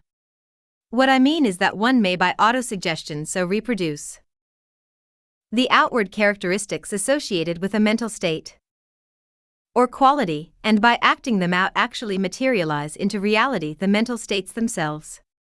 Remember the rule mental states take form in action, and action reproduces. Personal influence 129. Their associated mental states. It is a rule that works both ways. The voice makes the phonographic record, and the latter reproduces the sound. Remember this illustration, for it will help you to get the right conception of the psychological law underlying the phenomenon. Review work. Concluding this lesson, let us take another glance at the first principle's underlying personal influence in both of its forms of mental suggestion and mentative currents. Nothing like reviewing the fundamental principles. Here they are the underlying principle is mentative energy. Mental states are exhibitions of mentative energy. Mental states are original or induced. Induced mental states are caused by the suggestions, or mentative currents, of others. Suggestion induces mental states by reproducing the original mental states of others, or one's own previously experienced mental states, including the experience of the race ancestors, inherited and recorded in the subconscious minds of their descendants. Suggestion operates along the lines of acquiescence, imitation, association, and repetition, as described in the previous lesson, always acting through physical agents for inducing mental states, like the phonographic record. Mentative currents are waves or streams of vibrant mentative energy emanating from the minds of people and carrying with them the vibrations of mental states, the vibrations tending to induce similar mental states in the minds of people within the field of induction. There are two poles of mentative energy, i.e., the emotive pole, manifesting desire, feeling, emotion, etc., and the motive pole, manifesting will, etc., the acting force, affecting other minds, manifested by these two poles being called desire force and willpower, respectively. The secret of mental magic. 130. Desire force tends to awaken similar vibrations in the minds of others, thus producing similar desires, or it charms the wills of others and causes them to carry out its desires, its action and nature bear a strong resemblance to feminine mental power. Willpower tends to awaken desire in the minds of others by sheer mastery and forcefulness. It also acts in the direction of combating and overpowering the wills of others and taking them captive. It also directs, masters, concentrates, or restrains one's own desire force. On occasions, its action bears a strong resemblance to masculine mental power. In personal influence, along the lines of personal magnetism, the mentator pours out his mentative currents, generated by his will or desire, or both, either in a general way, or in a concentrated, directed manner, in a personal interview, and thus influences the mind of others by induction. This is usually or always accompanied by mental suggestion, using physical agents, such as the voice, eye, manner, etc., which heighten the effect produced. So, you see, by reference to these underlying principles, just why and how personal influence, or personal magnetism, operates. Strange occurrences explained. And now, as we pass on to the next lesson, on telementation, it will be well for us to glance over the pages of ancient history and see how the many strange occurrences of personal influence therein recorded may be understood in the light of our knowledge of mental magic. Cases of dominant individuality, extraordinary willpower, burning desire, fascination, charming, suggestion of all kinds, personal mastery, and many other forms and instances of the mental domination and influence of man over man, may be understood clearly and divorced from the mystery and glamour of their local surroundings. It may be seen that one law underlies them all. And coming down to the personal influence. 131. Present time, do we not now have a clearer idea of the strange personal atmospheres, or influence, surrounding some people, which so strongly attract or repel others?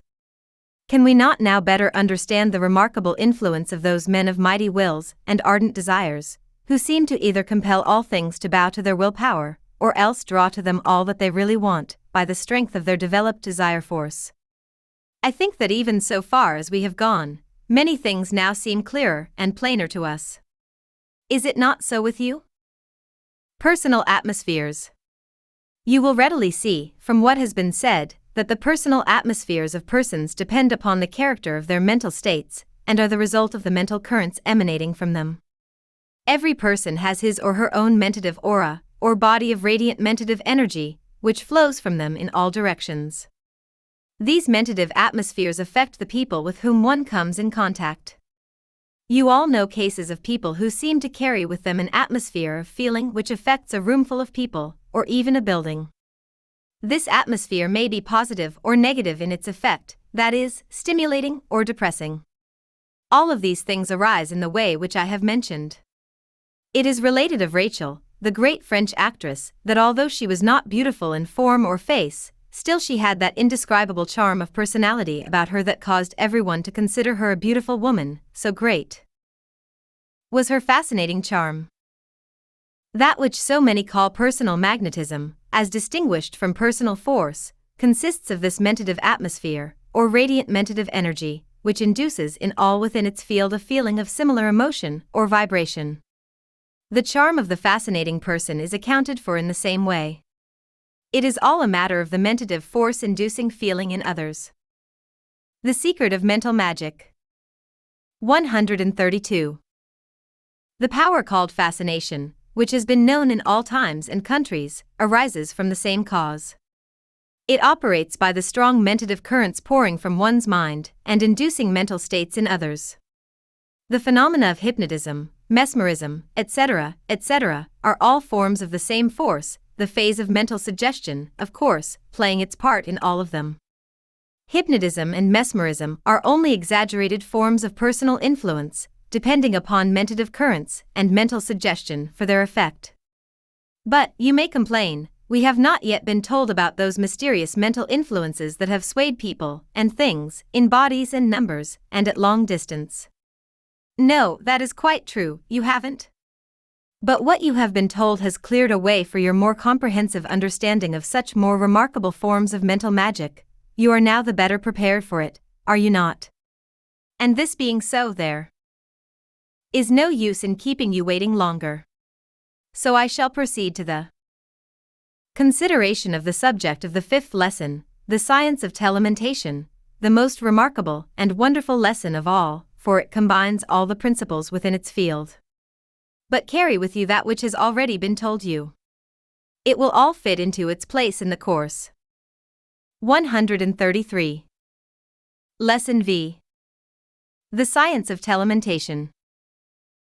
The universal mentative energy, the mentative currents, the conversion of energy, the nature of mental states, vibrational excitement, how vibrations are transmitted, currents and waves, the law of wave motion, experimental proof, mentative waves and currents, important principles, a mental picture, the sea of energy, the formation of currents, the essence of energy, the degrees of power, the centers in action, rotary currents, a great moving picture, the second plane, the second and third planes, the for higher planes, second plane sights, tinted thought clouds, emotional colors the meaning of blue, yellow, orange, brown, red, green, gray, and black thought colors, desire, and will appearances, vitality vibrations, the human aura, how people affect each other, suggestions in action, a positive exhibition, willpower lightning, desire force induction, a combined attack, charming, alluring attraction, repelling attacks, the force in churches, theaters, etc., mental atmosphere of towns and places, unlucky and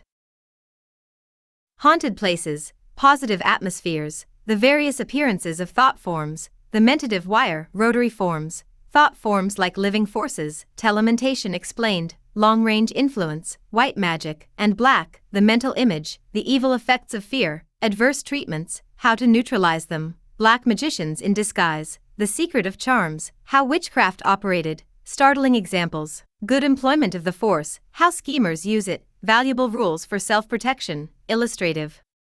Examples. Generalized telementation, how strong, positive men use the force, how to repel the waves, the law of attraction, illustrations of the law, the key of telementation, visualization, and the laws and principles of its operation, full directions, a caution, the working principles explained fully, concluding advice. The secret of mental magic. 134. 135. Lesson V. The Science of Telementation. You will see by reference to Lesson 2 that the term telementation is used by me in the sense of mentative influence at a distance, the word being derived from the Greek word tele, meaning afar off, and the word mentation, which I use in the sense of mental activity. The terms of the subject. You will also remember that the word mentation implies activity of the mentative energy, which I hold to be universal in its character. You will also remember that the action of telementation depends upon the production of induced mental states by mentative currents in and of the mentative energy. Mentative induction, you remember, operates along the same lines as magnetic or electrical induction in physical science, that is, an original mental state, being an exhibition of mentative energy, may reproduce itself in another mind by mentative induction operating by means of mentative currents. The secret of mental magic. 136. Technical terms necessary. I have explained how mental states may be induced by suggestion, as well as by mentative currents, and shall not allude to this phase at this place, but shall consider mentative induction in its phase of manifestation by means of mentative currents. This mention of technical terms may seem somewhat dry to you, but you should acquaint yourself with the intelligent use and meaning of the terms, for thereby you will be enabled to hold the ideas firmly in your mind. Terms are pegs upon which you may hang thoughts and ideas, so that you may find them when you need them. Otherwise, they are scattered around in confusion. The Universal Mentative Energy. In order that you may more fully understand the wonderful phenomena of telementation, I think we had better take another look at the fundamental principle, or mentative energy itself. By understanding the nature of the force employed, you may better understand its effects and laws of operation. You will remember that I have postulated, claimed, and assumed the existence of an universal mentative energy or force, which is immanent in, and manifested in, all forms of life, energy, and mind. I have also held that all personal manifestations of mind, in ourselves and others, are but centers of mentative energy in the great ocean of the universal mentative energy. You will remember also that I have claimed that the brain was not a creator of mentative energy, but rather in the nature of a converter or transformer of the universal mentative energy into usable forms and phases. Well, so far, we understand the matter. Now let us pass on to the consideration of the mentative currents. The mentative currents. Well, in the first place, the currents must be set into motion somewhere and somehow. Where and how? Let us. The science of telementation. 137. C. Well, we must see that the mentative currents have their origin, or rather, their initial impulse, in and from the mind of some individual. How? Well, in and from his brain, of course. Why? Well, the brain is the transformer, or converter of the mentative energy into usable shapes and phases. What is the nature of the brain's action? Well, science, as well as the occult teachings, inform us that in all brain processes there is a burning up of brain substance and nervous matter, just as there is a corresponding burning up of the elements in an electric battery.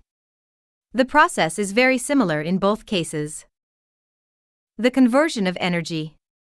Both brain and battery convert or transform an energy already existing in an universal form, which energy cannot be created, added to, nor taken away from and both use up material in the process. And both generate currents of force which are capable of affecting changes in other substances, etc. Science shows us that there is a production or generation of heat in the manifestation of mind energy in the brain. The temperature of the brain rises when it is employed in active thought work or other forms of mental activity or excitement. And even the temperature of a tiny nerve increases when it is used. There is no use in disputing this fact, it has been fully demonstrated by science. The nature of mental states.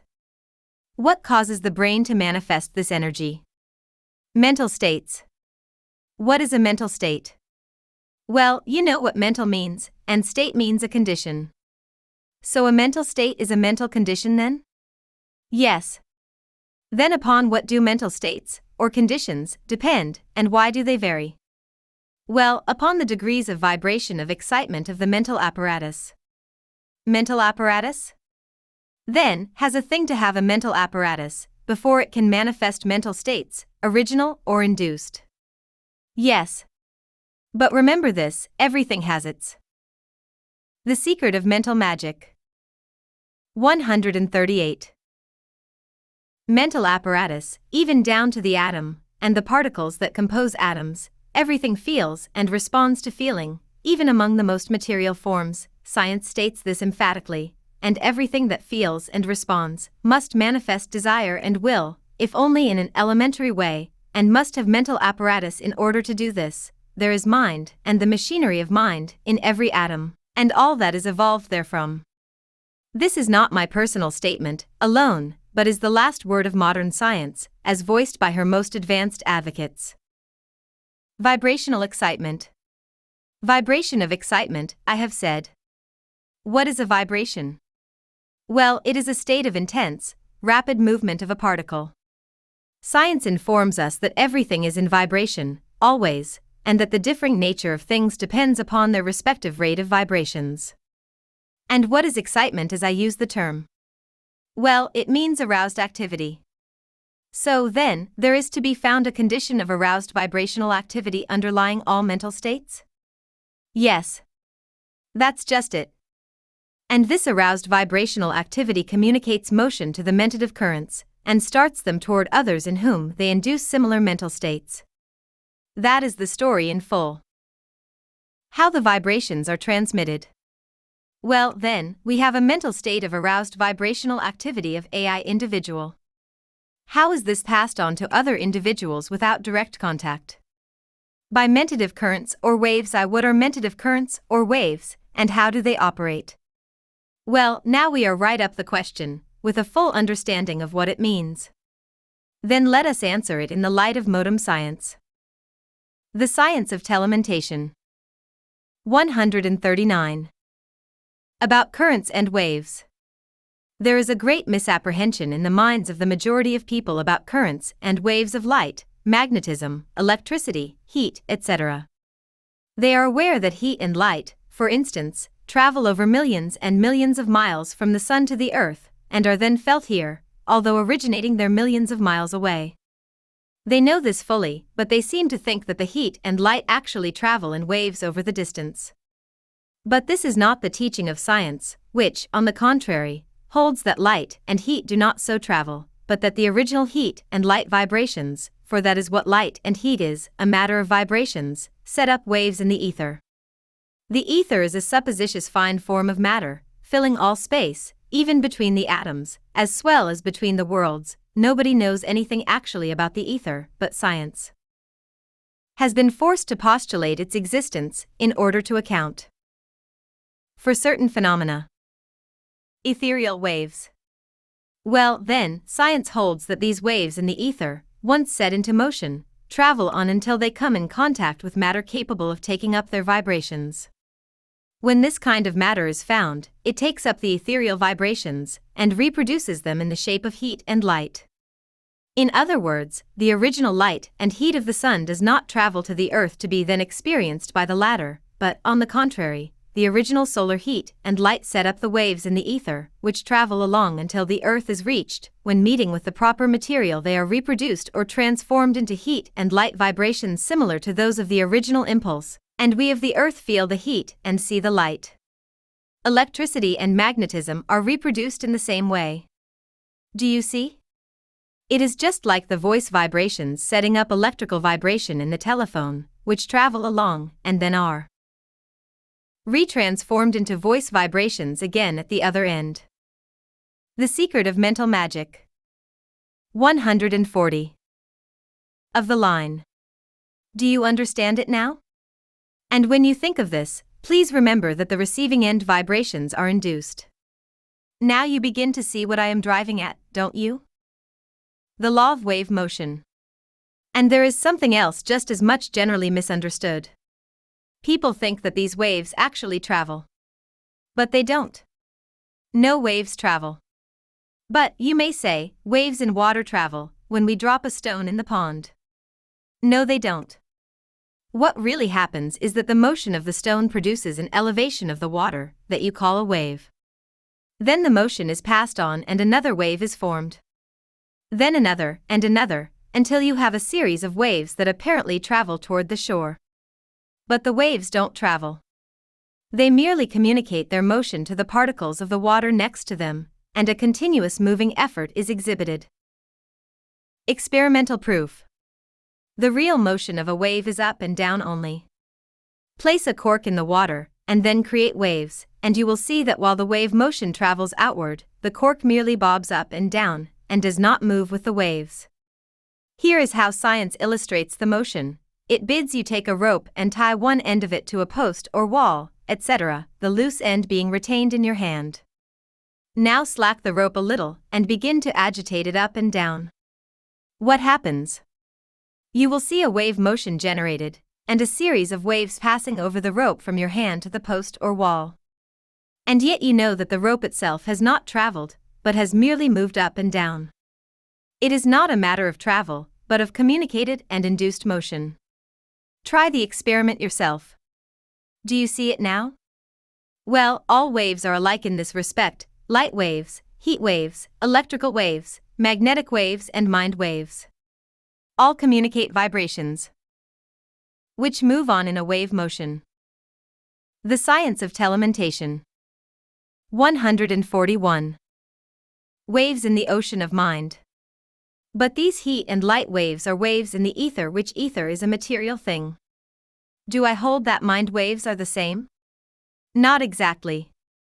I hold that the universal mentative energy is higher even than the finest ethereal matter, and that it pervades the latter. And I hold that we are all centers of mentative activity in a great ocean of mentative energy. We are like bubbles in the ocean, so use a crude figure of speech. And, therefore, I claim that the mentative currents and waves are really currents and waves in that great ocean of mentative energy. And the vibrational activity set up in your mind, my mind, or the minds of thousands, pass on their vibrations to the great ocean of mentative energy and produce waves or currents of energy, which travel on until they reach the mental apparatus of other individuals, in which they tend to reproduce the original vibrations or mental states, by induction, remember. Mentative waves and currents.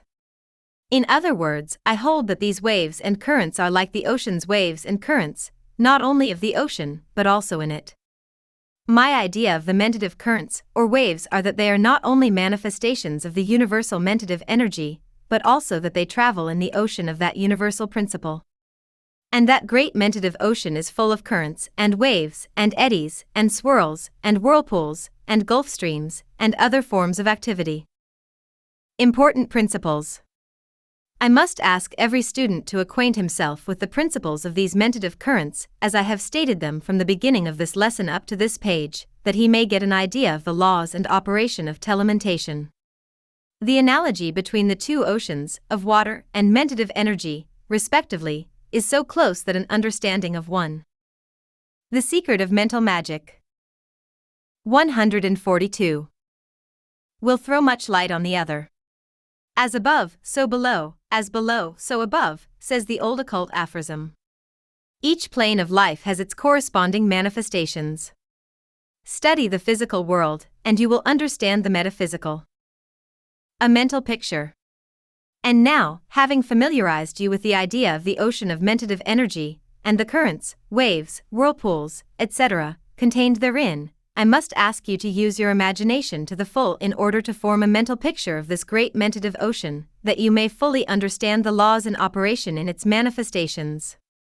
This mental picture, if firmly fixed in your mind, will give you always a key to any manifestation of mentative energy, along the lines of telementation, that you may be called upon to consider, examine, or study.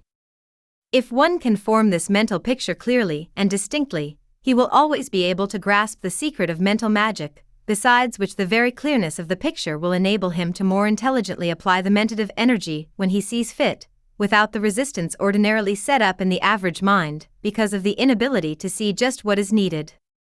Here is this mystical mental picture The Sea of Energy. Picture to yourself a great ocean of mind. If you are unable to grasp the abstract idea of mind as a principle, then do the next best thing, and think of this mental ocean as a great sea of electrical energy.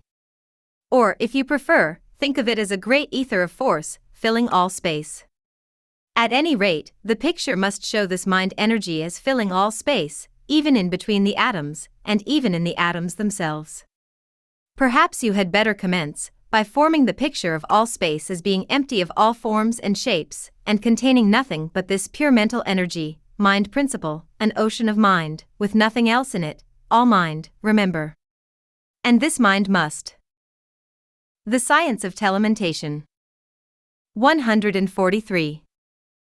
Be thought of as an energy or force, capable of setting into operation all kinds of manifestations when started. The formation of centers. Then think of a tiny center of energy being formed in this great mind ocean, a little whirlpool, so tiny that the strongest microscopes could scarcely distinguish it. Then see countless numbers of similar whirlpools being formed in this ocean of mind. These little whirlpools, we will call centers of energy. They combine and shapes begin to appear. Atoms of matter appear, being composed of combination of these tiny centers, which thus become larger and greater centers. Then come combinations of these atoms, and the various forms of matter result, for all substances you know are composed of atoms, in various combinations, all the atoms, seemingly being composed of little particles called electrons, which seem to be like tiny units of force, but which are attracted and repelled by each other, and seem to have their likes and dislikes, thus showing the elements of mind within them. From simple to complex. And then these shapes and forms of matter become more and more complex, and the centers of energy more potent and the forms of living things begin to appear, mounting from the lowly microscopic cell onto combinations of cells, in plant life, then animal life, and then human life. And each form, as it mounts higher, displays more and more power of mind. Until at last we see man with his wonderful mind, as a great center of energy in this great ocean of mind. The essence of energy. But remember this, always, that all these shapes and forms and cells and plants and animals and men have as their inner essential substance this same mind principle of which the ocean itself is composed. They are centers of activity in this. The secret of mental magic. 144. mind ocean, but are composed of the same substance as the ocean itself. You may think of them as vibratory whirlpools of mind, if you like, and you will not be very far out of the way if you do. You see that, at the last, and underneath all, all is mind, and all is in mind. I shall not go into the metaphysical side of the question, although I have studied deeply that phase of the matter. But I shall confine myself to the scientific side of the question in these lessons. But this idea of all is mind, that is, all things are centers of mental activity and energy, in the great universal ocean of mind energy, is scientifically correct. And it is correct from the advanced occult position, also. There is no conflict between true occultism and true science when each understands each other's terms. The degrees of power. Now, then, these centers of energy are varying degrees of force and activity. We will call the strong ones positive and the weak ones negative. So, according to their varying degrees of power and vibration, each center is positive to some others and negative to others still. Each has its degree of positivity. Now think of these centers as human minds, and you will be able to fill out your picture in detail. The centers in action. And then picture each one of these centers manifesting vibrational activity, and thus converting and transforming the mentative energy from the ocean of mind. And then see them sending out waves and currents of mentative energy, which induce similar vibrations or mental states in other centers. Then see some of the strong, positive centers, setting up great rotating currents, resembling whirlpools in the body of the mind ocean, which extend further and further out from the center and affect other centers far away from it. The Science of Telementation 145. Rotary currents.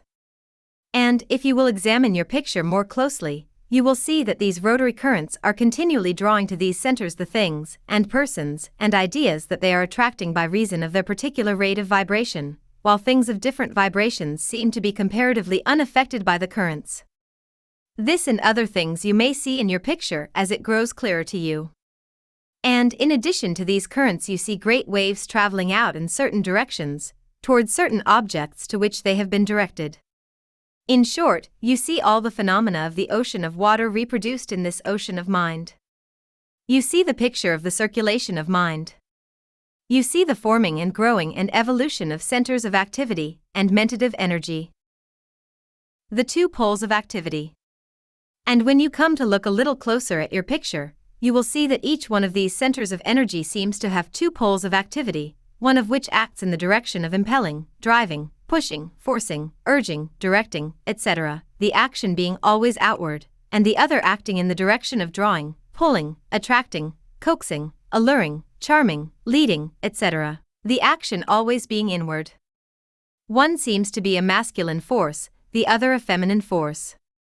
One seems to act as willpower, the other as desire force. Motive power and emotive force. These two poles of mentative energy, possessed by each center, are called the motive pole and the emotive pole, respectively. I have described their characteristics several times as we have proceeded in these lessons. But, once more, let me call your attention to the meaning of the terms applied to them. Motive means, of course, that which moves, that which incites to action. Emotive means that which moves or excites the feelings. You will remember that excitement. The secret of mental magic. 146. Means aroused activity. So then, emotive means that which arouses the feelings into activity. And the emotive side of the mind always has to do with feelings, and the motive with willing. And the best results always arise from a combination of both feeling and willing, desiring and acting. As in all other things, a combination of the masculine and feminine qualities and characteristics produces the best results. Each has its strong and weak points, but together they are irresistible along all lines of work physical, mental, and spiritual. A great moving picture. And now the broad outlines of our mental picture have been drawn, and the general details filled in. But our picture is more than this. It is a moving picture in vivid action and spirited motion. It will show us the varied phenomena of telementation in a series of moving, acting, realistic, thrilling scenes. And yet all will occur right on and in the picture itself, without going outside of it for material. The mental picture contains the material for an infinite variety of action and combination, it is a world within itself. And now, good students, we will set the machinery into operation and show you your mental picture of this mind ocean and its centers of energy in full motion and activity. Kindly give me your full attention while I describe the moving scenes to you. Phenomena of the second plane.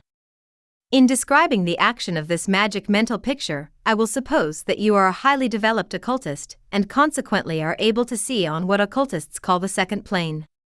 Without going into the subject in detail here, for it forms no part of this present work, I will say that occultists recognize seven planes of life, all of which have their own laws and phenomena. The first plane is our ordinary material plane, the phenomena of which may be observed by all having their physical senses. This first plane is the plane of matter, and all of the science of telementation. 147. Its phenomena is that of matter. All that can be seen on that plane is the movement, or presence of matter. Even when we say that we see the manifestation of some force on this plane, we really mean that we see that force as it produces a movement or change in matter. We do not see the force at all, all that we see is the matter moved by the force. Do you see what I mean? The plane of forces. The second plane is the plane of forces, on which operate energy or force in all of its forms. Occultists who have reached the second degree of unfoldment are able to sense the phenomena on this second plane, that is, they are able to witness the phenomena of the forces on their own plane and independent of the presence of matter. To illustrate this, I would say that on the first plane, the plane of the majority of the race, the phenomena attaching to electricity can be sensed only through the agency of the matter in which the electricity operates. You can see material objects moved by electricity, but you cannot see the electricity itself. The same is true of magnetism. You may see the needle drawn to the magnet, but you cannot see the current of magnetic vibrations themselves. You cannot see the vibratory light waves, but you can see the manifestation of light when these waves strike upon a material object. Direct sensing of the forces. But, on the second plane, those who have attained the second degree report that the vibratory waves of electricity, magnetism, light, heat, etc., are capable of being sensed by them without the presence of the material agent. They report that they are able to see the vibrations themselves, for instance, they can see the waves of electricity or magnetism as they pass through the ether and before they reach the material objects which they affect in a way visible to the ordinary eye. They report that even the vibratory waves of the X ray are the secret of mental magic. 148. Visible to them, without the agency of the fluorescent screen used by scientific men before the X rays become apparent to them. You know, of course, that these X rays, and in fact also the higher rays of ordinary light, are invisible to the human eye, although capable of being recorded by instruments, photographic plates, etc. The second and third planes. And these second plane people report that the vibrations of the mentative waves, or currents, are plainly perceptible to them. But, mark you this, notwithstanding that some of these second plane people believe, and will tell you that they can see thought, or can see mind waves themselves, they are mistaken. All that they can see is the force of energy of these waves or currents, but mind in itself they cannot see at all, this last is reserved for the third plane, or mental plane.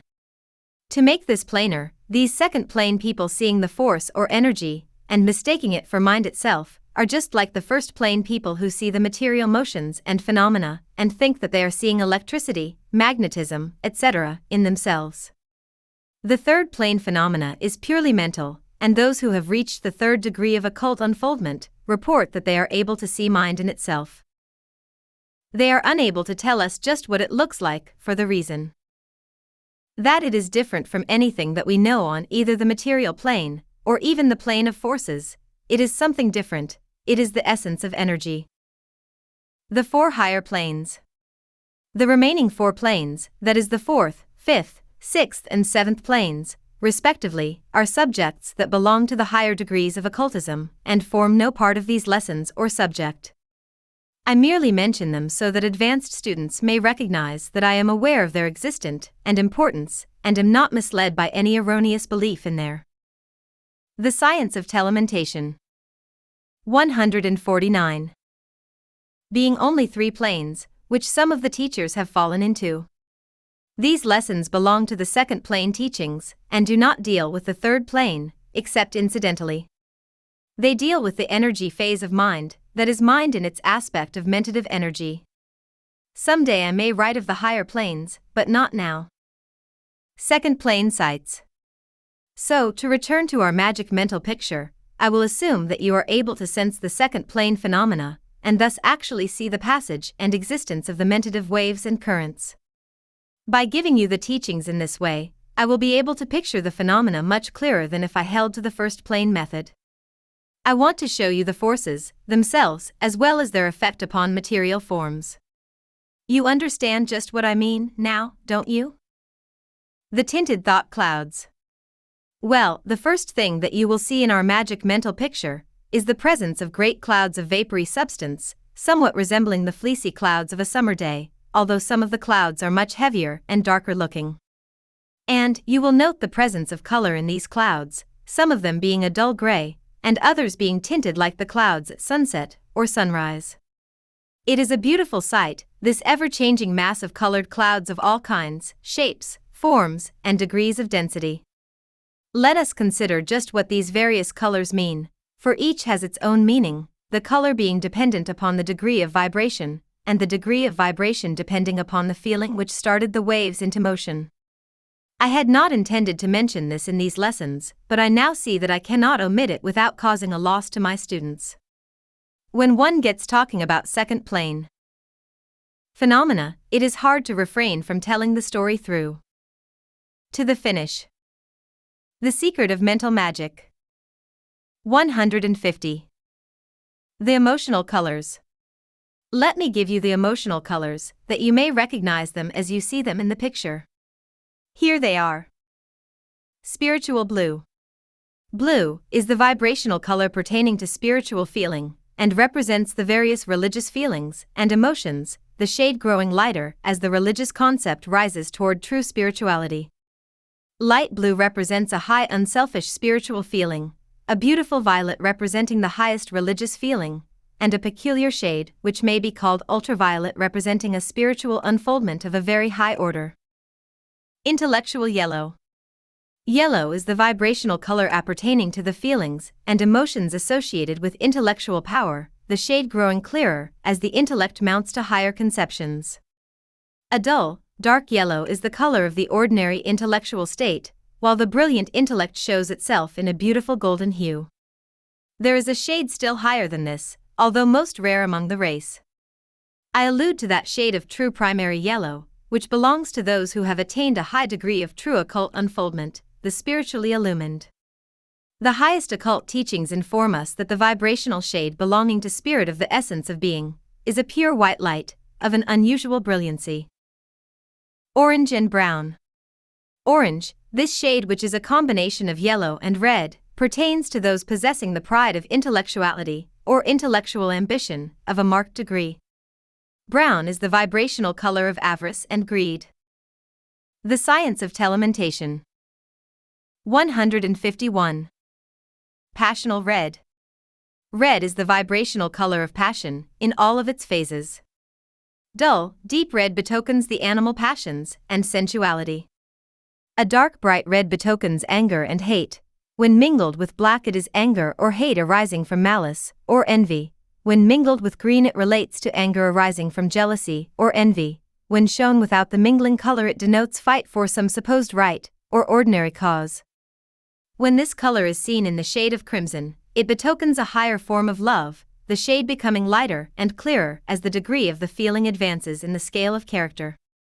A gross, selfish love shows as a dull crimson, while a higher form of love displays a clearer shade, terminating in a shade approaching a soft rose color when the character of the attachment is on a high plane. Deceitful green. Green is a peculiar vibrational color and betokens a number of odd phases of feeling and emotion. A peculiar dull, dirty green betokens jealousy or envy. A grayish green indicates deceit, which shade becomes clearer and brighter as the quality of the deceit rises in the scale. A bright clear shade of green is seen when there is a manifestation of tact, diplomacy, politeness, adaptability, etc., etc. Negative gray. Gray is a negative vibrational color, which in its dark shades indicates gloom, depression, or melancholy, etc., and in a bright clear shade indicates selfishness, and in a certain pallid shade indicates fear or terror. Hateful black. Black is the vibrational color of hate, malice, revenge, and similar states of feeling. The secret of mental magic. 152. These vibrational emotional colors, of course, combine and blend into each other in countless combinations, but the above will give you a key to the same. The appearance of desire and will. The vibrational colors of the two mental poles can scarcely be called colors at all, for their colors and shades are derived from the character of the feeling inspiring them, which gives to them the degree of vibration and color indicating the motive or emotive impulse. But there may be seen a difference even in these two, that is, the emotive pole, in its currents of desire force, shows a scintillating effect as if there were a multitude of minute sparks or stars in the current, and the motive pole, in its currents of willpower, shows an effect something like a multitude of tiny and minute lightning flashes playing in the stream or current. Vitality vibrations. In addition to the shades mentioned above, there is another that should be mentioned while we are considering the subject. I allude to what might be called the vitality vibrations, which radiate from the living body, and which are caused by the vital force which permeates the body during life and makes possible the running of the physical machinery. Some prefer to call it nerve force. These vibrations show no special color, although when near, or in the body, they manifest a faint reddish tint. But when seen away from the body, they show a lack of color, like clear water, and resemble the heated air arising from a stove, lamp, or heated ground, that is to say, they look like a colorless, vibrating body of air. The degree and strength of these vibrations depend upon the state of physical health of the person manifesting them. The Science of Telementation 153. The Human Aura. Now, as we gaze upon our magic mental picture, and see moving thereon the shapes and forms of human beings, we may see that each being is surrounded with an aura, or egg shaped atmosphere of these emotional vibrations, radiations emanated from his mental states. This aura extends out from the body for a distance of about one yard and gradually fades away as the distance from the body is increased. And the aura of each person is seen to be colored according to the vibrations belonging to his prevailing mental states. The colors of the mental states. Each mental state shows itself in its appropriate shade, in the proper combinations, blendings, etc., and therefore, the trained occultist is able to read a person's character like an open book from these emotional colors. And even though one may not be manifesting any special mental state at the moment, his aura will still be colored because of his prevailing mental state, his character, as it were. And of course, these vibrations composing the aura of a person will affect those coming in contact with, or near him, or her. That is the reason why we feel the personal atmospheres of people when we come near them. Even beyond the visible aura, the vibrations continue in a fainter degree. And so, on our picture, we can tell just what kind of people are passing before us, their mental states are revealed by the emotional colors. How people affect each other. And now we shall see how people affect others. We see one man approach another. The degree of magnetic positivity of the first man is superior to that of the second, and we see, as we watch, that the coloring of his aura gradually interpenetrates that of the weaker man, and the coloring of the latter's aura gradually grows to more closely resemble that of the first man. We may watch the process, and thus become aware that the The Secret of Mental Magic 154 Following things are happening, viz., the mental states of the first man are inducing similar feelings and emotions in the second man, by means of the currents of mentative energy that are flowing toward him. The first man is making no effort to impress the second man, but being the more positive, his magnetism affects that of the other man and induces similar states. The second man takes on the states of the first man, as we may see by the change in coloring. This is the way that people unconsciously affect other people, and the latter are unconsciously affected. Simply a case of unconscious mentative induction, you see. Suggestion viewed. The second man moves on, feeling more depressed, or elated, as the case may be, by reason of his contact with the first man, and also carrying away with him a little of the other man's general feelings and character. This second man, a little later on, meets another man, and we may see how this new man affects the second man by the sug's tie-in of his manner and words.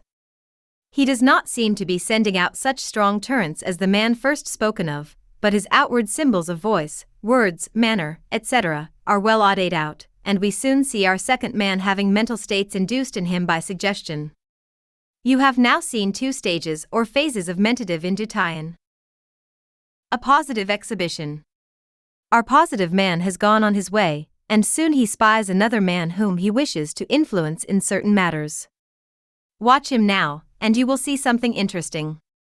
The positive man's aura seems to be disturbed, and great tongues of color seem to leap from it, and lap around the other man, the whole process resembling the action of tongues of flame at a fire. These tongues of mentative currents wrap themselves all around the other man, and some seem to scintillate as they. The Science of Telementation 155. Manifest the action of fairly pulling him toward the positive man, while others seem to be beating upon him like a rain of tiny flashes of lightning, the one is the play of desire force, and the other the action of willpower. This gives us a good illustration of personal influence in an interview or a phase of personal magnetism. Willpower lightning. As the action grows more spirited, you may see the willpower of the positive man darting out and straight, sharp flashes, like great sparks from an electric battery, and you may see the process by which he beats down, and neutralizes the willpower of the weaker man, until he seems to exhaust it and take it captive, and the man acquiesces in the statements and demands of the stronger willed man. Desire force induction.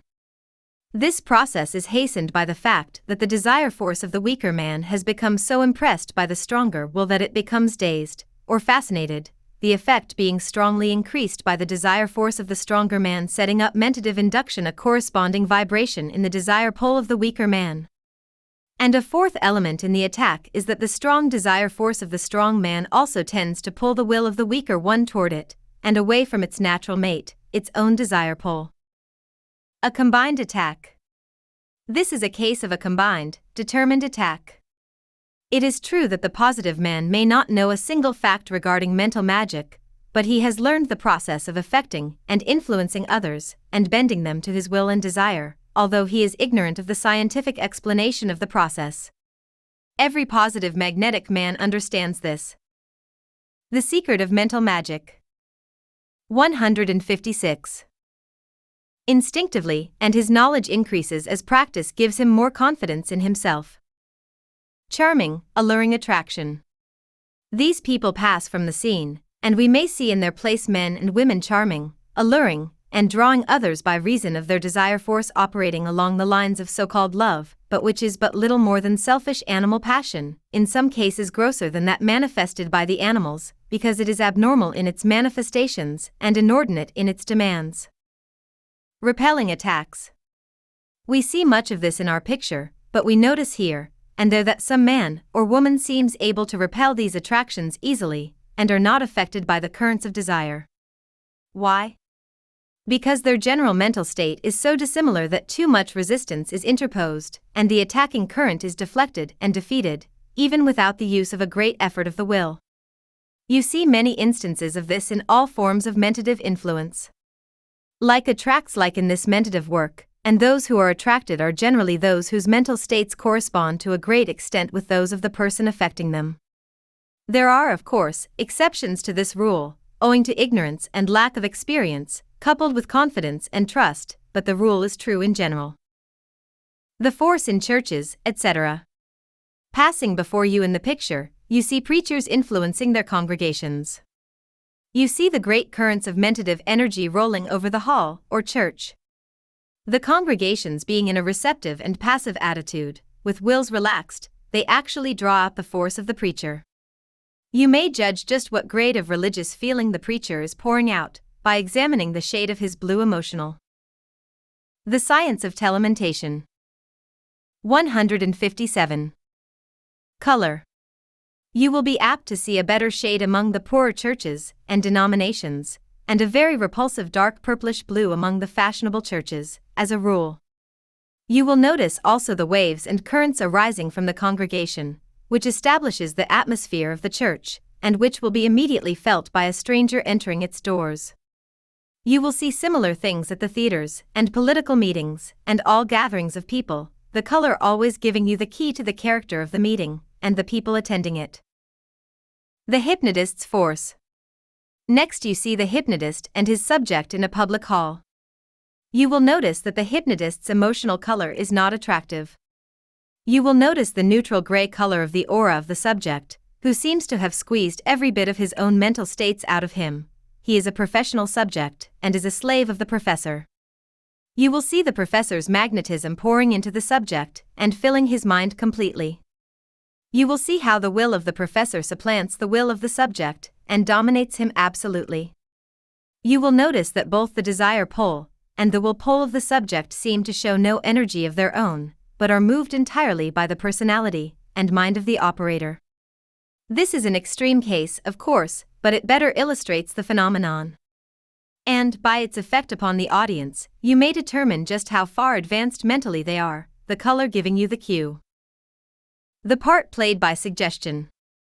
Of course, mental suggestion is playing its part in all of these cases, but we cannot see that because it is not a current or wave, but is merely the operation of outward symbols in the direction of inducing mental states in others. We may see the induced mental states, but can learn the nature of the suggestion only by watching and listening at what is said and done. I am mentioning only a few of the many cases that you. The Secret of Mental Magic 158 are witnessing in the picture, but these few cases will illustrate the different phases of the principle and operation of the force. But all of these cases have given you merely an illustration of telementation at short range. Now let us proceed to examine the instances of the operation of the same force at long range, in all of its many and wonderful phases. Mental atmospheres of towns and places. Before doing so, however, let us take a quick look at the mental atmospheres of the towns, cities, and villages, as well as of the buildings, localities, etc., passing before us on the picture. This is most interesting and instructive. In the first place, you will notice the great clouds of mentative energy permeating every place and every corner, each showing its own shade of vibrational color, indicating the vibrations arising from the prevalence of certain mental states. I have spoken of the causes of this in a previous lesson, and shall not repeat the details here. You will remember that I have explained to you how the various currents of mentative energy, of all kinds and degrees, come in contact with each other, and often blend, combine, or else act in the direction of neutralizing each other's force. Currents of a similar degree of vibration harmonize and form combinations, or blendings. Opposing vibrations in currents tend to antagonize each other and neutralize each other's force. I have explained this at length in Lesson 2. In this way are the mental atmospheres of places formed. You may see them in the picture. Mental vibrations persist. But, you may ask, why do these clouds persist after the person has sent them forth? The answer is that force once set into motion persists for a greater or lesser time, depending upon the intensity of the original impulse. Just as the light of a star, or rather, its light waves, exist and move on centuries after the star has ceased to be, just as the heat vibrations continue in. The Science of Telementation 159. A room, when the producing cause has been removed, just as odors remain when the cause moves away, so do the mentative vibrations, and their corresponding thought forms, continue long after the original feeling has passed away, yes, for years afterwards, in some cases. Why places are unlucky, haunted, etc. In this way, places, houses, stores, etc., maintain atmospheres imparted by the vibrations of people long since moved away or passed away. Stores are unlucky because of the negative mental states of some people who have occupied them. Houses are haunted by reason of the vibrations arising from intense desire, or feelings, or horror, and fear of someone participating in a crime, either as criminal or victim. The atmospheres of prisons are quite noticeable even to the ordinary visitor, who feels the vibrations with which the place is saturated. The atmosphere of places of low pleasures is equally noticeable. I know of a place of this kind in which the vibrations continued for years after the original tenants had departed and the building had been used for business purposes. Hospitals have a very depressing influence upon the majority of people. Of course, these negative effects can be removed by mentally treating the place or room and send forth streams of mentative energy of a positive stimulating character. Positive atmospheres. On the other hand, the presence of an active, energetic, successful man, or set of men, in a place, will permeate the place with positive vibrations that will stimulate all who abide there. I have in mind a certain large office building in a large city, which is filled with these vibrations, originally arising from a few leading men who built and occupied it, and then attracted to themselves others of the same kind, the result being that the combined influence now renders the place an inspiration for those having offices in it. I have heard people the Secret of Mental Magic. 160. Say that after moving in that building, their business doubled itself, and their energy increased in the same proportion. There is a law underlying these things, and if people understood it, they would take advantage of its positive sides and avoid its negative phases. I think that I have given you a good strong hint in this direction. Better heed it? Thought forms. These great clouds of vapory manifested mentative energy often constitute what are called thought forms, which I shall proceed to describe to you. Follow my explanations of these things as they appear on the picture, please. These thought forms are really feeling forms, remember, although I use the more familiar term. These thought forms, although all generated or created in the same manner, differ very materially in their characteristics and details. Let us consider some of these details and characteristics and appearances. The appearances of thought forms. By appearances, I mean, of course, their appearance to those who can sense on the second plane. But whether one can so sense or not, the effect of these thought forms manifest upon them just the same. It is not necessary to see a thing in order to feel its influence. But you understand this, of course, from what has been said already. The most common form is that of a series of undulating waves, or ripples of a vapory cloud like substance, passing out from the mind of the person experiencing the mental state originating them, the waves manifesting a ring like form, moving out in every direction from the common center, just as do the rings caused by a stone having been dropped into a pond. The distance traveled, and the rate of speed manifested, depends upon the intensity of the emotional impulse. The speed diminishes according to the distance traveled, but long after the actual motion seems to. The Science of Telementation 161. Have ceased, there exists an almost imperceptible motion that causes the outer wave to drift on, in a lazy, listless manner. Smoke like forms. Another variety of thought forms manifest, like a volume of smoke being blown from the lips of Agar smoker. Such forms pour out in long streams, then spread out and broaden, although maintaining the direction originally imparted to them. This form arises when the mental state arises directly in connection with some other person or thing, and when the attention of the mentator is centered, consciously or unconsciously, upon that person or thing.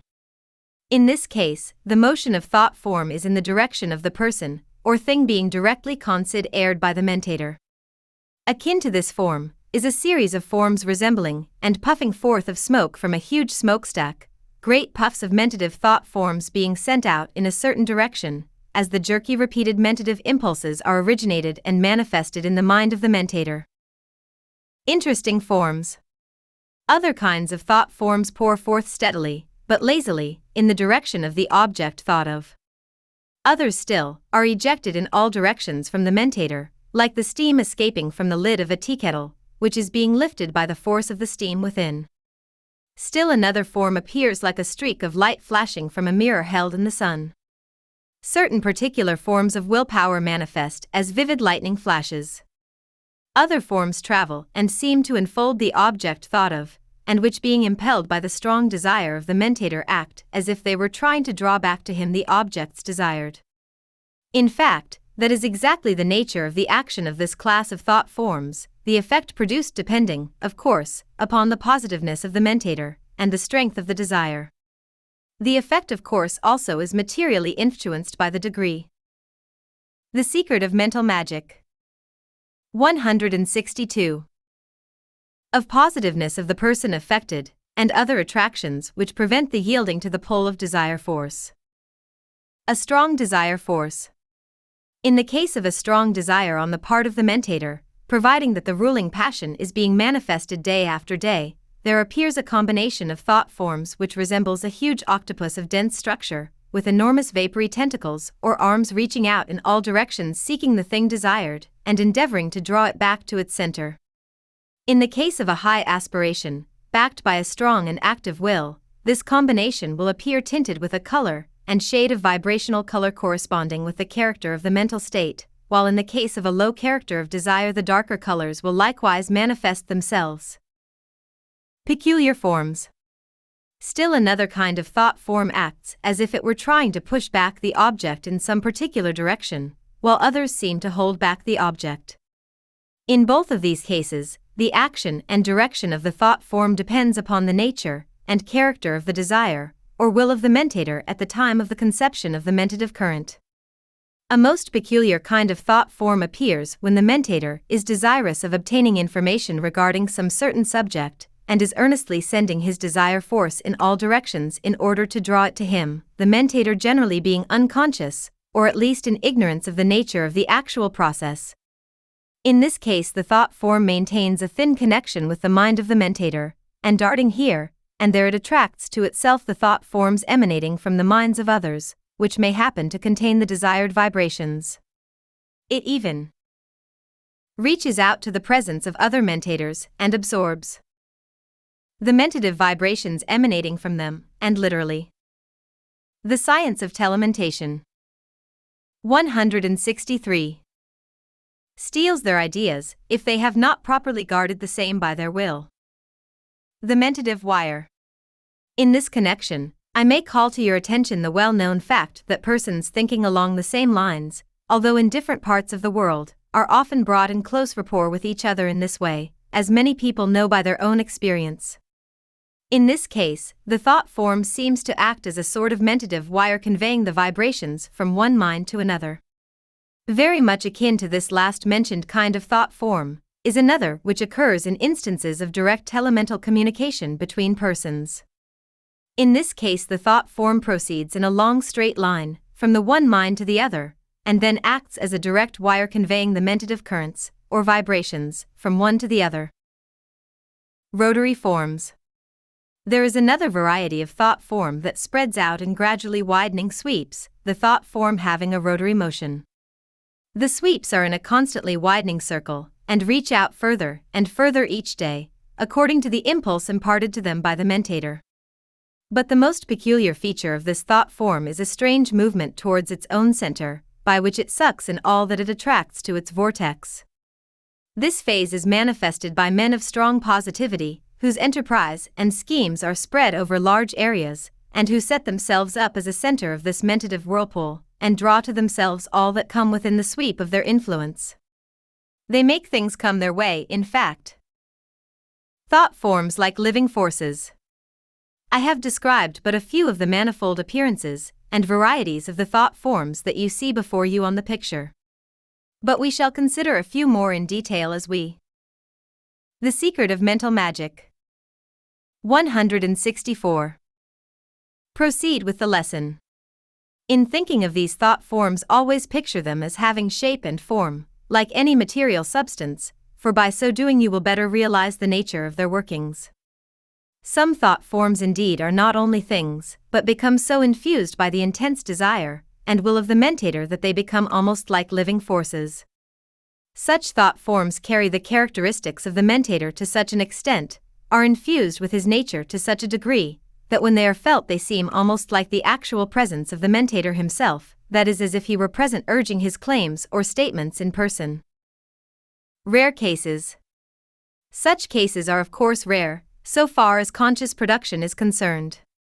They may be good or bad. A strong desire on the part of a dying person has often caused an actual appearance by a loved one or friend, although the soul had not yet left the body. And in cases of dire distress or need, people often so draw upon those who care for them that the latter will send to them a powerful thought form of help, advice, and assistance. Trained occultists can do this voluntarily and consciously, but very few others have reached this stage. The operation of telementation. And now let us return to the consideration of the various forms of the practical operation of telementation. You will of course realize that even in case of mentative influence in personal interviews, with the exception of suggestion, there is a passage of mentative currents and a manifestation of telementation. The distance between the two minds is slight, but the principle in operation is precisely the same as when the distance is hundreds of miles and the process is identical. The science of telementation. 165. Two forms of one force.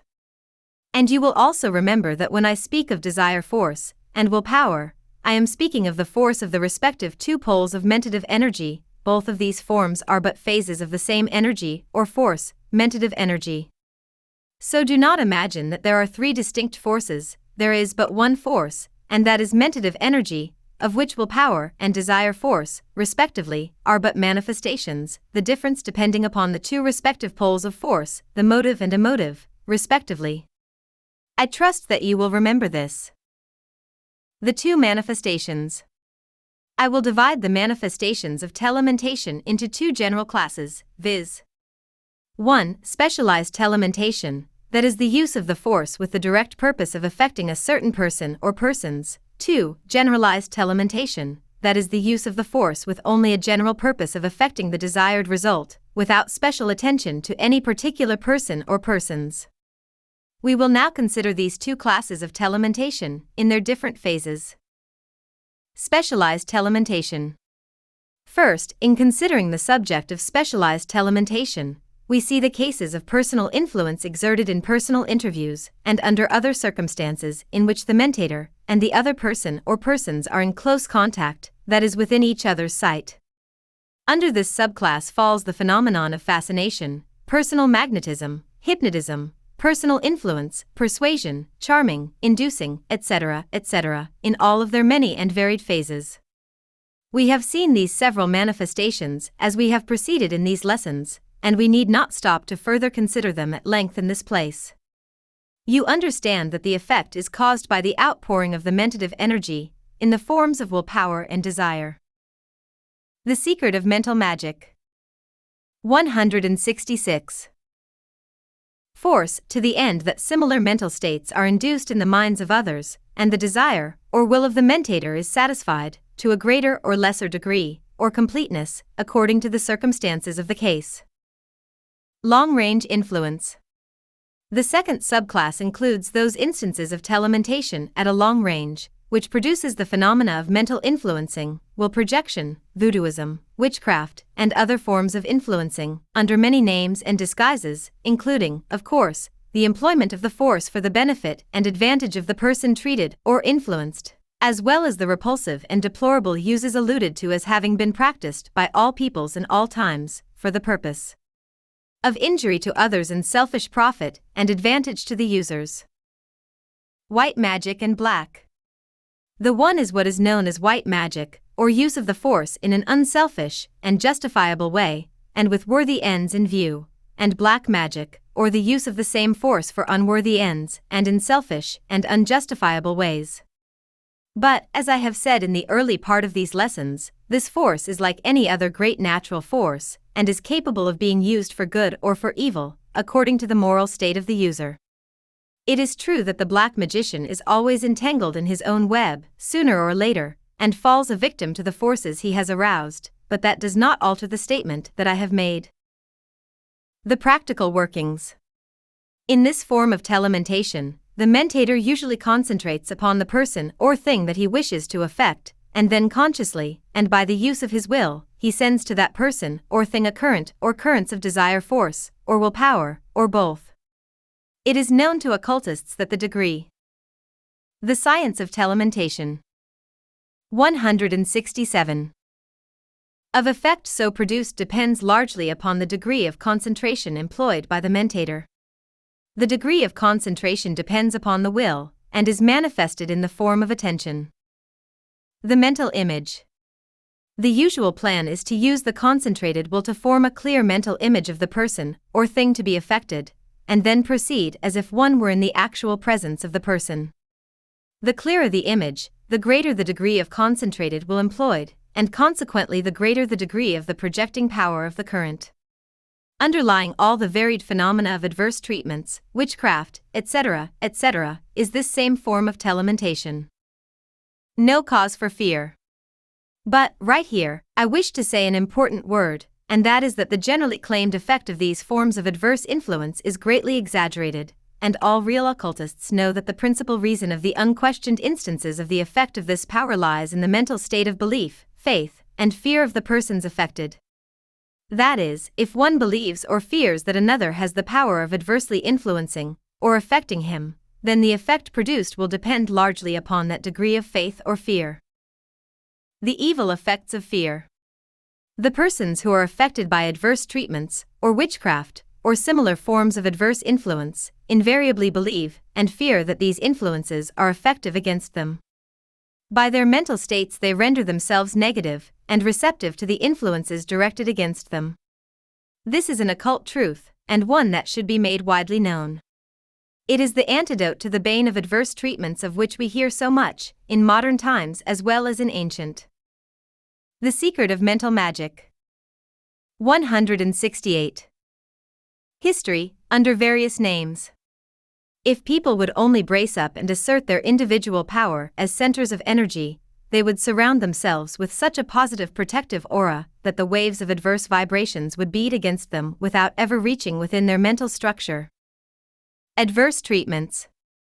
We hear of many cases of people being treated in this way, in these latter day of pseudo occultism. We hear of treaters making denials regarding people, and thus sending them adverse telementation. These people will assert, and work themselves up, into a corresponding feeling of I deny that so and so is well, or prosperous, etc., etc., some even going so far as to deny that the other person is. You may imagine the effect of currents of this feeling reaching a mind rendered negative by belief, and fear that the other person can so affect them. The suggestion of the fear, or belief, and that is just what it is suggestion, renders the mind of such a person a fit receptive agent for the adverse treatment. How to neutralize adverse treatments. I tell you, if you will but assert your individuality and assume the fearless attitude, you will be able to laugh in the faces of these adverse practitioners of black magic, for that is just what it is, no matter how much they may try to disguise it by pious names. Black magicians in disguise. These modern adverse treatments are nothing less than forms of the old witchcraft which so worried our great grandfathers, nothing more than the voodoo practices or conjure business that so affrights the poor Negro today. The principles are the same, the practice is the same, and the practitioners are the same at heart black hearted black magicians, all of them, and subject to the same inevitable fate. The Science of Telementation 169 which overtakes all such people, no matter how high their pretenses, the secret of charms, etc. The physical and material agencies used by the voodoo men and the witches of old, the wax images and pith balls, and all the rest of the tomfoolery, were nothing but the agencies upon which the will of the practitioner could concentrate, an aid to concentrated will.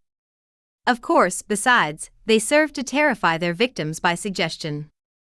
I do not deny that material objects take up and absorb the magnetism of people, good and bad, for that is a well established occult truth, and the efficacy of charms, sacred relics, etc., etc., depends upon this fact, together with the aid of suggestion. But I do say that all the charms in the world, all the witchcraft and voodoo material agencies, can produce no other effect that is allowed them by the minds of the persons sought to be affected. Furwind belief determines the degree of receptivity to such influences. How witchcraft operated. The prayer man of the Sandwich Islands prays people to death, unless they buy him off, but it is the fear and belief on the part of the people that render his work effective.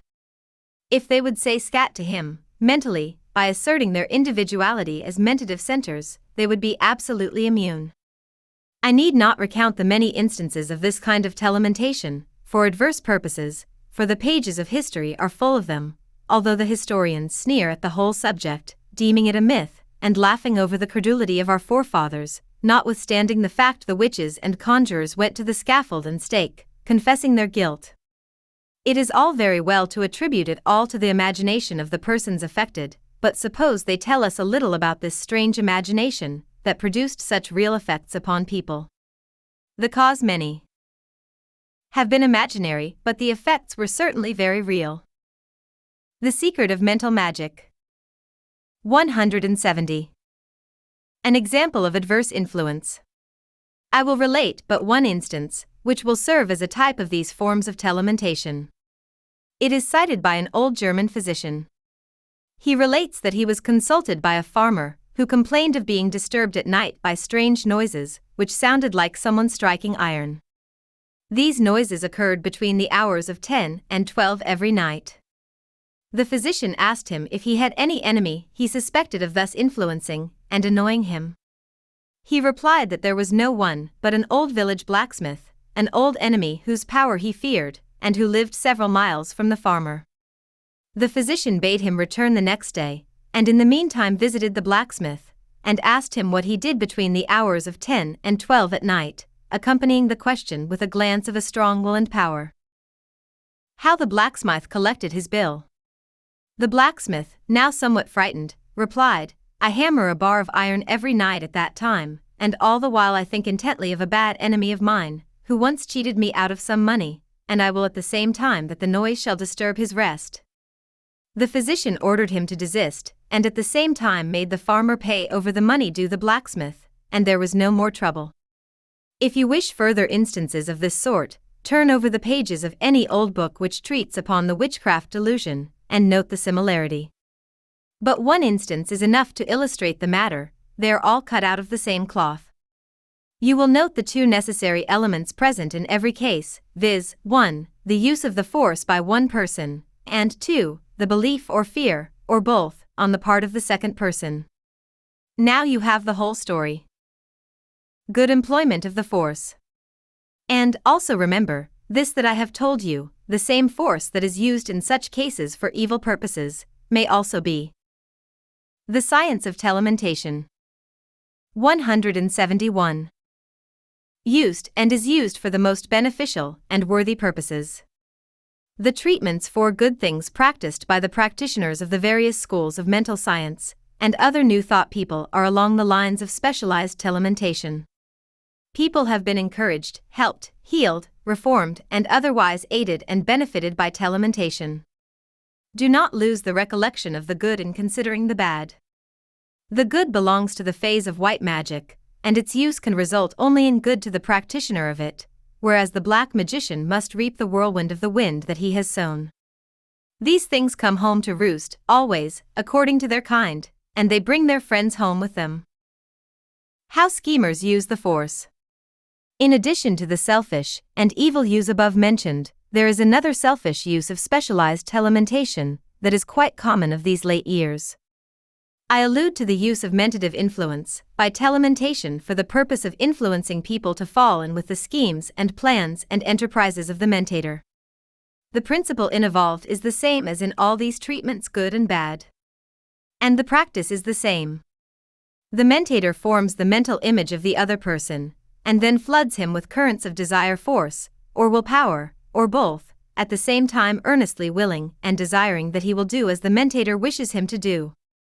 The mentator usually uses his will to make the other do this in the mental picture, in imagination, thus forming a mental matrix, to which he then tries to make the other conform. This is a form of visualization, of which I shall speak presently. Of course, this practice, like any other of the kind, may be defeated by one. Asserting his individuality and will. I give you here a few rules to use on occasions when you think that someone is trying to so treat or influence you. Better study them Carif 11 LLY. Here they are. The Secret of Mental Magic. 172. Valuable Rules. 1. In the first place, steady your mind and calm your feelings. Then pause for a moment and say the words, I am, calmly and forcibly, at the same time forming a mental picture of yourself as a center of force and power in the great ocean of mind. See yourself as standing along and full of power. Then mentally form a picture of your aura, extending about a yard on all sides of you, in an egg shaped form. See that this aura is charged with your willpower, which is flowing outward, repelling any adverse mental suggestions that are being sent to you, and causing them to fly back to the source from whence they came.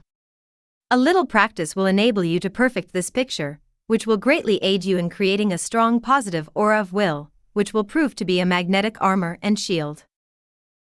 A useful affirmation. The affirmation, I am, is the strongest known to occult science, for it is a positive statement of actual being. You may use the following affirmation also, if you please, it has helped many. I assert my individuality as a center of force, power, and being. Nothing can adversely affect me. My mind is mine own, and I refuse admittance to unwelcome suggestions or influences. My desires are my own, and refuse to admit undesirable vibrations by induction or otherwise. My will is my own, and I charge it with power to beat off and repel all undesirable influences. I am surrounded by an aura of positive will, which protects me absolutely. A useful denial. The following denial has proved of the greatest value to many. I deny, to all or any, the power to influence me against my best interests. I am my own master. These words may seem simple, but if you will use them, you will be surprised at their efficacy. You realize, of course, that it is the mental state. The science of telementation. 173 aroused by the words, that does the work, rather than any special virtue in the words themselves. Guard against impulses. 2. Guard yourself from acting upon impulses. When you feel a sudden or unaccountable impulse to do this thing, or that thing, stop and assert your positive individuality, and then drive out all outside influences by repeating the affirmations, etc., given above, and by creating the proper mental picture. Then, when you have recovered your balance, consider the impulse and decide whether it is to your best interests or otherwise. You will be able to see this clearly by reason of your mental house cleaning a moment before. Then, if the impulse seems to be against your best interests, drive it from you, saying, I drive you away from me, you do not belong to me, return to those who sent you, or other words to that effect. This may be rendered more forceful if you will but create a mental picture of the discarded idea flying away from you in the shape of a tiny thought wave. These mental pictures aid one very materially in such matters, both in the sending forth of an idea as well as in the discarding of one. The positive aura.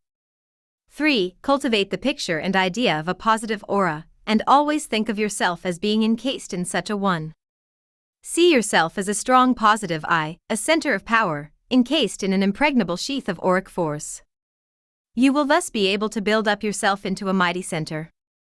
You will be surprised at the confused manner of people who try to influence you, when they come in contact with this aura, and find their suggestions and mentative currents being cast back upon themselves.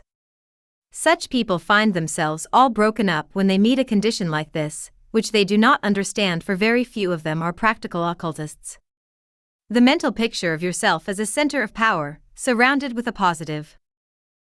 The secret of mental magic. 174. Aura will, if persisted in, render you extremely positive, so that your influence is sure to be felt by the world with which you come in contact.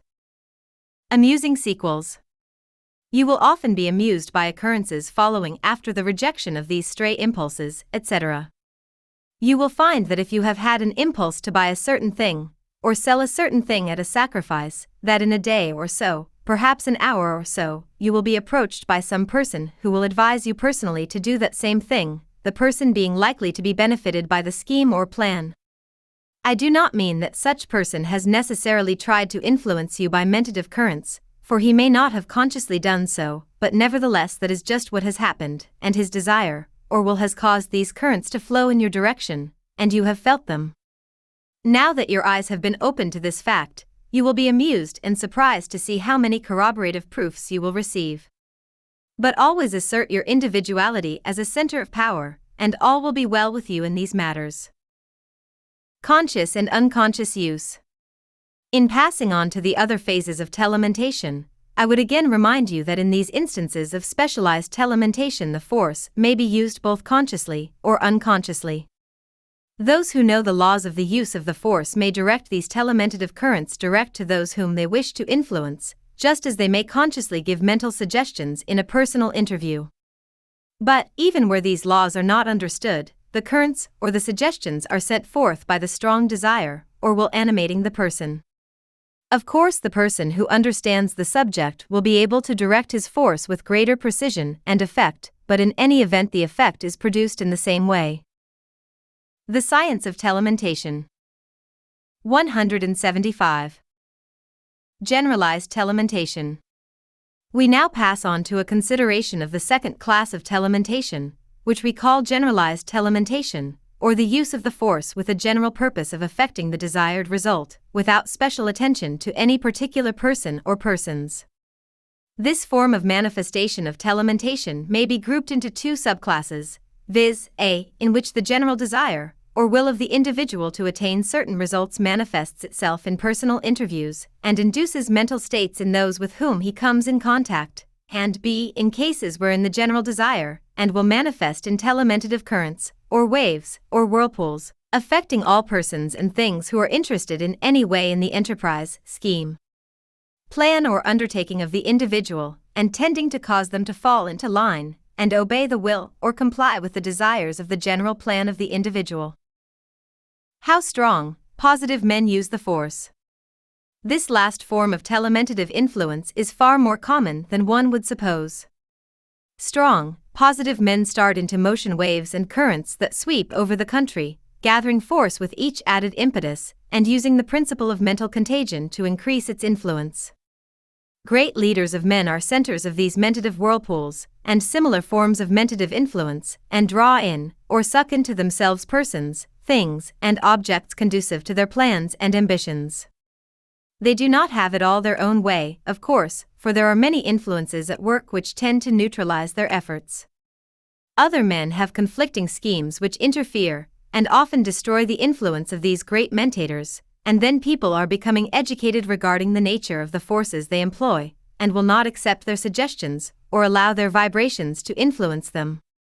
Still, the force is still used to great effect by many politicians and other Persons who reach out for large numbers of people.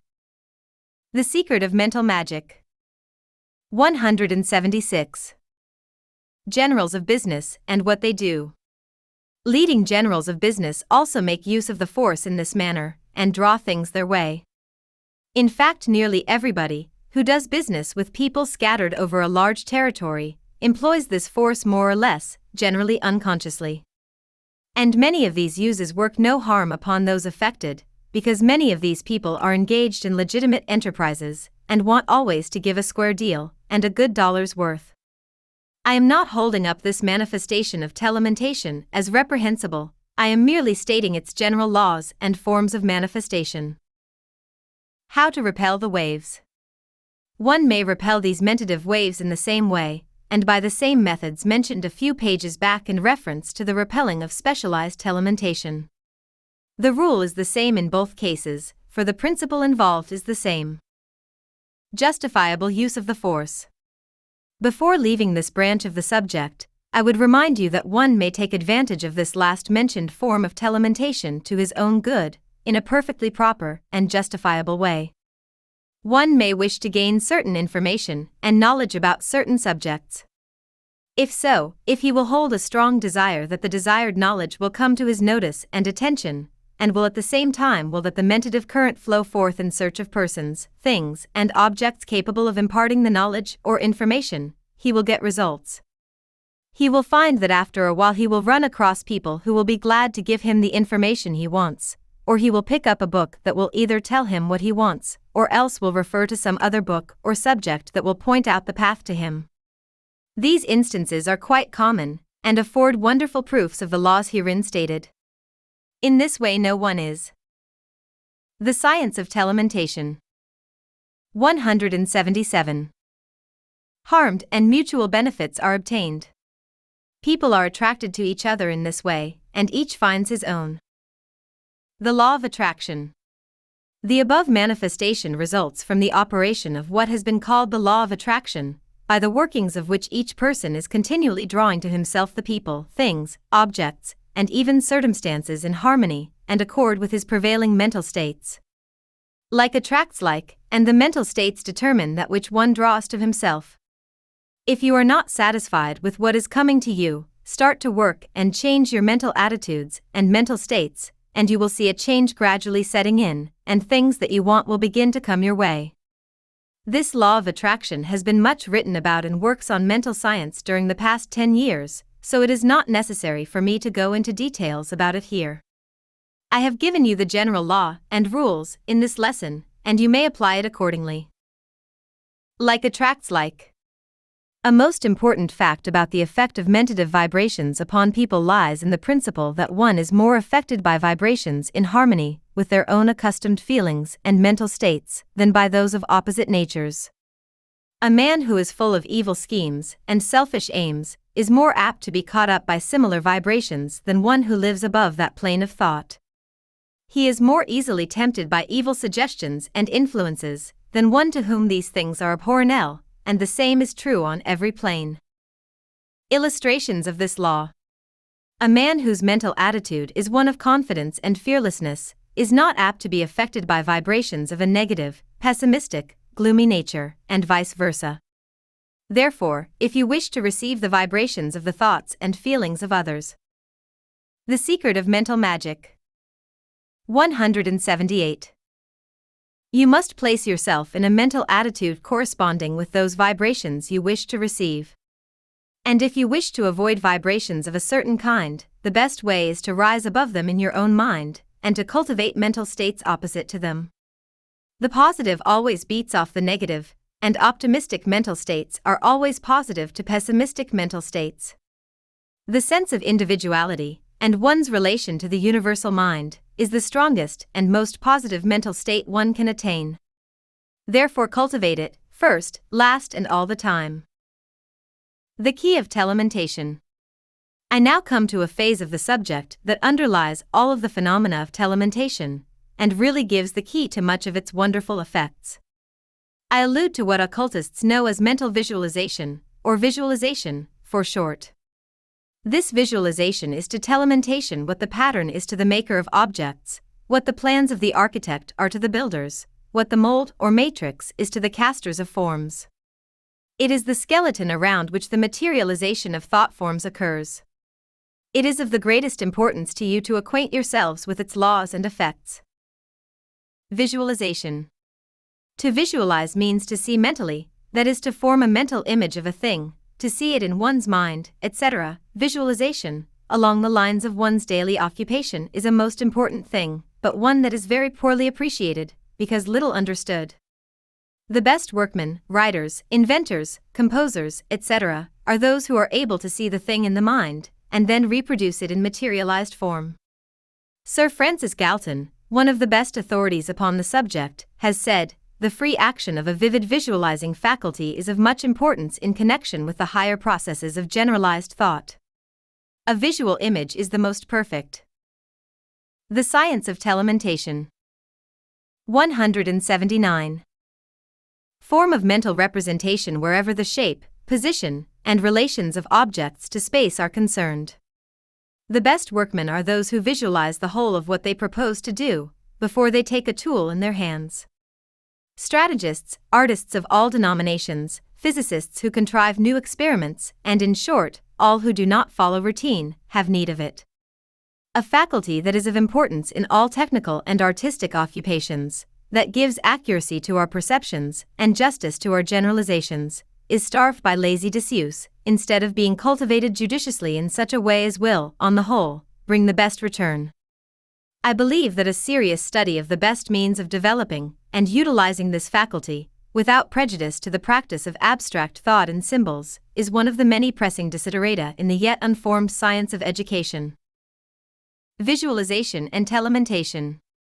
And all that Sir Francis Galton has said above is equally true of the cultivation of the art of visualization in connection with telementation. The trouble with the majority of people is that they do not know just what they do want. They are not able to form clear mental images of that which they wish to create or materialize. The men who obtain the teatest and most wonderful results through mentative influence, particularly in the form of telementation, are those men who are able to visualize most clearly the things that they wish to materialize, who are able to form the mental image of the things they wish to manifest. The secret of visualization. The secret of visualization lies in the occult and psychological principle that as is the mental matrix, so is the mental form, and as is the mental form, so is the physical materialization. In other words, the visualized mental image is the matrix or mold into which the mentative energy is poured, and from which it takes form, and the form of the mentative energy, so. The secret of mental magic. 180. Treated is what we have called the mental image, and around this mental image the deposit of materialization forms, and thus does the ideal become the real. In a nutshell, if you wish to get the best effects from mentative energy, you must create a mental image around which the material or physical materialization is formed, and the way to form the proper mental image is by visualization, which thus builds up the matrix or mold into which the mentative energy pours, crystallizes, and creates the mental image. And as is the matrix, so is the image, and as is the image, so is the materialization. Please read over this statement a number of times until it is perfectly clear to you. For upon your understanding of it depends your understanding of the laws of materialization of ideas of mental images by means of telementative processes. What is necessary? Before you can draw to you the material needed for building up the things or conditions you desire, you must form a clear mental image of just what you want to materialize, and before you can make this mental image, you must realize mentally just exactly what you do desire. And the process of this is called visualization. That is, you build up a mental matrix or mold, little by little, until you have it before you clearly, then you pour into it the mentative energy of desire and will, until it stands out clearly formed as a mental image, just as you would see it if it were actually materialized. Then you must hold this mental image before you constantly, regarding it not as a mere imagination, but as a something real which you have created in your mind, and which will proceed to surround itself with the material necessary to give it material objectivity, or materialization. The Science of Telementation 181. The First Steps if you cannot see the whole thing at first, as a mental image, that is, if you are not able to build up a complete matrix by visualization, then do the next best thing, which is the very best thing for the majority of people, and build a matrix of the first step toward the whole thing, that is, the first thing that is needed. Then concentrate upon this first thing until the mental image stands out sharp and clear, and you will find that things have been started in motion. Then, you may add little by little to your matrix and build up your mental image a little larger and in greater detail. And so on and on. An important rule. And here is an important thing. You must mentally see the thing as actually existing, right now, and not as going to exist later on. You must realize that the mental image exists right now, else it will lack clearness and effectiveness. The next steps. Then, you must pour into that mental image a constant supply of strong, positive mental energy, desire force, and will power, all of which will spread out in the proper directions and affect the material needed to materialize your mental image. By so doing, you impart to the mentative currents the necessary impetus and direction, and they will operate along these lines and will proceed to materialize your mental image for you. Things will come your way, people will appear who are necessary to your plans, Information will come to you from strange sources, and in unexpected times and places, opportunities will open themselves up to you. A caution. But remember this that you must be prepared to act upon these openings and opportunities. You must be alert and watchful and expectant. You will have to do the work, remember. The Secret of Mental Magic 182. Yourself, although the forces you have started into operation will supply you with the material. The door will be open to you, but you must step in yourself, the tools and materials will be provided you, but you must use them, the information will be laid before you, but you must make it your own. Even mental magic will not avail the lazy man. You must learn to do things yourself. The working principles. This subject of visualization would fill a book by itself, but I hope that I have been able to give you a clear idea of its working principles. Remember, always this rule, this triple key of attainment, as I have often called it 1. You must desire a thing most intensely, 2. Then you must earnestly expect it, 3. Then you must use your will in the direction of action tending to bring it about. But first of all, as I have said, you must know just what you do want, and then proceed to create the mental matrix or mold by visualization. That is, you must proceed to mentally see it as already existing. In the above statement, there is enough occult information to fill a series of books, boiled down and concentrated. Concluding advice. And now, friends, I must bring this long lesson to a close. It must be read and studied in connection with the lessons preceding it, for they blend into each other, and the information laps. I have given you certain occult teachings, in plain, practical form, which may seem so simple to you as to be passed over without the proper consideration and examination. Do not make this mistake, I pray you. Do not hanker after high sounding terms and mystical verbiage. The truth is capable of being expressed without these fancy trappings or drapery. I have tried to tell you the how of these things, but you must study carefully in order to grasp every point. I have boiled down and condensed a great deal of information into this lesson, be sure that you. The Science of Telementation 183. Do not let any of it get away from you. You cannot expect to acquaint yourself fully with this subject in one hasty reading. You must read and reread many times, with careful study and thought. You must do some thinking on your own account, in order to apply these general principles to your own symptoms and needs, if you will read carefully, and then think a little. There is no royal road to mental magic, or anything else. I have tried to make the road a little easier for you, but you must do the traveling yourself. You cannot reach the heights by proxy. You must digest these things yourself, predigested ideas will do you no good. The simple underlying principle. And, now in conclusion, look once more at the magic mental picture in which you have seen all of these things in operation. You will see that underlying all of these wonderful manifestations of telementation, there is just the simple principle that I have pointed out to you induction of mental states by desire force and will power. Everything occurs by reason of this principle. You may think that the book that you needed, and which came to you so wonderfully, must have arrived in some other way. Not so, the book was placed here, and moved there, by people, and these people have minds capable of being moved by vibratory waves, and so when once the thing was set into operation, all things work together toward the given end. Even these lessons reached you under the law of attraction. There is no chance in these matters, there are laws in operation everywhere, and always, and over all there is the great law of the universal. And, now in concluding this lesson, I would remind you to Always realize that you are centers of living mental energy in the great ocean of mentative energy. And that you are strong in the degree that you are positive. And that you are positive in the degree that you are an individual. And you are an individual in the degree that you realize that you are a center of. The Secret of Mental Magic 184. Living Will. There is nothing to fear but fear, you are capable of asserting your individuality always, and everywhere, your only chains are those you forge for yourself, you are free right now, here, and always. Do not be deluded by the petty things of personality, that pass away and perish overnight, but rest serene and firm in the consciousness that you are an individual living will center, and fear not to assert the individual I. There is no devil but fear, nothing but fear can keep you from your own heritage and birthright. Assert the I and banish fear. 185. Lesson 6 Mental Therapeutics.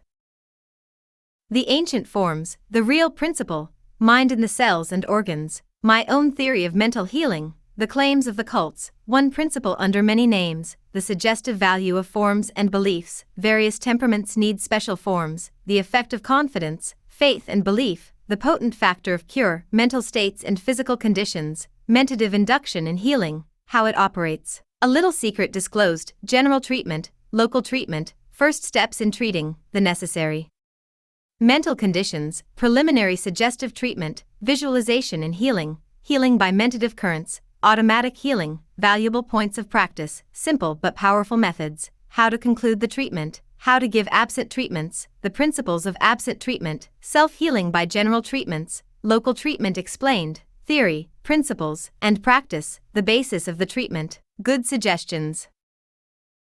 Regarding treatments, the use of the hands, a plain, simple plan, the degrees of mind. In the various organs, treatment of special organs, what to say, and how to say it, mind versus mind, words and their inner meaning, local treatment in absent healing, local treatment in self healing, what this system of healing represents, freedom from cults and organizations. You may adhere to your own favorite beliefs and still make as many cures by the use of these methods as are made by the best of those who believe and claim that the healing is done because of some fantastic theory, dogma, or belief. The Secret of Mental Magic 186 187 Lesson 6 Mental Therapeutics Therapeutics means the healing art, therefore, mental therapeutics means the art or science of mental healing. If I were writing this lesson from the standpoint of 20 years ago, I would think it advisable to fill page after page with a recital of the many claims of mental healing, but no such necessity exists at the present time. People have heard much regarding mental healing, and while they may differ in their theories and opinion regarding the nature of the cures performed, still they will nearly all acknowledge that that cures have been made and are being made by mental healing methods. The ancient forms of mental healing. The history of mental healing extends way back into the past, and the earliest pages of history treat upon it as if it were a long established and well accepted method. In fact, the history of mental healing is the history of mental magic, so far as the older peoples and races are concerned. The ancient magi used their mental powers in the direction of healing the sick and restoring natural healthy conditions. People were brought to the secret of mental magic. 188. The temples to be healed, and after the customary incantations and ceremonies designed to affect the imagination and respect of the primitive people, they were found to be benefited and actually cured in time. But under and back of all these ceremonies and rites, the principle affecting the cure was the same principle that is being used today by all forms of mental healing, under whatever names it may be disguised and masked. There is but one mental healing principle, and that has always been used, is being used now, and always will be used, so long as the race exists. Mentative energy, the real principle. And this principle is the application and employment of mentative energy. Mentative energy is positive to both force and matter, as we have seen in these lessons, and the negative always yields to the positive when the latter is properly and intelligently applied. The mentative energy really builds up the body from a single cell, and is inherent in every part and particle of the body. Every cell has its supply of mentative energy, the cell and combination of cells, and the whole body, in fact, is the result of conditions of manifestations of mentative energy. The body is all mind, at the last analysis. Mentative energy manifests itself in countless ways in the universe, and the physical bodies, and the cells of which they are composed are simply certain forms of manifestation of mentative energy. And, this being so, mental healing is not a case of mind over matter. As is often taught, but is a manifestation of positive mind over negative mind. The central mind of man is positive to the mind in the body of man, and hence the curing effect. Mind in the cells and organs. Every cell has its share of mind, and science shows us that each cell can and does live its life as a separate entity, always, however, subordinate to the whole system of cells, and the mind controlling it. And the mind in each cell, or system of mental therapeutics. 189. Cells may be reached by the positive mind of a person when properly applied. In order to fully grasp the significance of this statement, you must remember that every organ, part, bone, nerve, vessel, tissue, and everything else in your body is built up of cells which have formed certain combinations. There are individual cells in your blood and other parts of the body, and there are cell communities in your body which perform certain functions and which you call my liver, my heart, my stomach, my kidneys, etc., etc. And there is mind in every one of them. And the mind in every cell, and in every organ, may be reached by mentative energy applied by the mind of oneself or another person. My theory of mental healing. And in this simple statement, I have embodied my idea of mental healing, which idea is based upon years of earnest study, experiment, and investigation, aided by personal acquaintance with and association with some of the most celebrated mental healers of this age. I have discarded fanciful theory, after fanciful theory, as unnecessary to account for the facts observed by the leading investigators of mental healing, and have at last boiled down the matter to this point and idea of mind in the cells and cell groups, which mind is negative to the positive central mind of the individual, especially when the latter is concentrated and intelligently applied. The claims of the cults.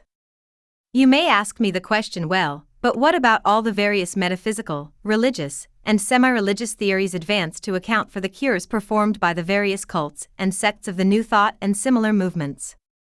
Answering this, I would say that the various cults and sects perform cures not because of their dogmas, but often in spite of them, the real cures being performed by mentative energy, pure and simple, called into operation, and employed in the secret of mental magic. 190 various forms and ways, under many coverings, disguises, and draperies. It is all the same grand old principle, but with fringe on, the style of fringe depending on the particular theories and dogmas of the sections. One principle under many names. There has been much written, spoken, and taught concerning mental healing, under some name or other, but the majority of the writers have been attached to some particular cult, church, or organization, which claimed that the whole truth rested upon the acceptance of some particular theory, idea, doctrine, or dogma advanced and held by it, in accordance with the particular views of some certain teacher or teachers. And, accordingly, the writings have been colored by the hue of such belief and dogma. One has but to look around him in order to see that the many conflicting schools of mental or spiritual healing are all making cures, in spite of the claim of each that its particular school or sect, or church, has a monopoly on truth, and a corner on true metaphysical healing. The truth is that they all make cures, the percentage being about the same in each instance, taking the personal qualifications of the healers into consideration. In spite of the several claims that we have, the only truth, all others are in error and ignorant of the real truth, etc., etc., all of these erroneous people are getting fine results. Their differing and often contradictory theories do not seem to cut any figure in the real work, and one who closely studies the subject is soon forced to the conclusion that there must be some underlying principle of cure which they are all using. And so there is. And I call this underlying principle the effect of positive central mind upon negative body mind. You may give it any other name you choose, but you will get the results just the same. Mental therapeutics. 191. The suggestive value of forms and beliefs. The various theories, statements, forms, observances, dogmas, and whatnot have no other effect than giving a strong suggestion to people who are impressed by the same. Some people get better results when the mental healing is accompanied by some religious or semi religious talk and explanation, with appeals to the emotional parts of their nature, and makes them more receptive to the healing process of the mind. Sacred shrines, images, and relics cause cures in this way. Others get better results when some technical metaphysical theory is urged upon them, with a great show and use of long high sounding words. They may not understand the words, but they think that there must be something in it, for he used words that I couldn't begin to understand, and yet he knew all about them, etc. Others prefer the scientific explanation of the school of suggestion, which avoids metaphysical or religious theories and yet get the results. Others, still, adhere to the mental science idea of the universal mind and the personal mind, and they too get results. Others like the subjective mind and objective mind idea, and they get results too. They all get results, but some take more kindly to certain forms and thus get better results. Various temperaments need special forms. I have frequently advised people to go to healers of certain cults and schools and churches, simply because I knew that the ideas of these particular schools, cults, and churches would fit the particular temperament of the person in question, and thus the best results would accrue. I am most Catholic in my ideas on this subject. I believe in a person employing any phase of mental healing, from bread pills to Christian science, providing that the particular agency employed will invoke the faith, confidence, and belief of the patient to the utmost. Whichever form will best do this, that is the form I believe the best, for the patient. The Secret of Mental Magic 192. Manifold tastes breed manifold forms. I can see very well why a person of a warm religious temperament would be better benefited by mental healing in a religious form or phase than from mere suggestion or ordinary mental science. It opens up a part of the nature that is conducive to the cure. And I can see why others are impressed by technical, complicated metaphysical talk, which causes them to wonder and be impressed, and thus causes an interest and an expectant attention which goes a long way toward making the cure. And I can see why others still would rebel against either of the above mentioned forms and would be better reached by a plain, scientific presentation of the subject. Every man to his taste, in mental healing as in everything else. In this respect, I am like the Irishman, who said he was glad that all people did not have the same taste, for if they did, every mother's son of them would be wanting to steal his wife away from him. The effect of faith, confidence, and belief. But, you may ask, why is it that faith, belief, confidence, etc., play such an important part in the cures, if it be true that the real cure is effected through the mind in the cells and cell groups, what have cells to do with faith? This is a good question, and here is the answer. While it is true that the mind in the cells is the medium, or cause of the cure, still it is a fact that these cells are negative to the influence of the central mind of the person. And if that central mind be filled with the mental states of disease, fear, undesirable beliefs, etc., then the negative cells and organs must be affected. And if on the contrary the mental states of the person be changed from fear to hope, confidence, love, faith, belief, and expectancy, then it will be readily seen that the effect upon the cells will be changed for the better and if in addition to these improved mental states, a still more positive state, a state of conscious mental therapeutics. 193. Control and power, then will the curative effect be greatly magnified and increased. The potent factor of cure. To tell the truth, I earnestly believe that the one great potent factor in mental healing is the removal of fear from the mind of the patient, by whatever means it may be accomplished, whether by reason, argument, faith, hope, or even by superstition. Fear is the most negative of the mental states, and simply paralyzes the whole system. Fear and worry actually poison the cells of the body. This is a scientifically demonstrable fact. And if this pall of fear can be lifted by any means, then a big step in the direction of a cure has been effected. And hope, confidence, and belief will lift that pall. That is why I believe in everything from bread pills to CS, as I said a few minutes ago, whichever agency induces the greater degree of hope, belief, confidence, and expectancy is the best for the particular case. But in all cases, the principle of cure is the same mind. Mental states and physical conditions. It should not be necessary for me to recite the oft repeated facts of the phenomenon of disease being treated by mental states, and of cures arising from the same. Every man or woman who reads these lessons has heard this tale over and over again, many times. It is not longer a debatable question, this matter of the effect of the mind in health and disease. The books are full of it. It is as old as the hills, and at no time in the history of the world has this form of mental magic been accorded greater attention and interest. And, therefore, I shall skip this part of the story and get right down to business in the direction of telling you just how to apply the mentative energy in healing, both present and absent. The Secret of Mental Magic 194. Mentative Induction in Healing. Well, then, in the first place, the principles of mental healing are precisely the same principles that are applied in all forms of mental magic, as we have seen them in the previous lessons. It is all a matter of mentative induction, first, last, and always. And, as in the other phases of mental magic, this induction may arise from either mentative currents or by mental suggestion. Please fix this statement in your mind so that I will not have to repeat it so often. How mentative induction operates in healing. Now, let us see what happens if mentative induction is set up in the mind of a person by means either of mentative currents or mental suggestion, when what is called general treatment is given. What is called local treatment will be taken up later. Well, we will suppose that the mental state of the person has been changed by induction, either from currents or by suggestion, to a strong positive state, and that is what one must aim to produce in the patient. This induced positive mental state in the central mind is, of course, strongly positive to the mind in the body and its tells. The mental image of a normal, perfect, healthy, well body, being held in the central mind of the patient, it follows that the physical material of the body and cells will begin to materialize in accordance with the pattern set before the mind of the cells by the central mind of the person. It is the old story of mental visualization and physical materialization over again.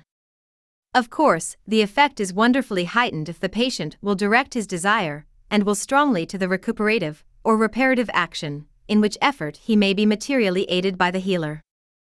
A little secret disclosed. The desired mental state in the patient may be induced either by autosuggestion, self suggestion, on his own part, or by the suggestion of the healers. See with the ceremonies. Mental therapeutics. 195. And frills and fringes of the cults come in now, don't you? Or by the direct mentative currents of the healer, applied as indicated in the previous lessons. In this form of healing, the healer works by arousing the mind of the patient so that he really cures himself. This arousing is, of course, affected by either suggestion or mentative currents, the effect being the result of induction in either case, as you will readily understand. The phases of general treatment. This form of mental healing, which I call general treatment, includes both the form of present healing, that is, when the healer is in the personal presence of the patient, or else along the lines of what is called absent treatments or distant treatments, when the healer and the patient are not in each other's presence. We shall see both forms in operation as we proceed with the lesson. The basis of local treatment. Leaving the subject of general treatment, for the moment, let us consider the broad principles underlying local treatment. By local treatment, I mean mental healing affected by the mind of the healer being directly and specially applied to the mind in the cells and organs themselves. You will remember what I have said about there being mind in the cells and organs. Well, local treatment is an application based upon that fact. The mind of the healer is brought to bear in a positive, direct, special manner upon these cells and organs, and the suggestions and mentative currents are directed right to these organs and cells, without the intermediate stages of the central mind of the patient, as in the case of general treatment. Of course, one may apply local treatment to himself by directing his mind directly to the cells and organs, instead of indirectly by means of general mental states. You may wonder why I speak of directing suggestions to the cells. You may well ask, can the cells hear? No, the cells cannot hear, but the utterance of the The Secret of Mental Magic 196 Words of the suggestion, by you, will enable you to direct your mind more directly and forcefully upon the cells and organs. You will see, as we proceed, that I advocate speaking right up to the cells and organs of the body and telling them just what you want them to do. You will be surprised when you try this and see how they respond. Close attention necessary. And, now that we understand the general principles of both of these phases of mental treatment, let us pass on to a consideration of the practice of mental healing, the actual how of the subject. We will begin with general treatment, both present and absent, and will then take up the second phase of local treatment. In both cases, we will see the actual methods of treatment in detail.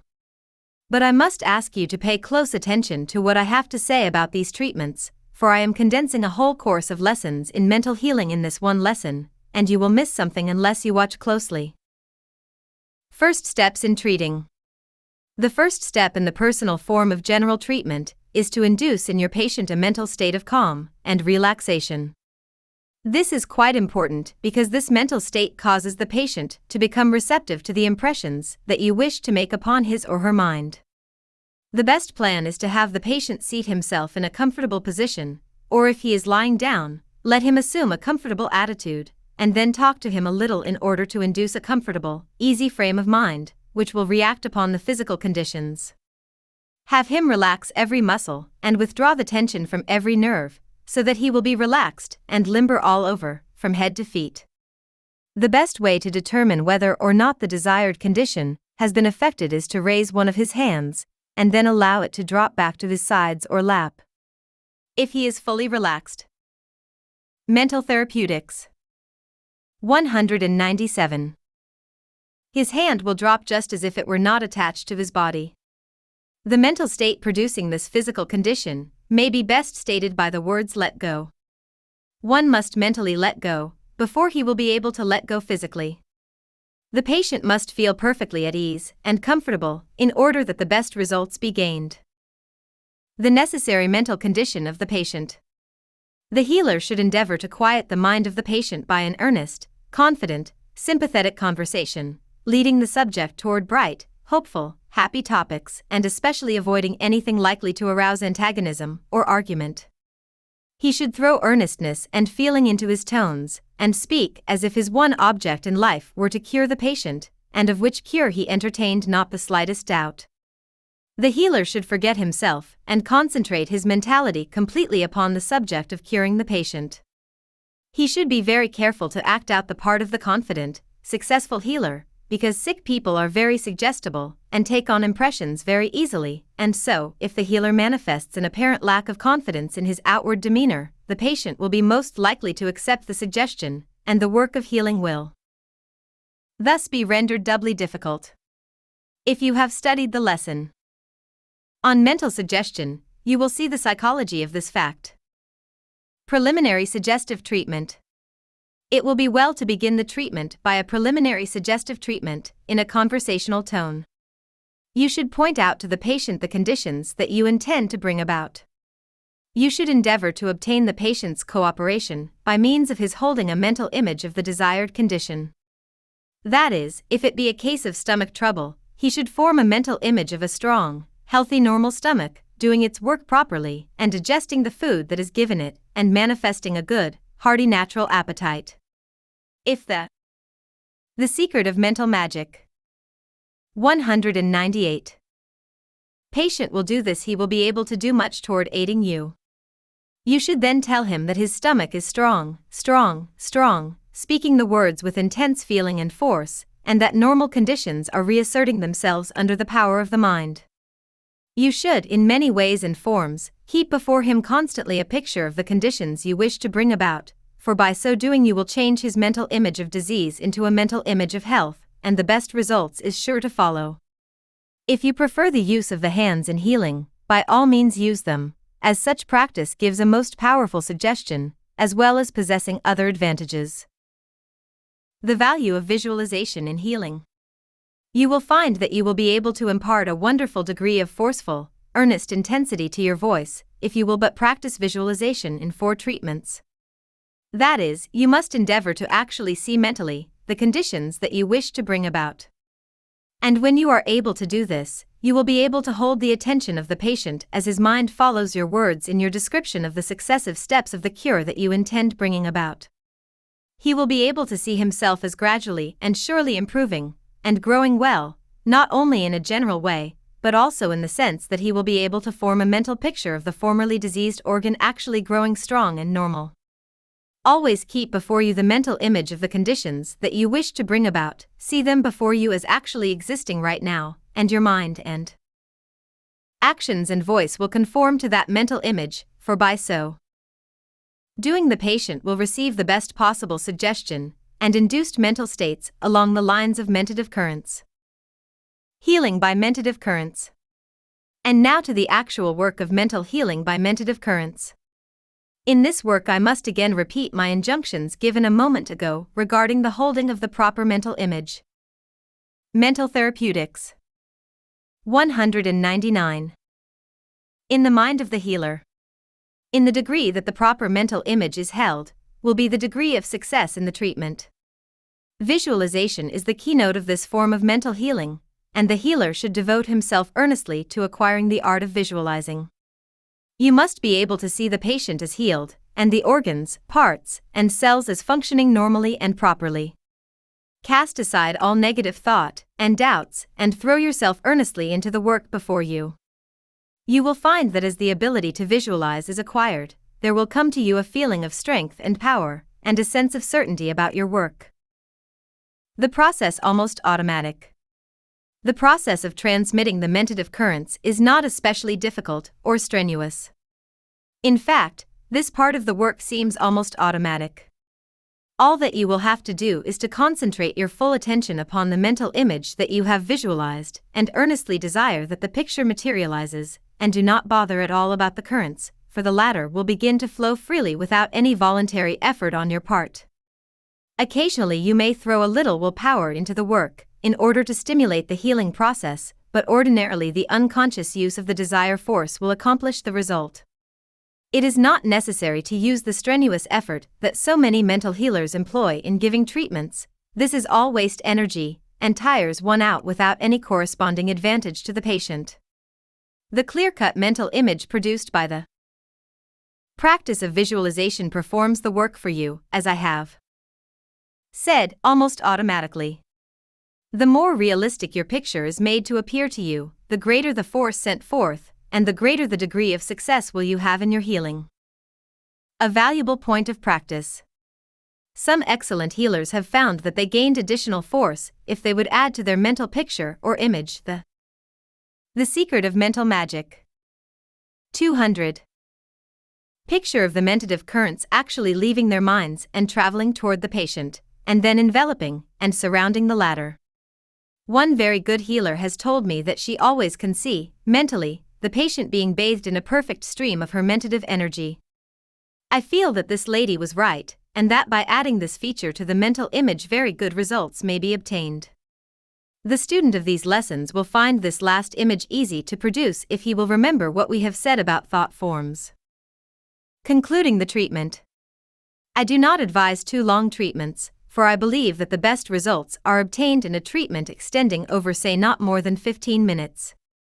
You should then leave the patient with a few earnest words of encouragement and hope, bidding him aid you in your work by keeping the proper mental images of health before him, and especially avoiding all fear and worry. Simple but powerful methods. The above process of giving a mental treatment may seem very simple to those who have not practiced it. But you will find that it contains the real essence of the healing process, without the fringe and trimming. And more than that, you will find it wonderfully efficacious, it will do the work. You will never begin to even faintly realize the virtue of such a treatment until you begin to practice it. You will then find yourself filled with such a sense of power, strength, and healing force that you will seem like another person. And your patient will likewise feel an immediate benefit.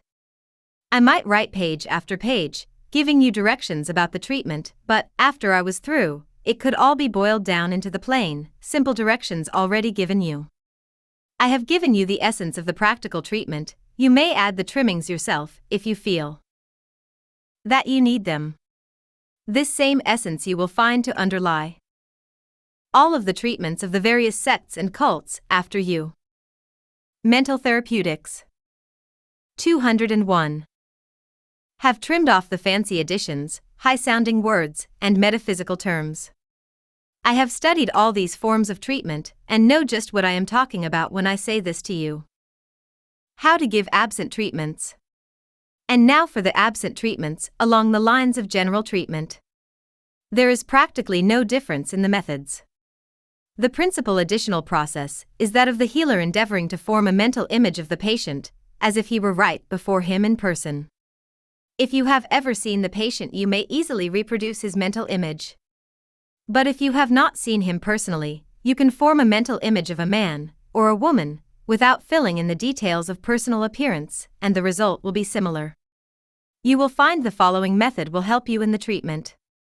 Sit down in your chair, after drawing up another chair right before you, but about two or three yards distant. Then picture your patient as sitting in this other chair, and use your imagination to the fullest in this respect. Many practitioners of successful mental healing actually feel that the patient is sitting before them in this form of treatment.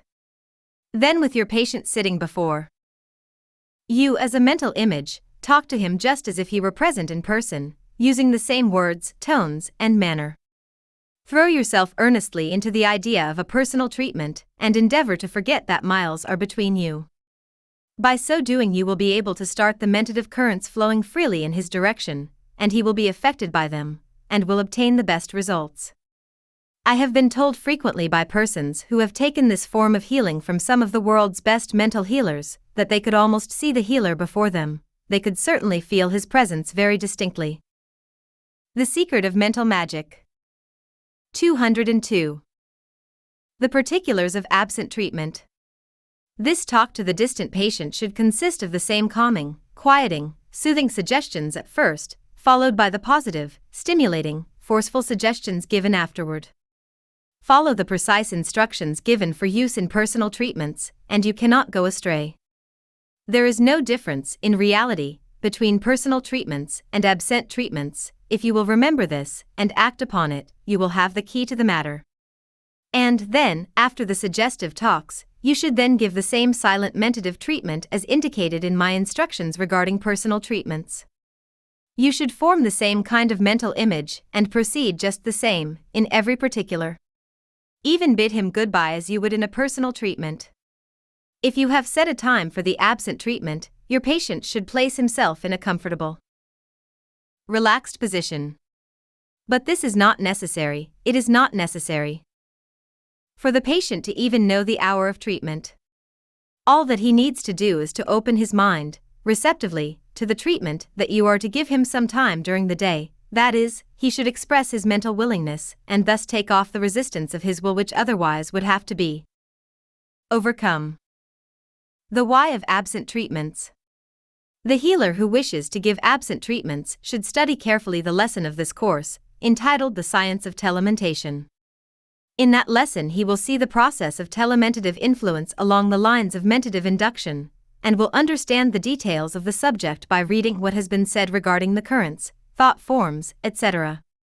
Remember, please, that all the work of mental healing is done along the lines of mentative induction, just as is the process of all form of mentative influence. There is but one great law underlying all of these forms of manifestation, and if you understand the fundamental principle, you will be able to Mental Therapeutics 203. Reproduce any or all of the manifestations of it. The instruction regarding mental healing is not confined to this lesson alone, it must be gained from a study of all of these lessons, for the reasons just stated. Strive always to acquire a clear knowledge of the underlying principles, and you need not worry about the details of operation or manifestation. Self healing by general treatment. And now, just a word about self heating, along these lines. There is no difference between self healing and the healing of others. I am going to give you the Atkinson method of mental self healing, it is my favorite method. All that is necessary for you to do is to imagine yourself as a patient coming to yourself for treatment. Suppose your name is John Smith, and you wish to treat yourself along the lines of the general treatment. Well, all you have to do is to let the central mind part of you, or the I, proceed to treat the body of John Smith. Talk to John Smith just as if he were an entirely separate individual. Tell him what he should do, and what he should know, and what you expect to do for him. Give him the same suggestions that you would give another patient. Talk up to him, and tell him just what you mean to do for him, and what he has got to do himself. Then give him the silent treatment just as you would another patient. Even give him the parting words. Just as you would a patient. In short, treat him first, last, and all the time, as you would another patient. You will be surprised to note how efficacious this plan is. I believe that this is the first time that this plan has been stated in print, it is original with myself, so far as I know. There is a good, strong psychological and occult reason for this plan of self treatment, which is not necessary to go into here, the principal thing is that it will do the work. Try it. The ordinary method of self treatment is to say I am well and so on, giving the suggestions in the first person. I consider that my own plan gives better results, but you may try both and decide for yourself. The Secret of Mental Magic 204. Local treatment. And now for the local treatment methods of mental healing. Well, these are very simple also, so simple that I fear that some of you will undervalue them. But do not deceive yourselves, good friends, the simplicity represents years of hard work along experimental lines, and is really the boiling down of many methods far more complicated and technical. It is the essence of the thing, again. I wish that I could have obtained this information as easily as you are doing, but I couldn't, for I had to work it out for myself, in connection with other experimenters and investigators. The theory The underlying theory of this local treatment in mental healing is 1. That there is mind in every cell, cell group, organ, and part of the body, and 2. That the mentative energy in such mind is negative to that in the central mind of the individual, and, consequently, yields to its positivity when properly applied. That is the whole story in a nutshell. Now see if you can grasp its importance. The identity of principles. The above principle of the local treatment is really also employed in the general treatment, because the central mind of the patient is stirred into induced activity and positivity by suggestion or mentative currents of the healer, or both. The central mind of the patient, so stirred up by induction, then acts upon the mind in the cells, organs, etc., unconsciously, and the cure results. Do you see just what I mean? Well, then, in the local treatment, instead of going about it in this way, the healer brings his mentative energy to bear right directly upon the mind and cells and organs themselves.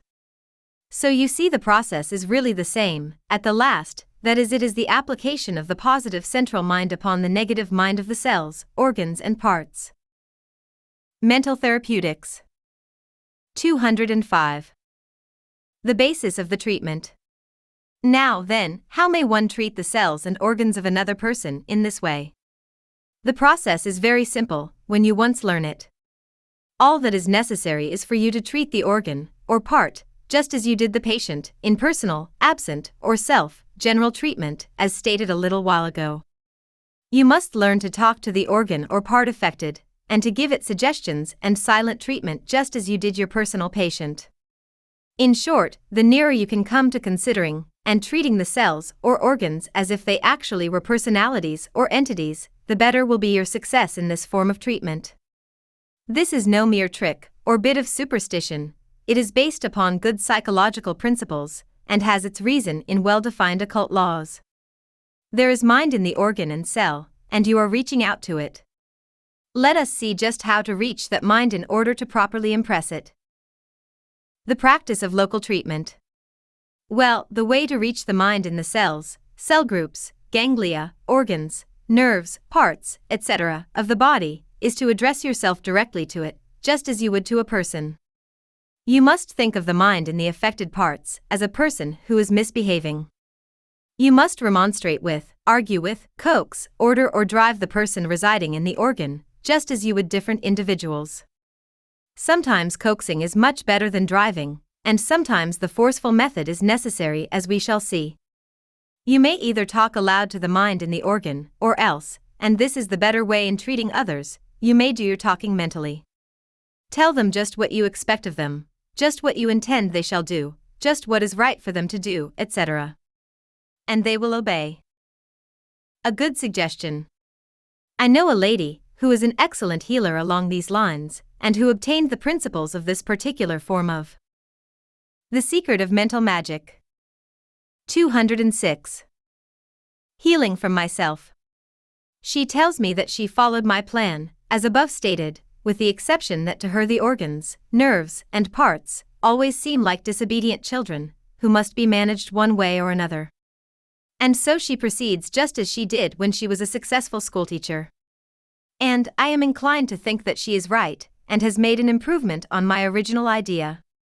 For these cell minds, or organ minds, closely resemble the minds of undeveloped children, and are often unreasonably stubborn, although if they are reached the right way, by a firm though kindly tone in most cases, they will obey orders and mend their ways. The use of the hands.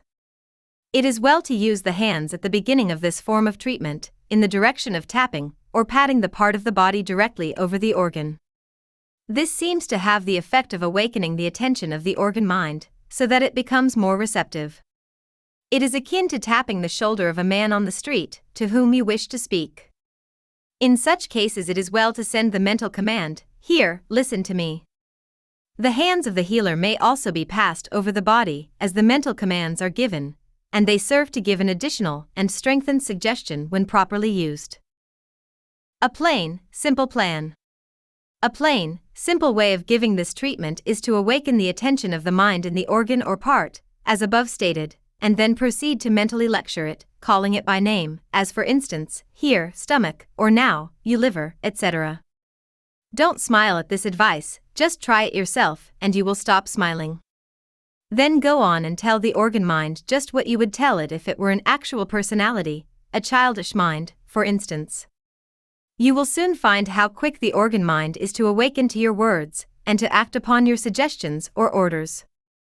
Follow the laws of suggestion in giving these treatments to Mental Therapeutics 207.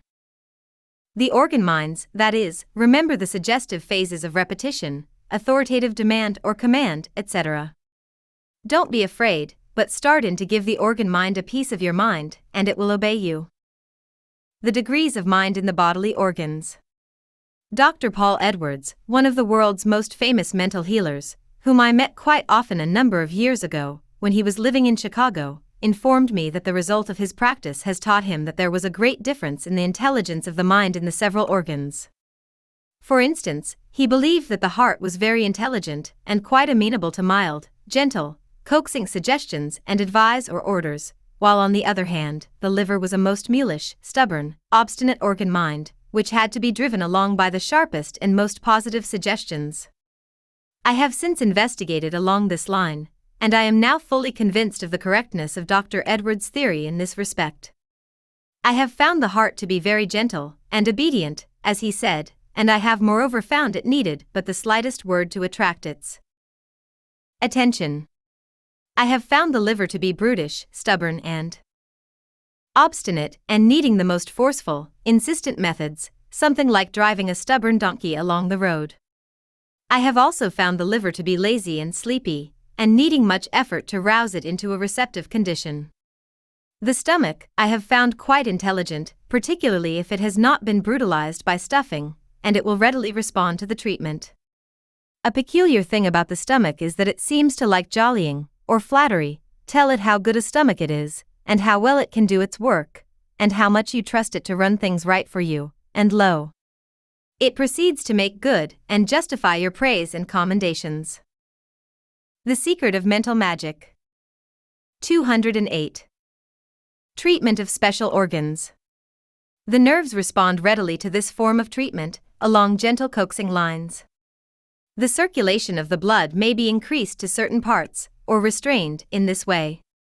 In this way, the blood can be swept all over the body, creating a pleasant glow, or it may be drawn away from an aching head or a feverish brow. The bowels respond readily to a firm, kind treatment, in which they are to be told to move regularly, it being well to name a certain time at which you expect them to establish a regular habit, in which case be sure to keep your appointment with them and give them a chance. The organs peculiar to women will respond quite readily to this form of treatment. Regular menstruation has often been established by treating the proper parts in this way a month ahead and keeping it up every day until the regular period. In this case, it is also well to fix a date. Suggestions of firm, now be firm. And strong have relieved many cases of womb weaknesses.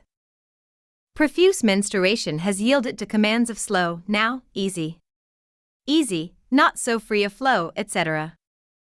What to say and how to say it. There are no fixed forms of treatment along these lines. You must acquire the knack by practice. The proper words will suggest themselves to you. The thing to do is to know what you want done, and then command the organ mind to do that thing, using the same words that you would use in talking to a real person in the place of the organ. You will soon acquire the art by a little practice. Those who have treated a large number of persons in this way have told me that the mind and the organs and parts seem to instinctively recognize the healer's power over them. Just as a horse or dog will recognize men who are accustomed to managing animals of their kind, so will these organ minds instinctively recognize their master in one who has studied this art of mental healing, along these lines. Mental therapeutics. 209. Mind versus mind. Remember always that you are mind talking to mind, not to dead matter. There is mind in every cell, nerve, organ, and part of the body, and in the body as a whole, and this mind will listen to your central mind and obey it, because your central mind is positive to it, the organ is negative to you. Carry this idea always with you in giving these treatments, and endeavor to visualize the mind and the organs, dot etc., as clearly as may be, for by so doing you get them in better rapport with you, and can handle them to better advantage. Words and their inner meaning. And also remember that it is not the mere sound of the words that happen to reach the organ or cells, they do not understand words as words, but they do understand the meaning behind the words, they recognize the mental state of which the word is the outward symbol. But without words, it is very hard for you to think, or clearly express the feeling, and so by all means use the words just as if the organ minds understood their actual meaning, for by so doing you can drive in the meaning of the words, and induce the mental state conditions necessary to work the cure. Local treatment in absent healing. While this local treatment is adapted especially to personal healing, still it may be also used to great advantage in absent healing, by combining it with the regular general form of absent healing. That is, after giving the general absent treatment, proceed to place yourself en rapport with the organ mind in the patient, and then talk to it just as you would if the patient were actually present. Visualization will enable you to do this effectively. I have heard of some wonderful cures having been effected by the use of this form of local treatment in absent healing, in connection with the general treatment. The Secret of Mental Magic 210. Local treatment in self healing. And, in case of self healing, this local treatment acts with wonderful force. One can, of course, talk up to his own cells and organs just as he can to those of another, and with equal effect if he goes about it right. This opens up a wonderful field for self healing. The methods and practice of local treatment in self healing is precisely similar to those used in treating others. I am personally acquainted with a lady who has learned to make her body obey her perfectly. If the body looks tired or droopy or lack freshness and beauty, she just talks up to it and tells it how much she thinks of it and how much she appreciates all that it is doing for her, etc., and at the same time encourages it to manifest activity and interest, etc. The result is that the next morning after the treatment she will find that all of her suggestions have been accepted and acted upon by the body, and that the latter looks fresh, active, and beautiful. Manifesting all the appearance of youth and perfect health. I have heard of women managing to retain their youthful appearance in a similar manner. I have known men to coax up their bodies, when under the strain of unusual work, with the best of results. In fact, I believe that in this form of treatment of one's own body, there are possibilities, as yet undreamt of by the race. Perhaps this hint may start some investigator to exploring the field to the limit. I have not found time to carry my investigations along this line quite as far as I would have liked. There is a great unexplored field here. There is a chance for some fine work here for the students of this book. What this system of healing represents. And now I seem to have reached the end of this lesson. Remember, please, that within its pages I have condensed information sufficient to have filled a good sized volume or two. Read it carefully and do not let the simplicity of my methods lead you to ignore the wonderful possibilities open to those who will practice them. I have not cared to dress up. Mental Therapeutics 211. My treatments and methods in fancy garb for the purpose of bewildering the eye and creating an impression upon the foolish and childish minds of those who run after these things. I do not want a following of this sort, I want, rather, the earnest sympathetic cooperation of my students who appreciate the virtue in these apparently simple methods. As I have said before, these simple methods and forms of treatment represent the work and experience of myself and others extending over a number of years. They are the boiling down of many systems and my personal lines of experiment. They embody the simplest, plainest, and yet the most effective methods known to the world of mental healing today. Take my word for this, I base this statement upon seven active years of earnest, patient, careful investigation, experiment, and study along these lines under circumstances with which few are fortunate enough to be favored. I say these things not in the spirit of boasting or booming my own wares, but merely that you may understand just what is behind and under these simple forms, methods, and treatments. Freedom from cults and organizations.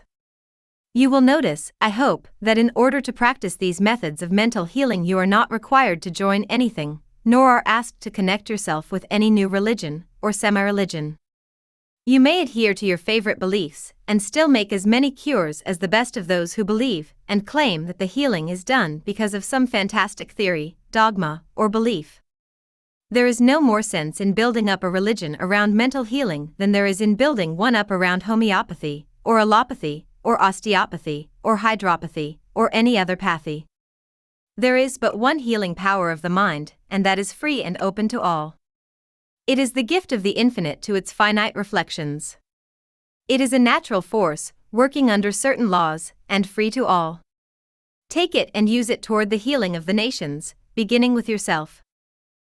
The Secret of Mental Magic 212 213 Lesson 7 Mental Architecture The meaning of the term, the brain and brain cells, phrenological discoveries, mental muscle development, scientific experiments, remarkable results, the three methods, mental states and physical expression, physical actions induce mental states, the secret of making yourself over practical use, not mere amusement, opinion of eminent authorities, how to cultivate or restrain mental qualities, the law of autosuggestion, the effect of repetition, the old and the new methods, my own new method, how it works in practice, the results of the practice, individual requirements, the faculties of the mind, building up the faculties, a natural law, the why of it, mental architecture of children, the qualities of the magnetic man, the magnetic desire, the hunger of desire, desire in many dresses, desire underlies all action and restraint of action, universality of desire, how to develop desire force,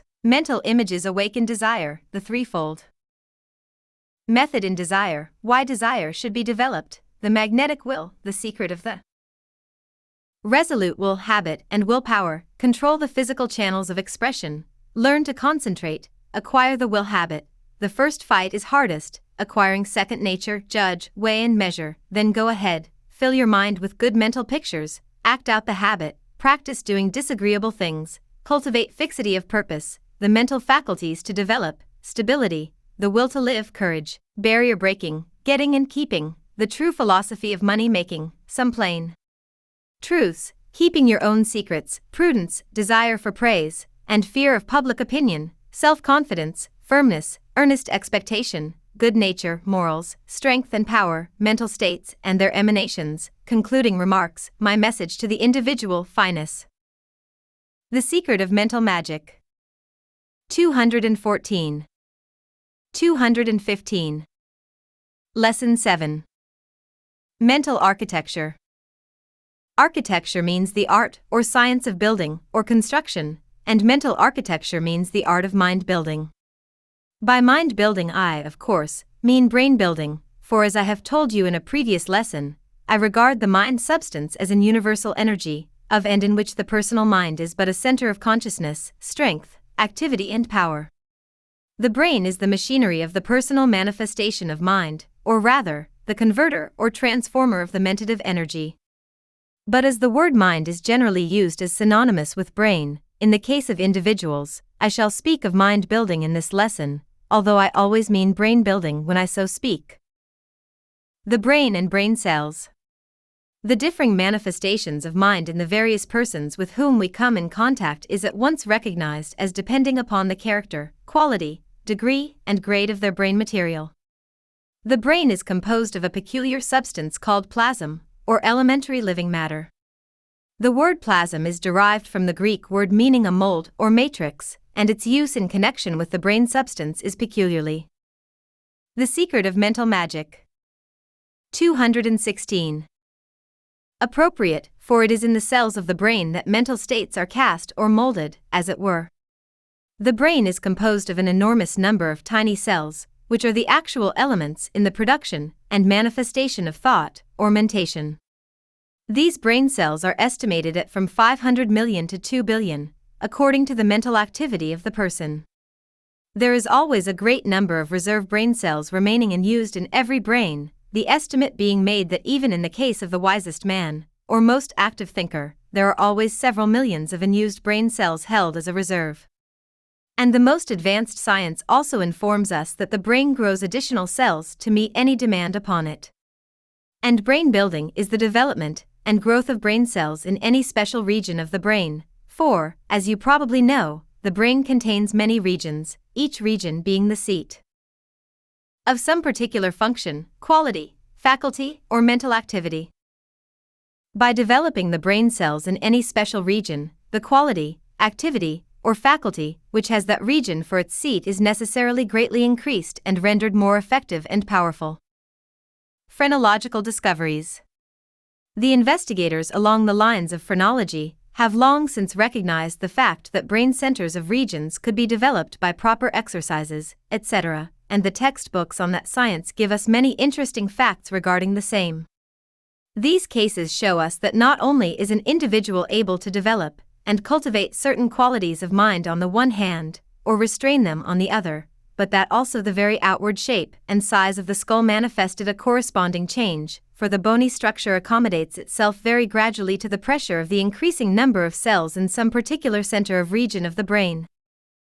Mental architecture 217. Mental muscle development.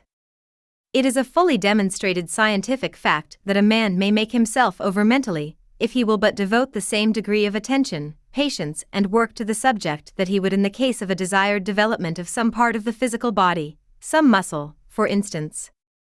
And the processes are almost identical in the case of muscle and brain center, use, exercise, and practice along the lines pointed out by those who have investigated and experimented along the particular line. Scientific experiments. Professor Elmer Gates of Washington, D.C., one of the most remarkable men of this age, has given to the world an account of some remarkable experiments along the line of brain growing, the experiments having been tried upon various animals. He tells us that his early experiments along this line were in the direction of training dogs to develop some one particular sense, that of seeing or hearing particularly. He would specially train a certain number of the animals according to his methods, and at the same time would keep a like number of the same animals of the same age, etc., without any extraordinary use of the particular faculty in question, and still a similar number without the opportunity of using that faculty at all. At the end of a certain time, he would kill some of the animals belonging to each class, and upon examining the brains of each, he made the discovery that the number of brain cells in the regions of their brains in which the sense or faculty was manifested showed a startling difference, depending upon the degree of use and exercise of the particular faculty. His specially trained animals showed a much greater number of brain cells than had ever been found in animals of the same breed and age. The Secret of Mental Magic 218. Remarkable Results Professor Gates continued these experiments over a number of years and obtained some remarkable results. He specially trained the faculties of some of his dogs so that they were able to distinguish between seven shades of red and a like number of green shades. I have not the time here to speak at length of the wonderful results of Professor Gates' experiments, but he has firmly established the scientific fact that brains may be grown at will, if the person will apply himself to the subject with sufficient zeal and ardor. I have conducted a number of interesting experiments, not with dogs, or through vivisection, however, which have proven conclusively to my mind that the entire natures, dispositions, characters, and faculties of people may be entirely changed by intelligent psychological methods along the lines of suggestion or autosuggestion, accompanied with certain other methods to be mentioned in this lesson. The three methods. The great school of New Thought people of the various sects, cults, and associations have been doing some excellent work along these lines during the past 10 years or more. Their systems of affirmations and denials really developed or restrained their brain centers, and desirable qualities were increased and developed, and undesirable ones were restrained. But the mere use of affirmations, autosuggestions, or even strong, positive suggestions given by another, forms only one third of the work necessary in order to produce the best results. It is all very well to assert I am brave, I am industrious, I am active, etc., etc., but if the work stops there, it remains only one third done. It is true that these affirmations and autosuggestions undoubtedly do stimulate and develop mental faculties and brain centers and play an important part in character building. But in order that they be used to the best advantage, there must be visualization, and there should. Mental architecture 219. Be a certain physical acting out of the mental suggestion or affirmation. There must be seeing and doing as well as saying. Mental states and physical expression. You will remember what I said in my lesson on mental suggestion regarding the fact that mental states take form in physical action, and its twin truth that physical action produces mental states. It is a case of action and reaction in both instances. For instance, if you will start in to feel angry, and keep it up a little while, even though the emotion is assumed for the experiment, you will find that your brows will form into a frown, and that your hands will clench and your jaws will fasten into a savage bite. You know this to be true, of course. But then, on the other hand, if you will assume the above mentioned physical characteristics accompanying anger, and will keep them up earnestly for a short time, you will find yourself actually feeling angry. And the same thing is true of the feelings and actions of pleasure. Think intently of some pleasant thing, and you will find your face breaking into an expression of pleasure. You will smile, your eyes will twinkle, and you will manifest all the outward characteristics of pleasure. And, on the other hand, if you will throw yourself into the part, and will smile and manifest all the outward signs of pleasure, you will find yourself beginning to feel happy, jolly, and pleasant in a short time. I have seen a sign bearing the single word smile, in big letters cause people to change their mental states in a few moments. They would take the suggestion, and being amused at the sign, they would begin to smile, then the smile's physical actions would react upon their minds, and they would begin to feel good, and so on. How physical actions induce mental states. I defy anyone to manifest the physical actions of any particular emotion or feeling, earnestly and actively, for a short time. The secret of mental magic. 220. Without the corresponding mental state actually manifesting itself. Go into a business house manifesting the outward signs of good nature, confidence, self reliance, etc., and you will not only impress others by suggestion, but you will also impress yourself, and you will begin to actually feel the thing that you have been acting out. Go into the same place manifesting the outward appearance of failure, lack of confidence, fear, etc., and not only will your suggestions be taken up by the others, but you will sink deeper and deeper into the mental state you are acting out. I have known people to acquire a masterful, confident, reliant character by a systematic and persistent acting out of the part, their second nature, so acquired, growing stronger than their original nature. The exercise of the faculty, in this way, developed the brain cells in the proper area, and the people were indeed made over. I know men who, when feeling blue, or discouraged will always force a smile to their faces, and in a short time they will regain their accustomed or desired cheerful state. An interesting illustration. I have known at least one man to rouse feelings of stern determination by similar methods. This man was in a position in which there would frequently arise the necessity for the manifestation of the most determined sternness and an almost angry display of will. Well, the man in question was by nature a good natured, easy-going, kindly person, and he found it almost impossible to manifest the desired qualities upon the occasions mentioned. But one day he was roused to a state of angry, determined sternness by a most annoying exhibition of careless action in the office, which, although soon settled, left him with the physical reflex of the mental state just experienced. Before this physical condition had passed away, there arose, unexpectedly, a case of genuine necessity for the mental architecture. 221. Exhibition of the stern determined action, mentioned in the first place. Meeting the man to whom this attitude must be manifested, our man found that, much to his surprise, he displayed a wonderful degree of the desired trait, and gave the other man a talking to that made his hair stand on end, and brought the desired result instanter. No one was more surprised at this occurrence than our man, and after it was all over, he tried to figure it out, and he did. He came to the conclusion that when he was manifesting the physical conditions of the mental state, it required but a trifling effort to induce the state itself, in fact, the state came almost automatically. He had discovered, by accident, a well established psychological law. And he made use of it ever after. Thereafter, whenever he had to work himself into a state, as he called it, he would walk about his office a few moments before he would see the other man, and during his walk he would bite hard and protrude his jaw, he would frown and clench his fists and make his eyes glare, etc., etc., and before long he would feel himself in the proper mood to see the other man, and give him the necessary laying out. The plan worked like a charm. The sequel and the moral. I almost hate to tell you the sequel, however. Our good natured easy man so developed these opposite qualities by this practice that in a few years he was known as a man to be dreaded by those who had occasion to receive treatment at his hands, and his whole nature seemed to have changed, and even his best friends would then hesitate to call him easy or good natured.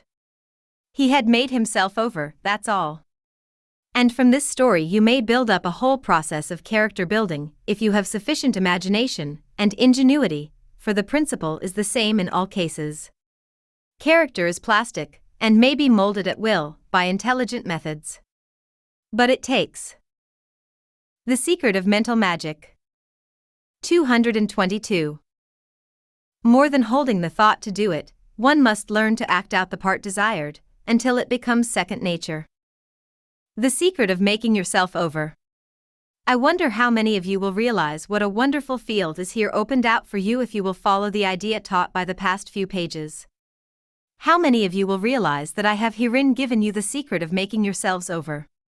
I wish that I could fairly pound into you this truth. When I think of what many of you are, and then of what you might be, if you would realize the inner truth and importance of what I have just told you, well, then, I feel like printing the tale in big, black faced type and capital letters, so that I could make you read it. But if you haven't gumption enough to catch on to the idea that I am presenting to you, I cannot help it, it's your loss, not mine. Practical use, not mere amusement. What in the world is the sense of you people paying me a dollar for this book if you do not intend to put into practice what I am teaching you? I have given you in these lessons information worth hundreds, yes, thousands, of dollars to you, if you will but proceed to put them into practice. But the whole book isn't worth two cents to you if you merely read it idly, and then after saying it certainly is wonderful, forget all about it, and what I have said. Well, now, that's all along that line. I have scolded you and have relieved myself of a certain amount of righteous indignation, and now I shall proceed with my lesson. I haven't charged you for the scolding pages, I just throw them in extra, at my own expense. But, honest now, some of you people do need someone to get after you with a good stuff club once in a while. You're asleep. Wake up and make yourself over. Mental Architecture 223. Opinion of an eminent authority. I think that the facts and principles above stated are self evident and need little or no backing up by authorities. But I think I will give you a quotation or two to help fasten the idea in your minds. Professor Halleck says, by restraining the expression of an emotion, we can frequently throttle it. By inducing an expression, we can often cause its allied emotion. I wish that every one of you would commit the above words to memory, they are golden. By expression, Professor Halleck, of course, means the physical manifestation, or expression, the physical action which springs from the emotion. A strong statement. Professor W. M. James has this to say along the same line refuse to express a passion, and it dies. Count 10 before venting your anger, and its occasion seems ridiculous. Whistling to keep up courage is no mere figure of speech. On the other hand, sit all day in a moping posture, sigh, and reply to everything with a dismal voice, and your melancholy lingers.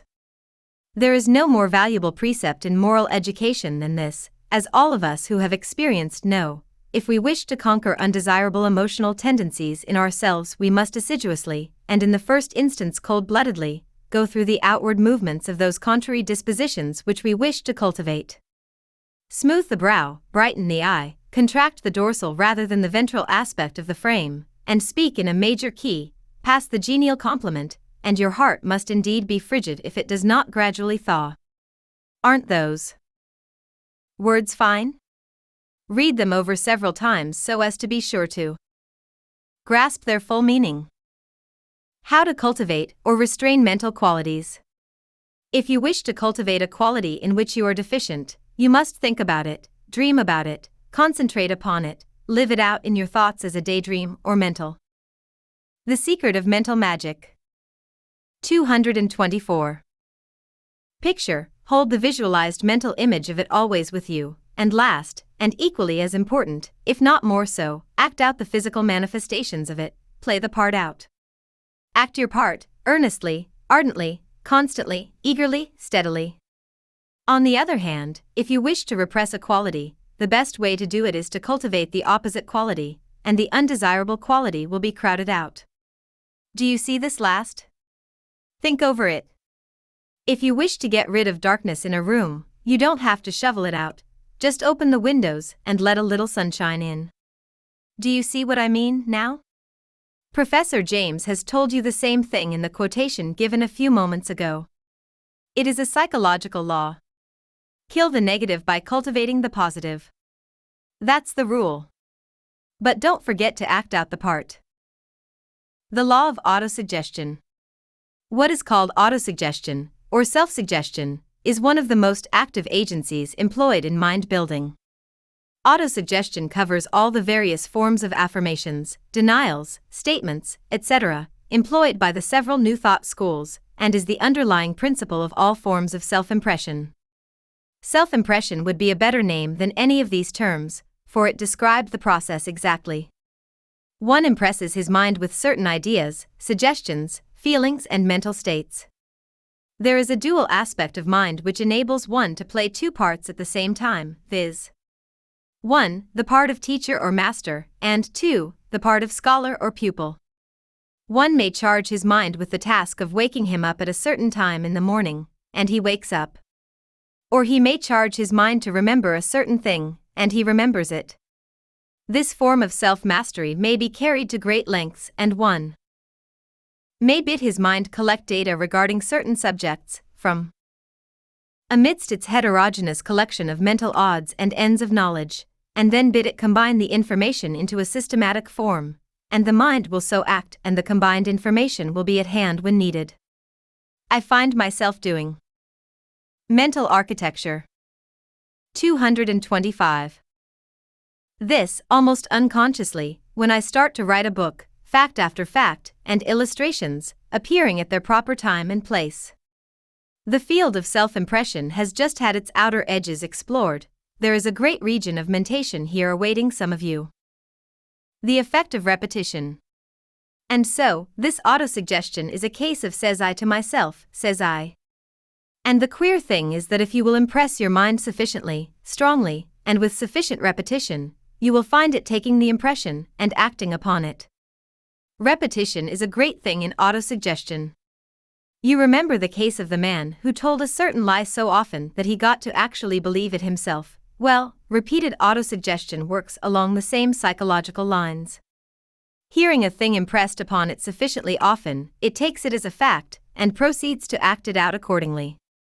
Constant affirmation and statement, made to oneself, will manifest in actual conditions. The value of autosuggestion. Many a person has changed his whole physical and mental condition by a careful, persistent course of autosuggestion. Of course, if one combines the mental image or visualization process with the autosuggestion, he will obtain a doubly efficacious result. And if, in addition to these two, he will practice acting out the part along physical lines, he will reap a tenfold harvest of results. These three forms combined, employed and persisted in, will work miracles in anyone. Illustrative instances. For instance, if one suffers from fear in meeting other persons, an abnormal timidity, or bashfulness, commonly called self consciousness, the course for him to pursue would be to brace himself up with constant affirmations or autosuggestions of fearlessness, then he should visualize. The Secret of Mental Magic 226. Himself as absolutely fearless, then he should endeavor to reproduce the physical appearance and outward demeanor and acting out of the part of the fearless man. And thus will he gradually develop into that which he desires. His ideal becomes real, his dream a fact, his feelings actions, his actions feelings. And this rule and example will hold good along the whole line of personal qualities or characteristics. All come under the rule, the same principle works in all cases. Get the principle, and you have the secret of the whole thing. The old and the new methods. But here I am going to suggest a little variation along the lines of autosuggestion, which I have found to act admirably in this class of cases. The ordinary autosuggestion, or affirmation works along these lines, viz., one affirms or suggests to himself something like this I am fearless, I fear nothing, I am courageous, I am filled with confidence, etc., etc. Now, this is fine. No one who knows anything about the subject will dispute the fact that a man holding the thought that I am fearless will be filled with courage and will manifest the qualities that he is claiming for himself. I have tried these things on myself and others, and I can unhesitatingly testify as to their efficiency. It is the old tried and oft taught plan of affirmation or autosuggestion that has worked wonders for so many people. And I positively advise you to follow this plan of holding the thought and making the affirmations or autosuggestions in the first person when you are going into action. As a bracer, it is unexcelled. But there is something else not so old, and here it is. My new method. You will remember that in my lesson on mental therapeutics, in that part devoted to self healing, I told you to imagine yourself as John Smith, or whatever your name may be, that is, as a separate person, and then to treat him as such just. Mental architecture 227. As you would a patient. Well, this plan also works admirably in cases of character building by autosuggestion. While the I am, etc., plan is good as a bracer, and when going into action, Still, this last mentioned plan of mine operates far better when it comes down to steady treatment of one's self for mental failings, weaknesses, and character building. Just try both plans yourself and see if I am not right, but practice my plan a little until you acquire the knack before finally deciding the matter. Here is how it works in practice. How it works in practice. Suppose you wish to cultivate fearlessness in place of the fear thought that has bothered you so much. Well, in addition to the mental image or visualization, and the never to be forgotten acting out the part, you wish to try autosuggestion. The old way, you remember, was to claim to yourself, I am fearless, etc. Now, my new way of treating yourself is to imagine that you are treating some other person for the same trouble. Sit down and give a regular treatment. Image yourself as sitting before your personality, the central mind giving a treatment to the John Smith part of you, the individual treating the personality. Do you see? Well, the individual, that's you, says to the personality of John Smith, Here, John Smith, you must brace up and do better. You are fearless, fearless, fearless. I tell you, you are fearless. You are courageous and brave and bold. You are confident and self reliant. You fear nothing. You are filled with strong, positive, mentative energy, and you are going to manifest it. You are going to grow more and more positive every day. You are positive this minute, do you hear me? Positive this very minute.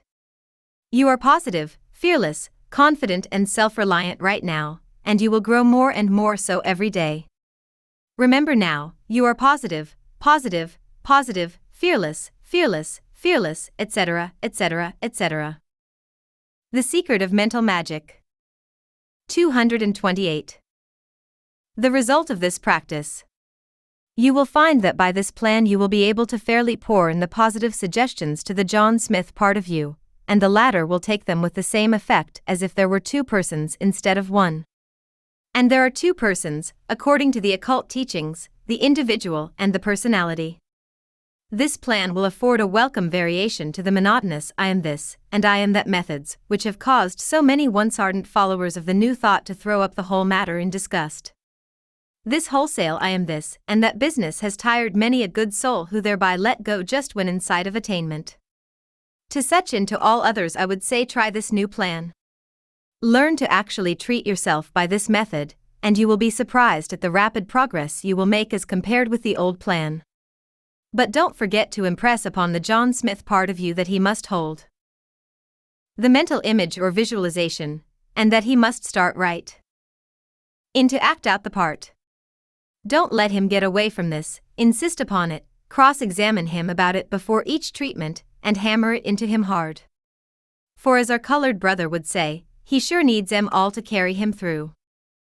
Try it on yourself and find out. Now, please experiment with this method on yourself and find out its wonderful possibilities by your own experience. Don't rest with my say so, but prove it for yourself. When once you have found out just what this method will do for you, you will wonder that you had never thought of it before. You will cultivate a sense of individuality, which will recognize the personality as a plastic something that can be molded and shaped at your will by this treatment. And, best of all, you will learn to know that the individual is you, and you are the individual, and that the personality is merely something that belongs to you. When you have reached this stage, you will have called to your hand the forces of the great mentative. Mental architecture 229. Energy, and will indeed have a right to call yourself positive, and an active center of power in the great ocean of power. And all this will have been brought about by this new plan of says I to myself, says I. Is it not worthwhile? Then start in to make yourself over as you will. Individual requirements. But now comes the question in what respect shall I make myself over? And this is a question that I cannot answer for you in these lessons, because each one of my readers would have to be answered differently, and I would have to understand the requirements of each particular case before I could so answer. But, after all, each and every man or woman who studies these lessons has a very good idea of his or her particular strong or weak points of character. Each one knows just about what qualities need to be strengthened and built up, and just which ones need to be restrained. Every person knows his shortcomings in the lines of personal qualities or character for he or she has been forced to this knowledge by coming in contact with the world. If you are considering the question of character architecture in your own case, I would advise a strict self examination with a pencil and paper, in which you must set down the degree of development of each particular quality. With fear or favor toward yourself. When you have done this, you will know just how to proceed. You will have given yourself a mental diagnosis. I herewith give you a general list of qualities, etc., as an aid in this work of self examination as a basis of mental architecture. In using it, ask yourself the question What degree of this quality do I possess? And answer the question on honor. The faculties of the mind. Below, I give you a list of the faculties usually given in works on phrenology, which will aid you very materially in preparing your report on yourself. Each faculty relates to some quality of the Secret of Mental Magic. 230. Character possessed by you, and regarding which you are asking yourself the question mentioned above. Sexuality. Ideality. Friendship. Mirthfulness. Love of life. Sense of size. Physical appetites. Sense of order. Cautiousness. Memory.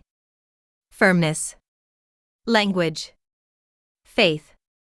Judging human nature. Ingenuity. Parental love.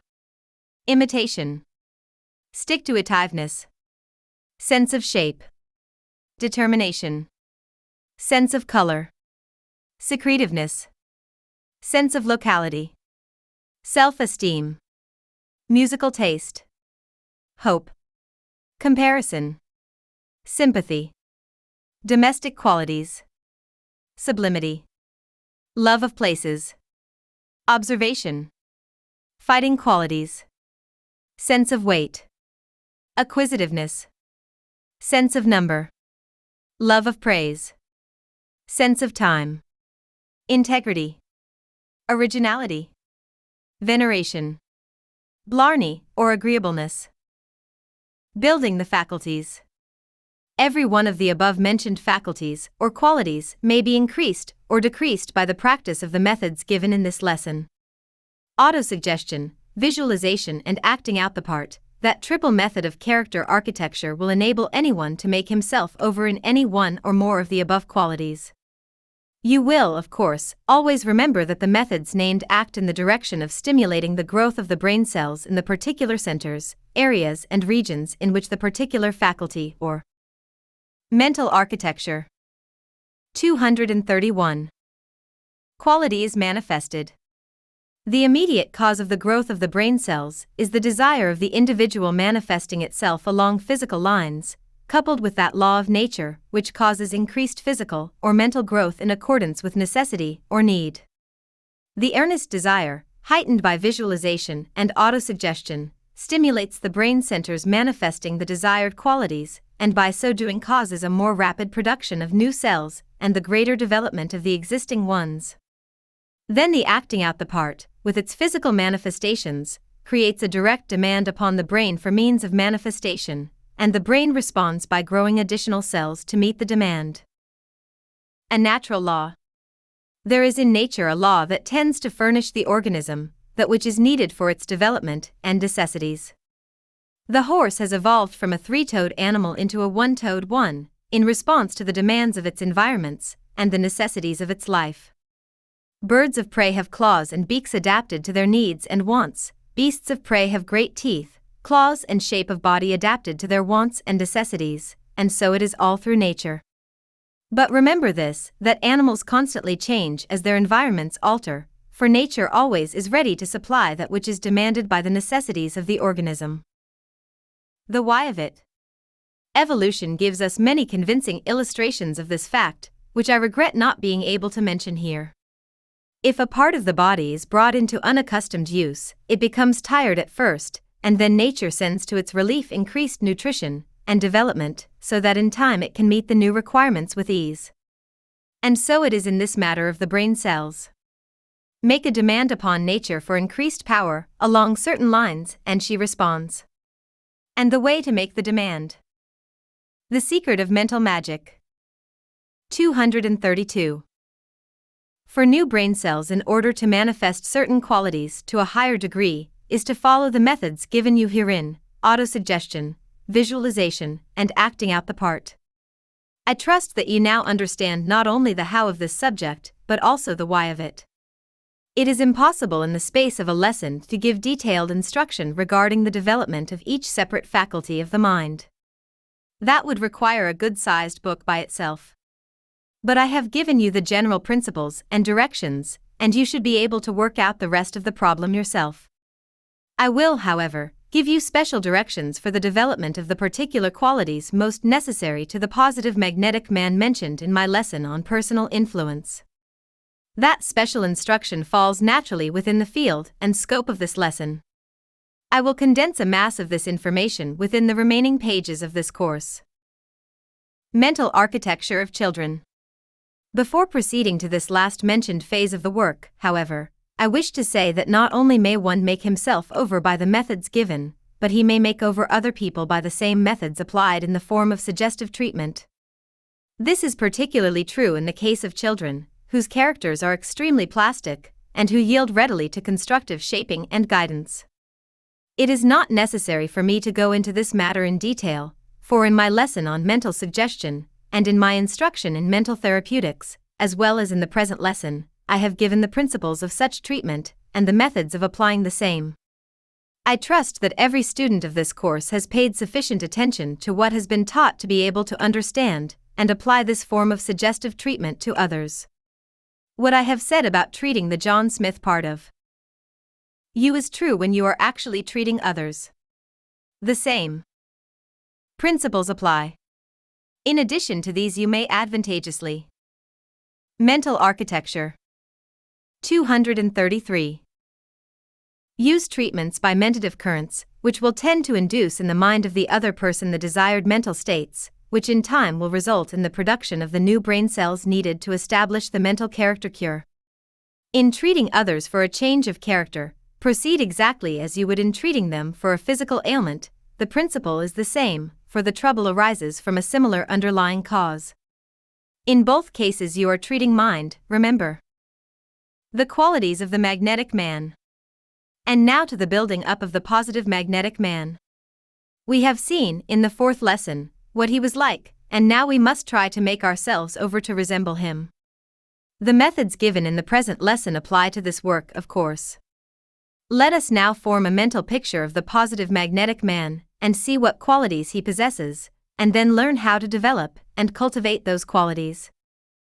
The magnetic desire. Well, then, first, our magnetic man is possessed of a strong desire. He knows how to want a thing the right way. No mere wishing or sighing for a thing, when he wants a thing, he wants it.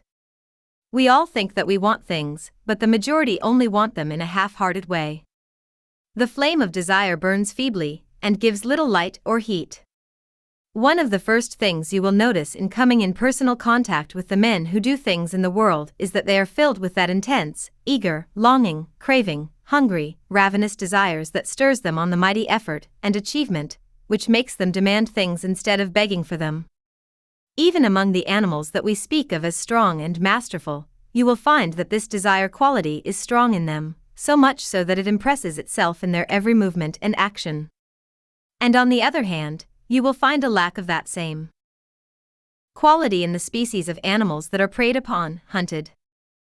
The secret of mental magic. 234. And devoured by the others. This class of weak desired animals impress us as weak and spiritless. The hunger of desire. And so it is with men. No one ever did anything or got anything unless he was filled with a strong, hungry desire for that thing. If a man feels a hunger for attainment, just as he feels a hunger for his meals, he will make mighty efforts to satisfy that hunger. Just think of what you would do to satisfy a craving hunger. Well, these men feel the same way about other things for which they are hungry. Desire is a form of hunger. And the hungrier a man is for a thing, the more desire force will he manifest, and the greater efforts will he make to get that thing. Desire in many dresses. People have gotten into the habit of speaking and thinking of desire as an unworthy, low, animal, selfish quality, but they are seeing only a half truth while thinking that they are seeing the whole thing. They dodge the question by speaking of high desires, aspiration, ambition, zeal, ardor, love, and a number of similar terms, but these things are merely our old friend desire with a new name. Let me give you a few words used in speaking of some form of desire. Here they are desire, wish, want, need, exigency, mind, inclination, leaning, bent, animus, partiality, penchant, predilection, propensity, willingness, liking, love, fondness, relish, longing, hankering, solicitude, anxiety, yearning, coveting, aspiration, ambition, eagerness, zeal, ardor, appetite, appetency, hunger, thirst, keenness, longing, craving, etc., etc. Quite a formidable list, isn't it? Desire underlies all action and restraint of action. The truth is that all of the feelings that incite one to action of any kind or sort are forms of desire. Without desire 1. Mental architecture 235. Would cease absolutely from action. Preceding every action, there must be desire, either conscious or unconscious. Even those people who make a virtue of renunciation of desire, and who claim to have conquered desire absolutely, are acting in response to a more subtle form of desire. How is this, you ask? Well, simply because they are carrying out a desire not to desire certain other things. Desire is at the bottom of the renunciation, just as it is at the bottom of the very desires they wish to renounce. This must be so always, for desire is a fundamental natural law, and is always manifest. Not only in the doing of things is desire manifest, but also in the refraining from doing the same things. One man desires to smoke, another desires not to do so. Desire in both cases. Lack of desire to do a certain thing simply means a desire to pursue an opposite course of conduct and action. And so it goes, desire is manifest in every action and refraining from action, so long as one has the capacity for action. Universality of desire. Nothing has even been done, created, or manifested without desire. The very atoms manifest desire in their combinations. And so, all the universe has been built up through the operation of the law of desire, and the law of will, both of which are phases of the one law. Desire underlies all life, it rests in the very heart of life itself. And the greater the manifestation of vitality, the greater the force of desire. But remember always that there are wise desires and unwise desires. And the positive magnetic man learns to distinguish between the wise and the unwise desires, between the good and the bad ones, and governs himself accordingly. He examines his desires and picking out the good and wise ones, he discards the bad and unwise ones, then he proceeds to develop and build up the ones he has selected. The Secret of Mental Magic 236. How to develop desire force. And how does our man develop his desire when desire in itself is not a separate mental faculty, but instead manifests through and in each faculty? Well, he proceeds to hold up to it the mental image of the things to be desired, and the desire force within him flows forth and manifests more and more energy according to the stimulus. Desire force is always inherent in the person just as is willpower, but both need an incentive to action, a stimulus to manifestation. It is a well known law of psychology that desire flows out and manifests itself in response to an object. This object of desire is always something that affords pleasure, satisfaction, or content to the individual, or else that will rid him of pain, discontent, discomfort, of dissatisfaction, either immediate or remote in both instances, and sometimes indirectly, that is, the pleasure or pain may be occasioned by the pleasure or pain, immediate or remote, of some other person in which the original person is interested. Mental images awaken desire. The clearer the mental image of the object of desire, the greater will be the degree of desire manifested, all other things being equal. A child may be filled with discontent, it wants something, but does not know what it wants. Then the child thinks of toys, and it begins to want still harder. Then it sees a toy, and then its want becomes very intense. One may feel hungry in a degree, but when he sees some particular object of taste, the hunger becomes far more intense. And so it follows that if one will keep on presenting to his desire the suggestion and mental image of the object, then will the desire begin to burn more fiercely and strongly, and may be cultivated to almost any degree. We all know how one may awaken desire in another in this way, by means of suggestion, and by presenting the mental image of the object, in conversation, etc. How many of us know to our cost how the sight of an unthought of thing? Mental architecture 237 makes us begin to hanker after it and long for it? The book agent plays upon this trait of character in us, and so does the department store man on bargain days, and by his window displays. You will remember what I told you in the lesson on suggestion, about the steps in salesmanship, the important point being to arouse desire in the customer, and what I said about the same thing in the case of the advertiser. This idea underlies all forms of suggestive influence and is manifest in the lives of every one of us, every day of our lives. And if this be so, can you not see that by autosuggestion you may arouse the same degree of desire in yourselves that others arouse in you and you in others? The threefold method in desire.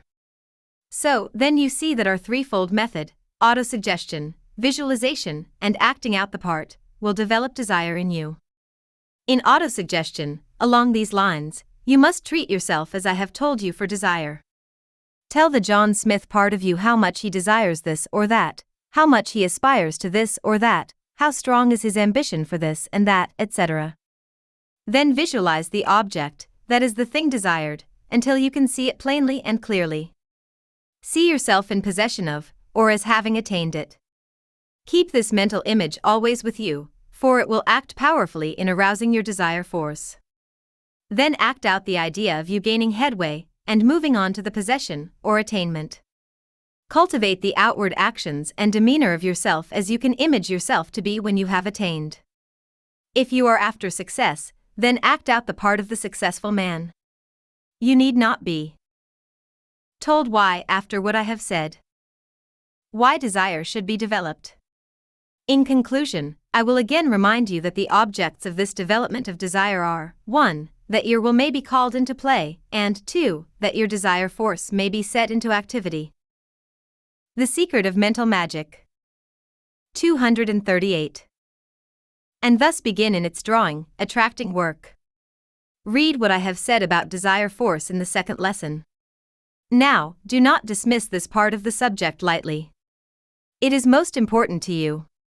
Desire and will are the two phases of the underlying force, and you must develop both of them in order to get the best results.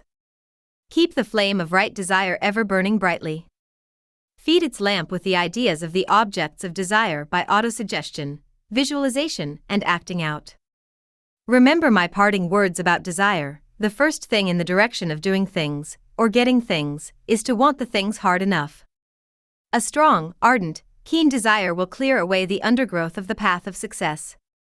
It will attract you to the people and things needed for its satisfaction, and will attract to you the people, things, circumstances, environments, etc., needed for its satisfaction. Desire is the soul of the law of attraction. The magnetic will. And now let us consider the second attribute of our positive magnetic man. It is willpower. Our man is an example of living will. He is filled with the force of action. He is determined. He keeps his will on an object just as a machinist keeps his chisel on the hard metal, letting it bite in deeper and deeper until the desired impression and end is obtained. I have told you how the will is always set into operation by the urge of desire. When you develop and cultivate desire, you are doing much to cultivate willpower. So I need not repeat this part of the process, I have just told it to you under the head of desire. But there is another feature about the use of will which I must call to your attention. It is the feature of its determined application and manifestation. It is all very well to have a strong will, but it will avail you nothing unless you learn how to apply it. Mental Architecture 239 the secret of the resolute will. The secret of the resolute will lies in determination and persistency. And the first thing to be acquired is attention for attention. Writers on psychology will tell you that a tenacious attention is one of the strongest factors of a cultivated will. That is it, you must acquire tenacity of attention. You must acquire the art of patiently dwelling upon a thing until you accomplish your purpose.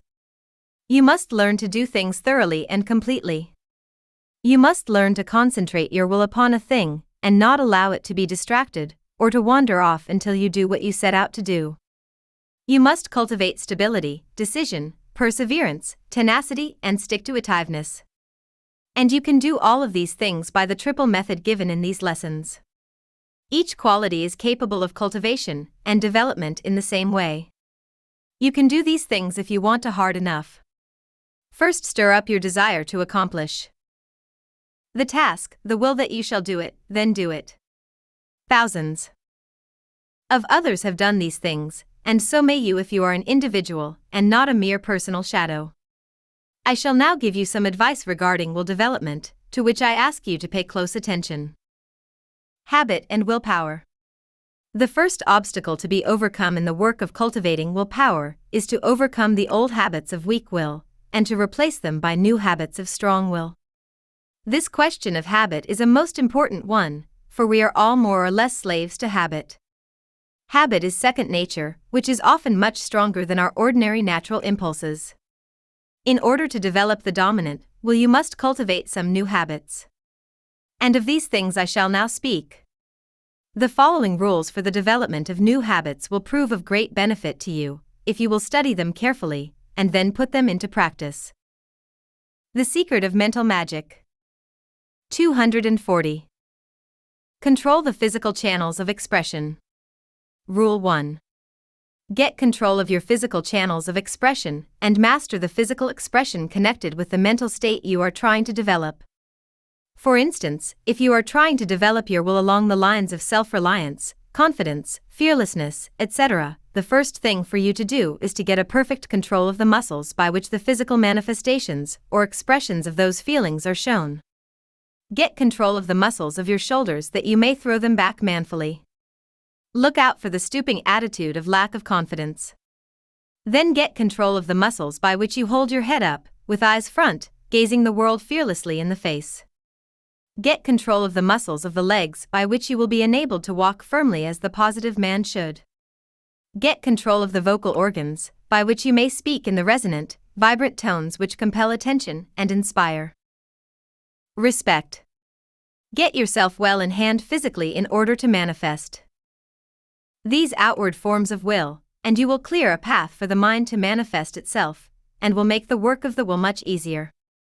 But it takes will to do these things, and you must be prepared to use it. Keep your attention on these outward forms of expression until you acquire the habit and make it second nature. Learn to concentrate. Rule 2. Learn to concentrate.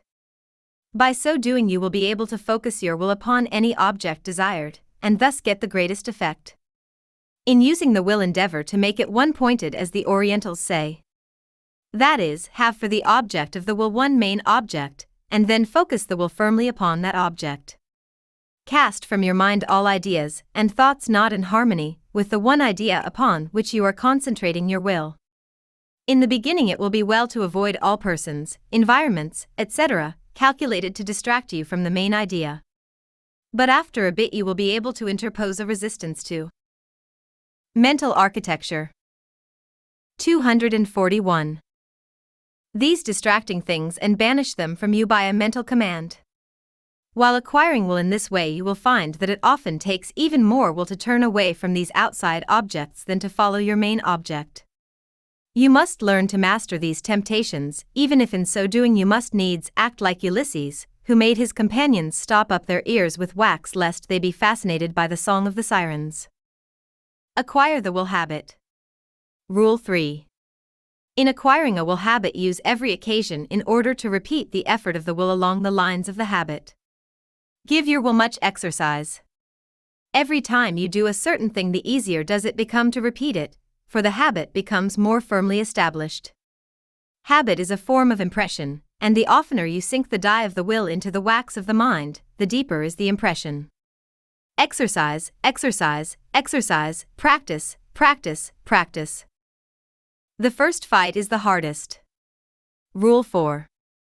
The greatest struggle is at the beginning of the practice or formation of a new will habit. Here one has to fight with all his might, but the first battle well won, the after fights moderate, and finally become mere skirmishes. There it behooves one to gird on his armor firmly and grasp his sword with strength at this first fight. Try to stop smoking or drinking, for instance, and you will find that three quarters of the entire struggle is condensed in the fight of the first week, if not the first day. Remember the case of Rip Van Winkle with his well, this glass don't count, he never could get started. And beware of a single slip at the start, for such slips weaken one more than he can regain in a whole day of success. After having made up your will to acquire a habit, you must not allow a single slip for this reason. A well known writer on the subject has compared these slips to a ball of cord which one is endeavoring to wind. The secret of mental magic. 242. Each drop of the ball unwinds more than many windings can replace. Acquiring second nature. Rule 5. Endeavor to fix the habit as a strong mental impression by any and every means that suggest themselves to you. For when this habit becomes firmly impressed upon your mind, you will find it most natural and easy to act along its lines, and most difficult to break away from it or to act contrary to it. You are building second nature, remember. Judge, weigh and measure, then go ahead. Rule 6. Look before you leap, and be sure you're right, then go ahead. Always take a good look at a thing before plunging in. Give it the benefit of your judgment, and do not be carried away by the judgment of others. Use your reason and judgment, that's why you have them. But, after once having decided that a thing is right for you to do, then you must learn to go ahead to the finish. Learn to place your hand upon the plow and look not backward. Learn to control your willpower and do not let it leap into action until you are sure it is right to do so. And all of this means rigid self control and mastery of one's moods as well as one's passions and emotions. Guard yourself against yourself. And also guard your desire from the influences of others, for through your desires your will is called into action. Children, savages, and undeveloped individuals manifest little or no mastery over their desires, but allow themselves to be affected by every little wave from within or without, and then let their will fly into action in response thereto. The individual learns to inhibit, that is, to check, restrain, hold back, forbid, prohibit, etc. Emotional states and feelings. By so doing, he will hold his willpower under control for use when it is advisable. Pull the trigger of your willpower yourself after you have taken deliberate aim and at some object worthwhile. Mental architecture 243. Do not allow others to pull it for you, nor do you, yourself, pull it in response to a whim, a dare, an unrestrained feeling. A useful rule along these lines is given by Professor Hoffding, who says, even if we cannot prevent a feeling from arising, we may possibly prevent it from spreading by inhibiting the organic movement which accompanies it, the indulgence in which augments it. In other words, retrain the physical action and the feeling dies.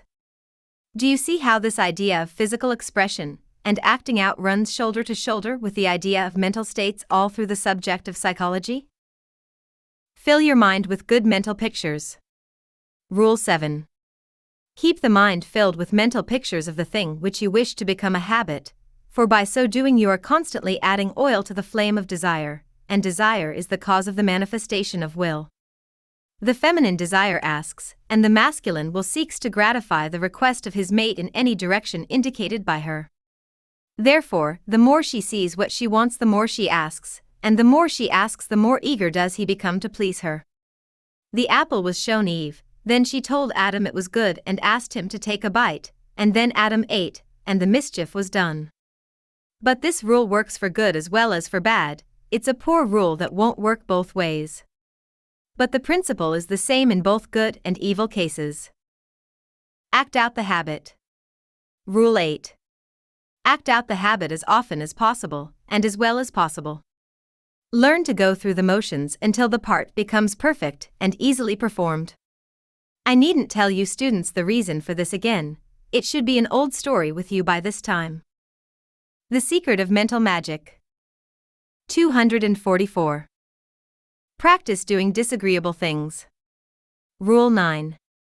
Practice doing disagreeable things. This will strengthen the will wonderfully, for reasons that should be apparent to every student. What would be the condition of your muscles if you never had to use them? And what will be the condition of your will if you never have to exercise it by doing something unpleasant or disagreeable?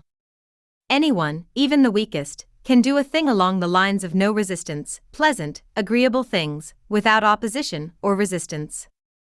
But it takes a true man or woman, a true individual, to do things against resistance from without or from within. And when one has learned to master himself, that is, his own moods and feelings, then he is able to master the outside world. And not until then, either.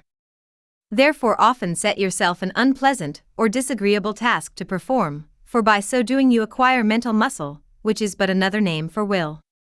Professor James, the eminent psychologist, advises his readers to systematically exercise themselves in the direction of doing some particular things for no other reason than that I he would rather not do it. Even if the task be nothing more than rising and giving up a seat in a streetcar when you want to retain it very much indeed. Professor James compares this exercise to the paying the premiums on insurance on one's property. One is laying up reserve resources for a day of need. He tells us that a man who trains himself in this way can be counted upon in any emergency, he may count on himself to manifest willpower. As Professor Halleck says, in speaking of such a man, while another would be still crying over spilt milk, the possessor of such a will has already begun to milk another cow. The men who have attained great success have, in nearly every case, so trained their wills that they could undertake a difficult or disagreeable plan with a minimum of effort. They had acquired the habit. When one learns to say yes or no to himself, he can say yes or no to others with the greatest force. Mental architecture 245. Cultivate fixity of purpose. Rule 10. Cultivate fixity of purpose. The man of strong will must learn to see an object ahead of him, and then to want it hard enough, and then to fix his will upon it and hold it there, while he moves to it in as straight a line as possible. But no matter how he may have to swerve from his straight line of approach, by unforeseen obstacles, nor how many times he may stumble, he still always remembers what he is after, and he keeps after it. The shifting, changeable, weathercock sort of men manifest but little will, and accomplish little or nothing. The successful men are those who know what they want and never forget it. It may take them some time to find out just what they do want, but when once they find it out, they hold firmly to it to the end with an invincible determination and unswerving purpose, and these qualities always win in the long run, if for no other reason than because so few possess them, and the majority of men get tired of the struggle and drop out of the race. It's the fellow with the staying qualities that pulls through in the end no matter how much of a start the others may have had on him in the beginning. Concentrate and cultivate stick to itiveness. Develop these mental faculties. I shall now briefly run over the mental faculties most necessary of development in the case of the man who wishes to gain the magnetic will. And I shall add a few words of advice regarding the development of each of the said qualities. The faculty of stability. I. Continuity. This faculty has been so named by the phrenologists and defined as the faculty that enables a man to stick to it until it is done, that gives him patience to complete his task, that gives him stability. Its lack makes a man restless, changeable, shifting, disconnected, scattered, unstable, and unreliable. To cultivate this faculty, follow the threefold method in the direction of concentrating, dwelling upon, and the secret of mental magic. 246. Sticking to a matter once undertaken, doing thorough work, and fighting against distracting ideas and things, or temptations to make a change. The faculty of the will to live. 2. Vitality. This faculty is defined by phrenologists as one that makes a person tenacious of life, and which causes him to fight off death, sickness, or weakness. This is a necessary faculty for the magnetic man to develop, for by so doing he not only becomes stronger, but also imparts a certain quality of strength and resistance to his personality that will be felt by others. As an example, contrast the fight for life in an animal of the cat family, and then the lack of it in a sheep or rabbit, then think which of them is more respected and regarded in the world of animals. By all means, cultivate that resolute fight for life that is manifested by all strong creatures. Try the threefold method along the lines of holding on to life and manifesting the will to live. The faculty of courage. 3. Combativeness. This phrenological faculty manifests in the direction of resistance, opposition, courage, boldness, defensiveness, defiance, spirit, self protection, determination, let me alone, get out of my way, etc. It goes with all strong characters.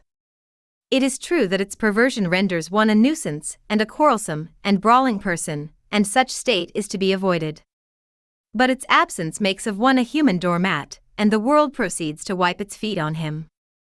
The strong magnetic man must have this faculty well developed and also well controlled. It must be the case of the soft voice and the big stick, of which we have heard so much of late.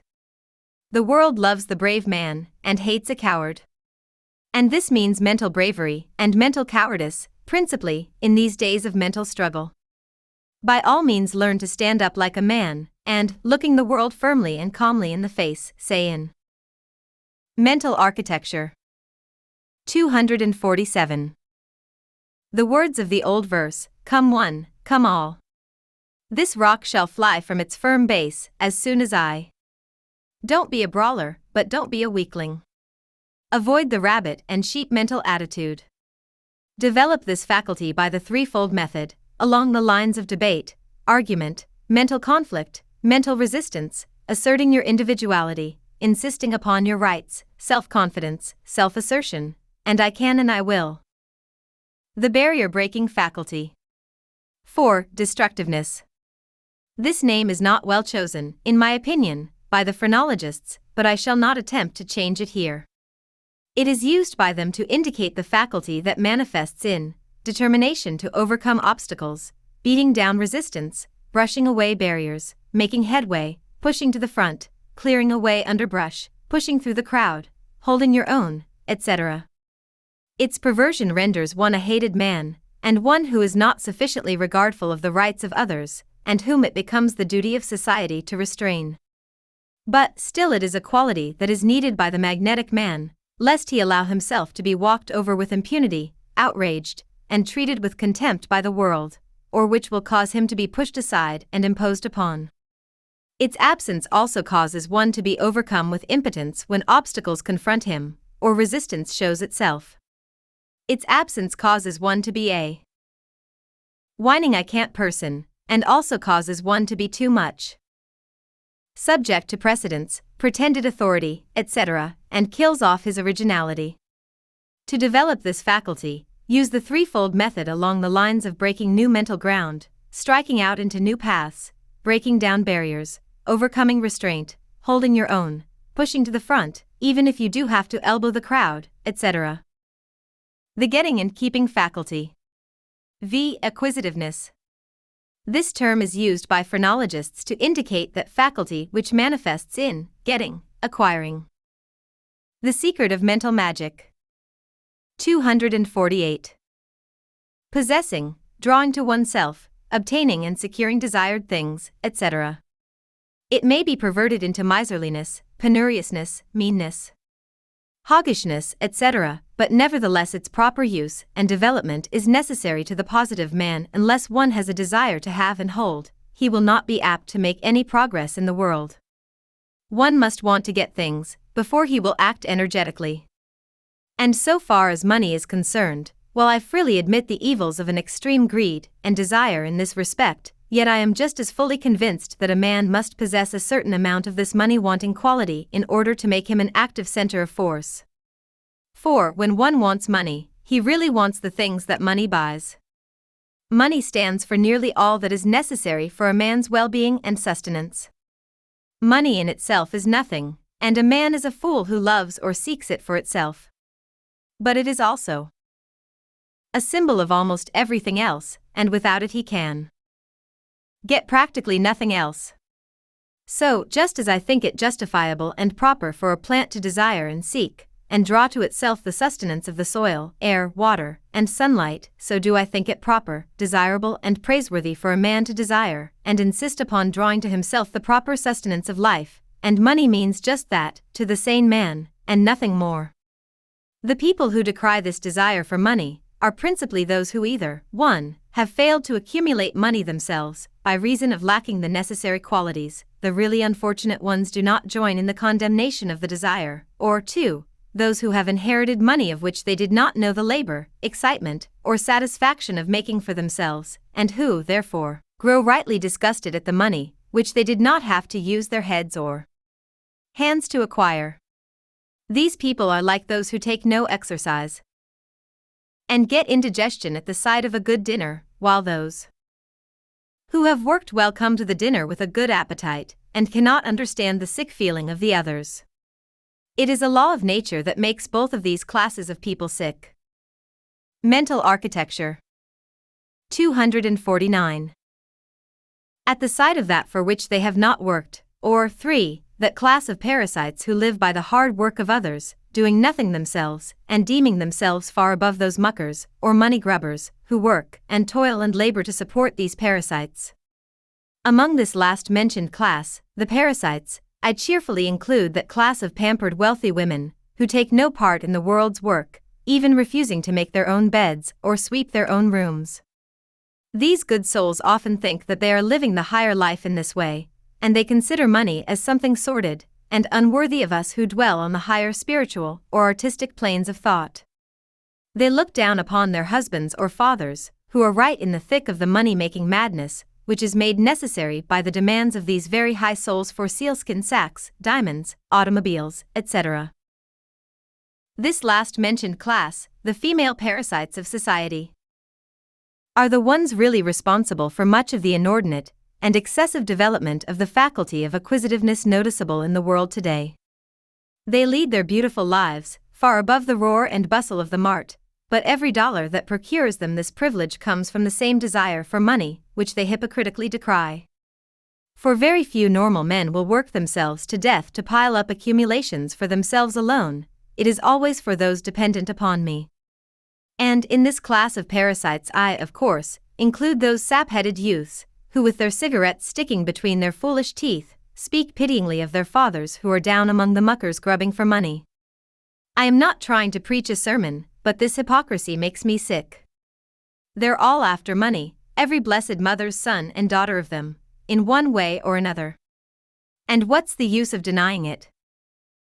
Someday we may have better economic conditions, I pray to. God that we may, but until that time all of us must chase the nimble dollar to the best of our ability. For unless a man does. The secret of mental magic. 250. This thing, then shall he not eat, nor be clothed, nor have shelter, nor books, nor music, nor anything else that makes life worth living for one who thinks and feels. Therefore, I feel justified in saying to you develop a normal degree of acquisitiveness if you wish to amount to anything in the world's work. Develop it by the threefold method, along the lines of realization of what it means and what it will do for you in this stage of the world's economic evolution. But don't be a hog. And while you're getting, get all you can, but give the other fellow a chance. Live and let live. The faculty of keeping your own secrets. 6. Secretiveness. This is the name given by the phrenologists to that faculty that manifests as policy, tact, concealment, self repression, self restraint, etc. Its perversion leads to deceit, double dealing, duplicity, lying, false living, etc. But a certain amount of it is necessary for the magnetic man, lest he fall into the error of wearing his heart on his sleeve, transparent simplicity, loose mouthedness, blabbing, lacking ordinary prudence, indiscretion, etc. Develop this faculty by the threefold method along the lines of tact, diplomacy, reticence, cautiousness, politeness, etc., the main object being to acquire a faculty of keeping your own secrets, keeping your affairs to yourself, avoiding that leakiness that has ruined so many men and women. Regarding this and women, I would say that my business experience has taught me that in spite of the alleged secret telling of women, it is true that the women Stenographers in an office are far less liable to disclose their employer's secrets than are the men employees. And then again, while a woman may have a tendency to pass on a secret, still she knows how to keep certain secrets that concern herself, or the man she loves, or the child she loves, in a manner and in ways that cause a man's hair to raise in bewilderment. And why should I say anything about this matter anyway? Am I not telling you the secrets of mental magic in these lessons? Mental Architecture 251. The Faculty of Prudence. 7. Cautiousness. This faculty manifests in carefulness, prudence, watchfulness, foresight, judgment, etc. Perverted, it leads to timidity, irresolution, etc. But a certain amount of it is necessary. One should learn to use judgment and reason to be sure he is right before going ahead. If deficient in this quality, develop it by the threefold method along the lines of care, prudence, watchfulness, thought, use of judgment, etc., and by looking before you leap. If you have too much of it, restrain by similar methods, along the lines of boldness, daring, don't worry, take a risk on it, etc., and a general spirit of not crossing a bridge until you come to it. The faculty of what will people think? 8. Approbativeness. This faculty manifests in a desire for approval, praise, flattery, fame, show, and ceremony connected with one's personality, etc. It is seen frequently in a perverted sense. Very few of us need to develop this quality, we have enough, or more than enough of it already. If you wish to restrain this faculty, you may use the threefold method along the lines of indifference to public approval or opinion. What does it matter anyway? They say. What do they say? Let them say, do not worry about it, your friends will not care, and you enemies will persist anyway, so what's the use? What care I for the opinions of the crowd? Anyway, they're 95 percenter fools at the best, etc., etc., etc. Learn to live your own life and stand upon your own feet.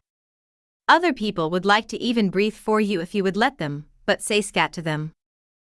And shake them off when they bother you. You've got to live your own life, and why bother with the people who are always telling you you mustn't do it this way, do it as I say, when their own lives are glaring examples of the folly of their way. Pick out a right object, follow a right course, and let the crowd mind its own business, if it will, and if it won't, forget it. You will find it ready enough to shower favors upon you when. The secret of mental magic. 252. You finally succeed. And do not be deceived by its praise or flattery, the same people who are singing your praises today will damn you tomorrow if occasion offers.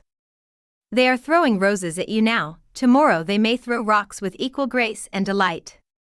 Don't be a slave to the crowd or its opinions, make yourself master of it, if you would rule it. It is managed through its selfish fears and interest, rather than through its love. It has a mean trick of turning on the thing it loves and tearing it to pieces, just as a female spider devours her mate. But when it fears, well, then it lets you alone. Not high spiritual teaching, perhaps, but a bit of worldly wisdom. Shake off the crowd from your heels, you mind your own business, and tell it to do the same. And look it in the eye while you are telling it, too. It will understand you, if you don't truckle to it. But never cringe to it, else it will rend you to pieces. The faculty of self confidence. 9. Self esteem. This is the faculty of self respect, self reliance, self love, etc. Perverted, it means tyranny, superciliousness, imperiousness, hauteur, and other forms of egotism carried to extremes. This quality is necessary to be developed, normally, in the magnetic man. He must learn to respect himself, value himself, rely upon himself, love himself, hold his head high, look the world in the face, believe in himself, and take his own place in the world, without false modesty or shrinking. Develop it by the threefold method, along the lines of realizing just what you are a center of energy, power, and strength in the universal ocean of energy. Think of yourself in the word of Black Hawk, the Indian chieftain, who said to Jackson, I am a man. Be a man among men, and insist upon the fact. Learn to say I am.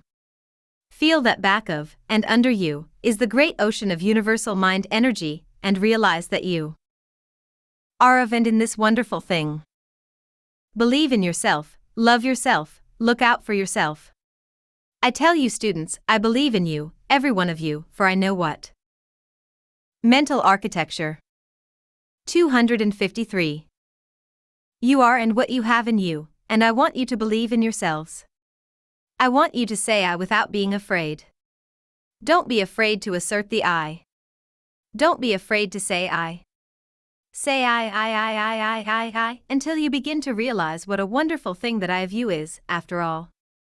Recognize the ego as a center of power, and stop all this foolishness about being a worm of the dust.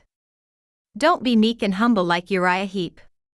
On the contrary, stand up, with head thrown back, looking the world straight in the eyes, without fear, and say firmly and positively, I believe in God, and I believe in myself.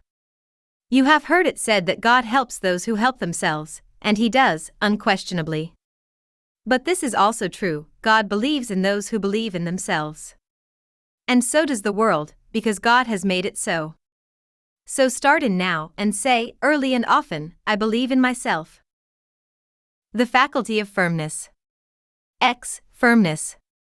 This term does not have to be defined, you all know what it means.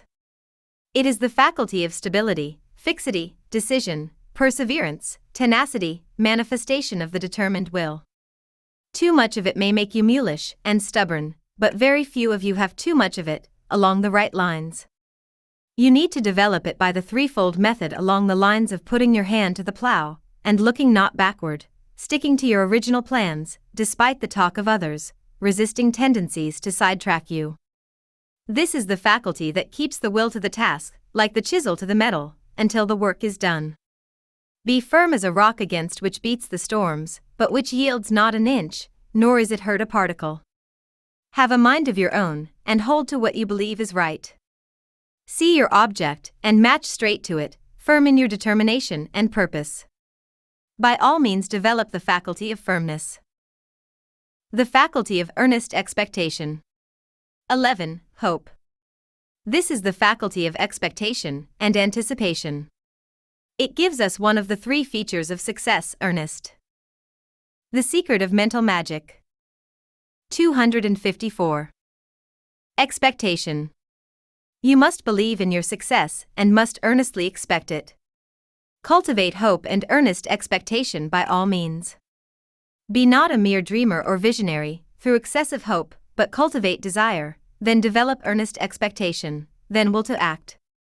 Each of these features is necessary to the Great Three. Develop it by the threefold method, along the lines of looking on the bright side, visualization, looking aloft, not worrying, and belief in the efficacy of earnest demand accompanied by earnest work. Visualization is the greatest incentive to hope and earnest expectation. When you can see the thing done in your mind's eye, you have started to build in earnest, the rest is a mere matter of detail and work. The faculty of good nature. 12. Mirthfulness. This is the faculty of humor. By all means, cultivate the sense of humor. It will save you from more follies and ridiculous positions than anything else. And cultivate the cheerful spirit, for it will make life easier for you and will lubricate the machinery of work and endeavor. It will also make friends for you and will tend to remove the obstacles which the world throws in the way of people who are sour, disagreeable, and grouchy. Smile and the world smiles with you, frown and you get a frown. Develop this faculty, by all means, by the threefold method, along the lines of humor, joy, cheerfulness. Morals, strength, and power. And so, now I have called your attention to the faculties most prominent in the magnetic man. I have not spoken of his religious or moral faculties, because these lessons are dealing with another part of his makeup. But do not imagine that the qualities named here have no connection with the religious or moral life. There is nothing that I have recommended here that will not apply as well to the minister as the businessman, to the priest as well as the salesman. The same mental qualities that make a bad man great and strong will make a good. Mental architecture. 255. Man great and strong. Morals are one thing and degrees of strength another. Good men may be strong or weak, bad men may also be strong or weak. And in the degree of strength will be the degree of influence, for good or evil, that a man will manifest. With this in mind, I think that it would be a great thing for the world if someone were to distribute this book among the good men of the world, who have imagined that there was nothing but selfish knowledge in mental magic. Mental states and their emanations.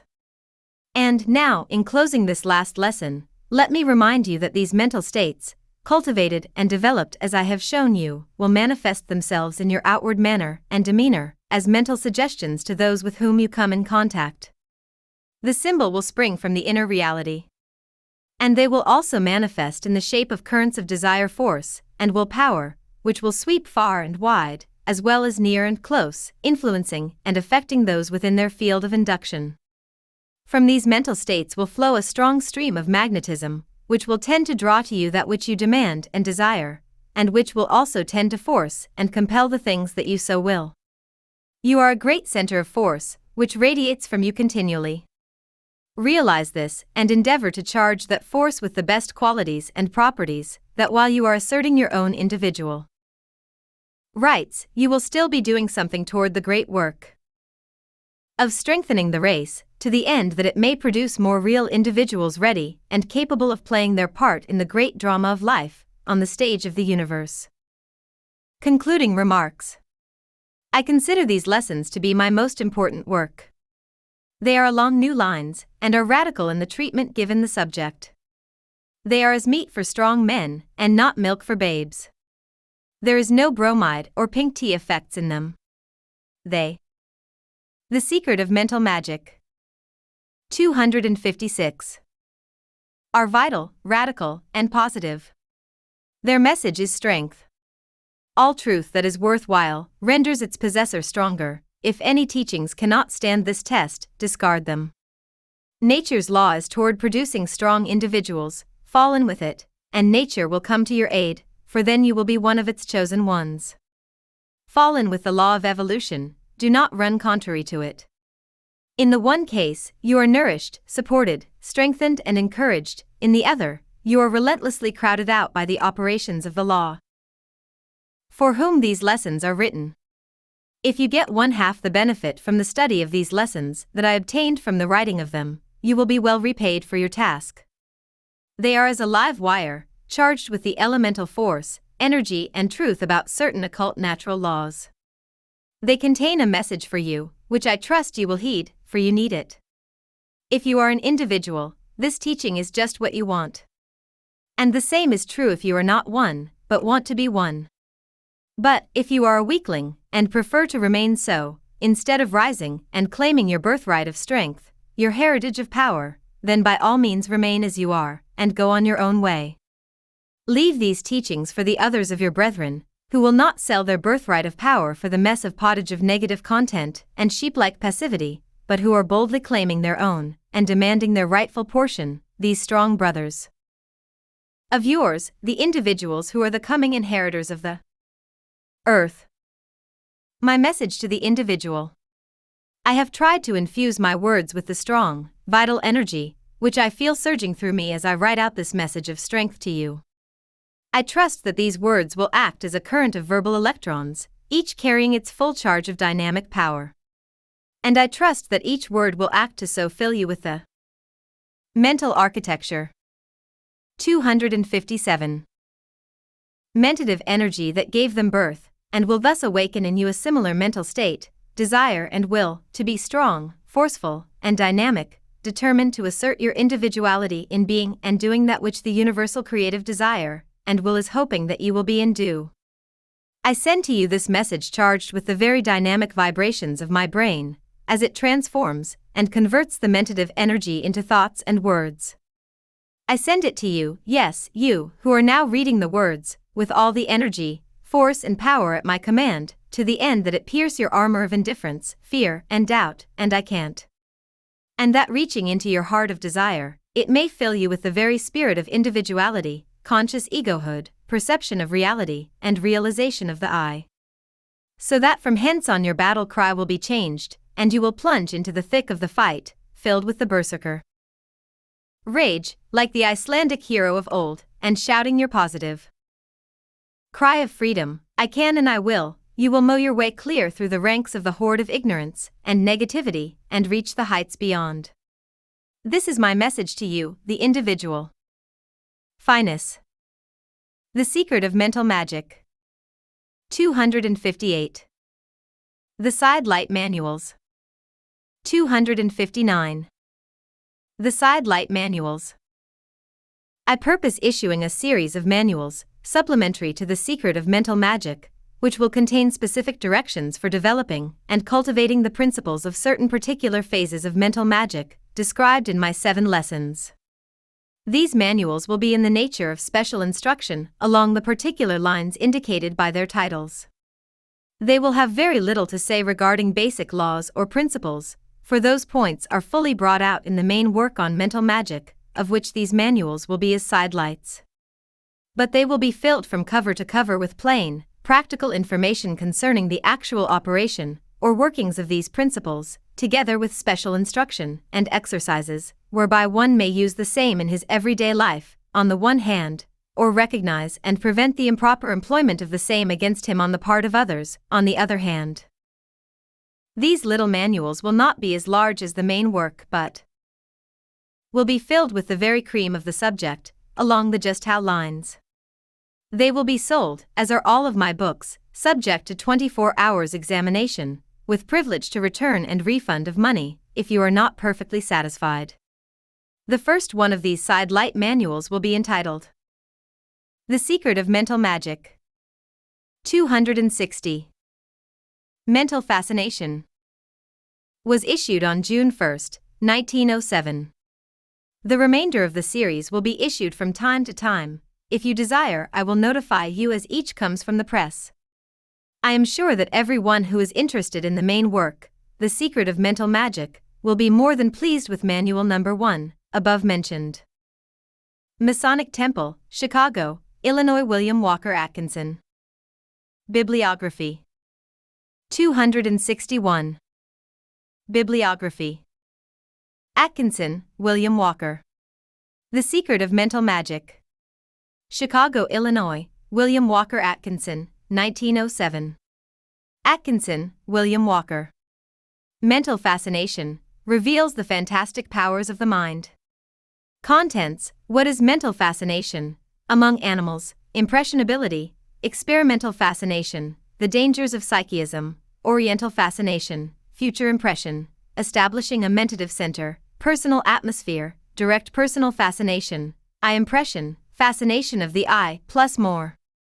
Chicago, Illinois, The Fiduciary Press, 1907.